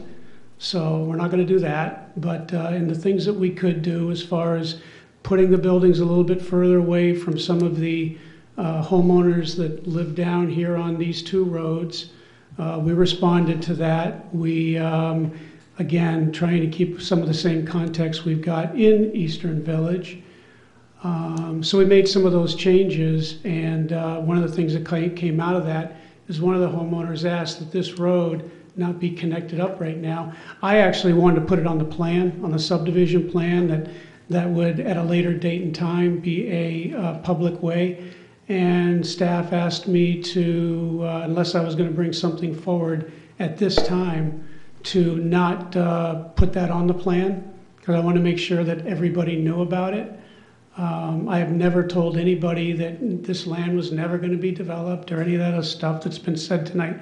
And in an effort to make sure that people have absolute full disclosure, have notes like that on the plan. But again, we were asked to not do that unless we were going to propose it at this time. So right now, it's just proposed to be a pedestrian connection. So, so basically, with the original plan, the access points were going to be Commerce Drive. Ward Street, Eastern Road. Yeah, we've got two other locations where we can put entrances too. That's what I was going to ask you next. Yes, we came to the board, you know, 12 years ago, 13 years ago, in our three or four year permitting process when we were working everything out on this project. And we, s- we came to the board and we said, all right, we have, we've got five ways in. When I bought the property, there was none. And I created five ways to get into it. And I said, um, you know, we'd like to go forward with at least four of them. And of course, there were people there that objected to it going, you know, this way or that way, and usually where they lived. And uh, it came down to uh, Ballantyne, Ward Street, and Eastern Road. And I'll also say that our traffic movement permit that we have for the number of trips and units in the project uh, works without the connection to Ward Street. So Ward Street isn't even needed based on the trip gen numbers that we had, based on it being a single family project, which it is, but the demographic is completely different. Um, but what we are, what there would be after this project is built is this connection through to Ward Street and then this pedestrian connection here that may at a later date become a road.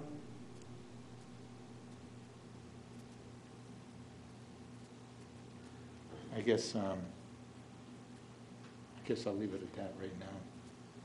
Thanks, Roger. Rachel? Yeah, um, There we go. I, I want to hold on the architecture for a minute, although I'll have a couple of comments about that, and take a look at the, um, the complex that you've got. I really don't have an issue with the angles. I, I do think uh, it will calm traffic a little bit. Uh, I think it provides um, more of a neighborhood sense than a straight road would look like. But I do have some concerns or questions about the arrangement of the buildings and the garage, some of the garages. Now, some of the garages open up, it looks like, directly onto the street uh, rather than into a parking lot. And that raises the question of people getting out and backing out into a street where there's likely to be traffic. Um, so I would ask you to take a look at that because I, I do think that that does create a safety issue.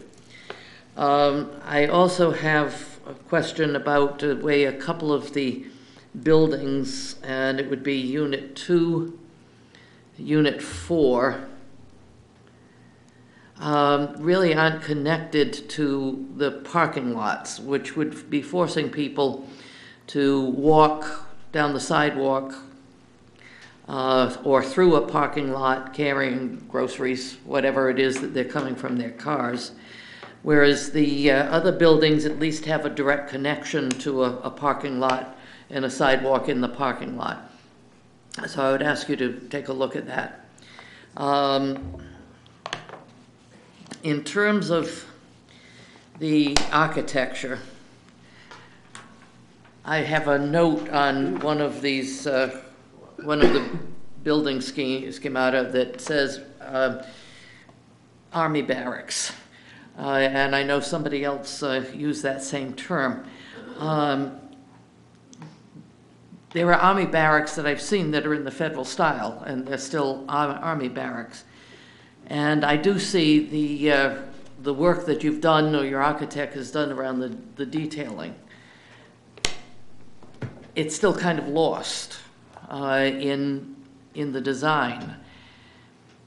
The federal buildings that were straight and built kind of four square or um, in, a, in a rectangle just simply weren't as big as the buildings that you're proposing here. So as you start to expand the scale, that straight line with window lineups um, really starts to dominate, and the details that you're putting in uh, get lost. And I would really encourage you to take a look at some variation You've got some variation in building three and five in terms of um, L's and, and shadows. I, I think you need to to reconsider what you mean by federal and think instead as we start to think about New England vernacular. Throughout New England, federal buildings were added on to colonial buildings and revolutionary buildings and were added on a, a Victorian addition was added on. Uh, and very, very few buildings in New England ended up pure. And if you go around um, a town square, you will see buildings that started off as the straight federal and then had additions put them put on them that really worked with that architecture. So consider uh, perhaps your, your architect could use uh, his or her imagination and say, what would happen if I started with a federal building and then the family expanded and I added on? How would that start to create, instead of a, a group of five buildings, create a village center um, that's composed of these apartments? And, and, I really encourage you to, to look at that. Uh, I've I've heard what the folks here have said about their concerns about the architecture. I think you do pay a great deal of attention to that. I think you pay a great deal of attention to the, uh, to the details. But I think what's proposed here just doesn't quite work, and given the scale of these buildings. And I'd, I'd ask you to really take a, take a hard look at that. Thank you. Okay. Thank you, Rachel. Um, Rick? Not much, not much more to add. Um, I will say that I spent 22 years in the Navy, and maybe I should have been in the Army, because those aren't bad-looking barracks. Thank you. But We agree. That being said, I, my real concern is, I'll echo, uh, the garages and the potential of pulling out into a uh, road that may have um, some additional traffic because it's a, it's a cut-through road, for example. Uh, So I, I would ask that that kind of be looked at, uh, maybe moved. Um, But other than that, I think you've heard a lot. I mean, there's a lot on the staff review here that we'll bring out in the next round, um, such as the photometrics and, and lighting details and um, such as that, that I won't take any more time. Thank you, Rick. Um, Yeah, I too, I mean, I'll just echo what has already been said here. Um, I'm going to highlight a couple of things that I am in complete agreement with. Uh, Rachel brought up a couple of good points uh, regarding the garages, uh, the parking access to those buildings, two and four. Um, I think, I, I agree wholeheartedly. I think there's probably a little more work that can be done there for the benefit of the people who are going to live there. Uh, I'm, I'm gonna also weigh in, uh, you had a couple of waiver requests, um, the twenty-foot, uh, twenty-foot width. Uh, I think I heard you say you were, uh, okay with the twenty-two, which is what, uh, Traffic Solutions, Bill Bray has suggested as a minimum. Did I, did I not hear that? No, you did hear, we agreed in a meeting that we had with Angela that we could accommodate 22. Okay. And then um, the uh, waiver for the 90-foot separation between driveways, we haven't um, addressed that as a board. And I'm going to ask uh, Jamel if you could just highlight the areas that are of your concern on this, or Angela, whoever, whoever had the note. It's the requested waiver section, requesting a waiver from the required 90-foot of separation between driveways along the street with a speed limit of 25 miles or less. Um, I Is- guess. Is it all of them? I, it could be. Uh, It's definitely at least more than one. Um, The applicant has a, they're trying to calm traffic. Certainly more driveways will do that.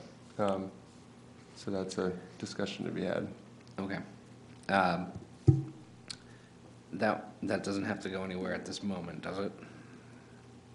I think we could see the next round before something that, that waiver is considered or no. It Would be better to get it now, out of the way, just in general, thinking out loud. Um, Probably should give him some guidance on this if he's gonna have to redraw something. I think he'd let- rather do it earlier on in the process. So- Yeah, uh, Kerry, do you know off the top of your head which um, driveways at this point aren't 90 feet separation? yeah, these right here, and we don't want to. You're a little too quick. Can you hold that up? Sorry, yeah, these right here. Yeah, no, we, we don't, we don't want to line them up. We specifically want them uh, staggered, skewed. Um, That's what Eastern Village is. That's what we, um, those are some of the geometrics that we, we got into the design of Eastern Village. We, again, we don't want to line those up for a reason, contextual reason. Uh, Can I just get a quick straw poll out of the board? Who's okay with the current layout as proposed versus who wants to see the 90 feet of separation at a minimum? Got two. Fine as proposed, Jen? Jen looks hesitant. It's okay to be the lone man on the ledge. I've been there.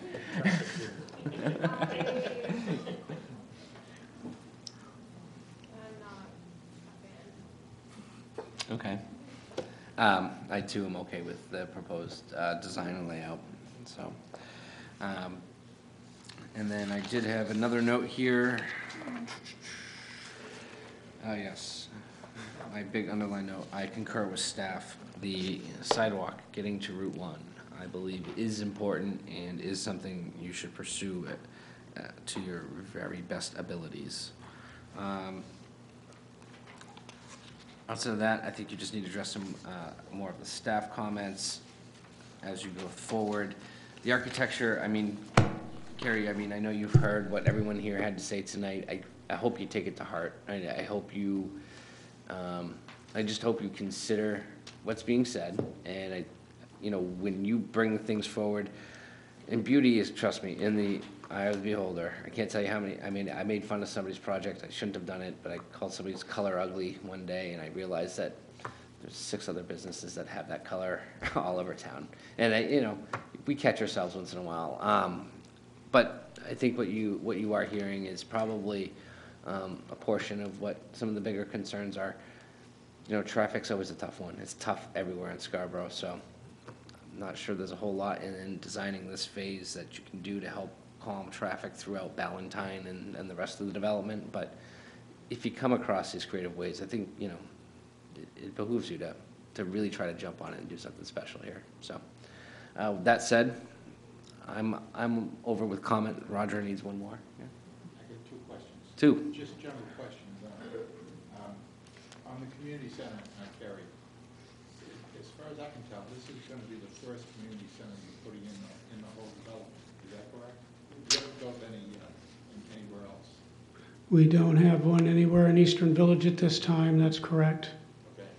Um, And then the other question I have is, um, when you or your realtor have been talking to people, prospective owners, are they fully aware of the total build-out of what Eastern Village is gonna be? Do you know? do you- Well, the brokers that I work with are, um, I think people, that's why they come to Eastern Village, until they live there and then they, you know.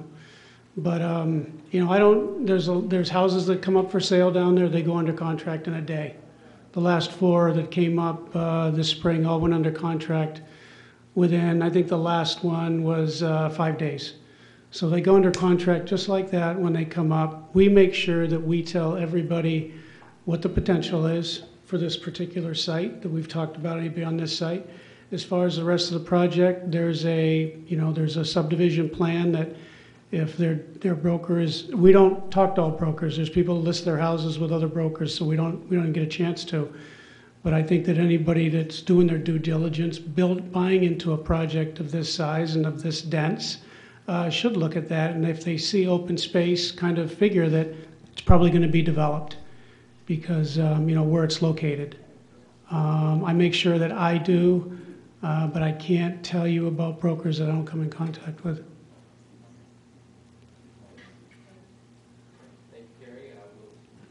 We will see you again soon, I sus- suspect.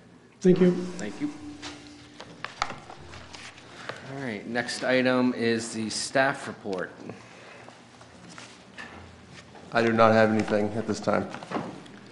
Administrative amendment report? Uh, There's been one administrative amendment approved since the last meeting, and that's for an outdoor restaurant service at the Texas Roadhouse Restaurant. And folks, um, we are going to wrap this up really soon. I want to thank all of you for coming out tonight. We appreciate your comments and your patience getting to the point where you could actually participate. So, um, we are on correspondence. Do we have any correspondence? No. No? Planning board comments?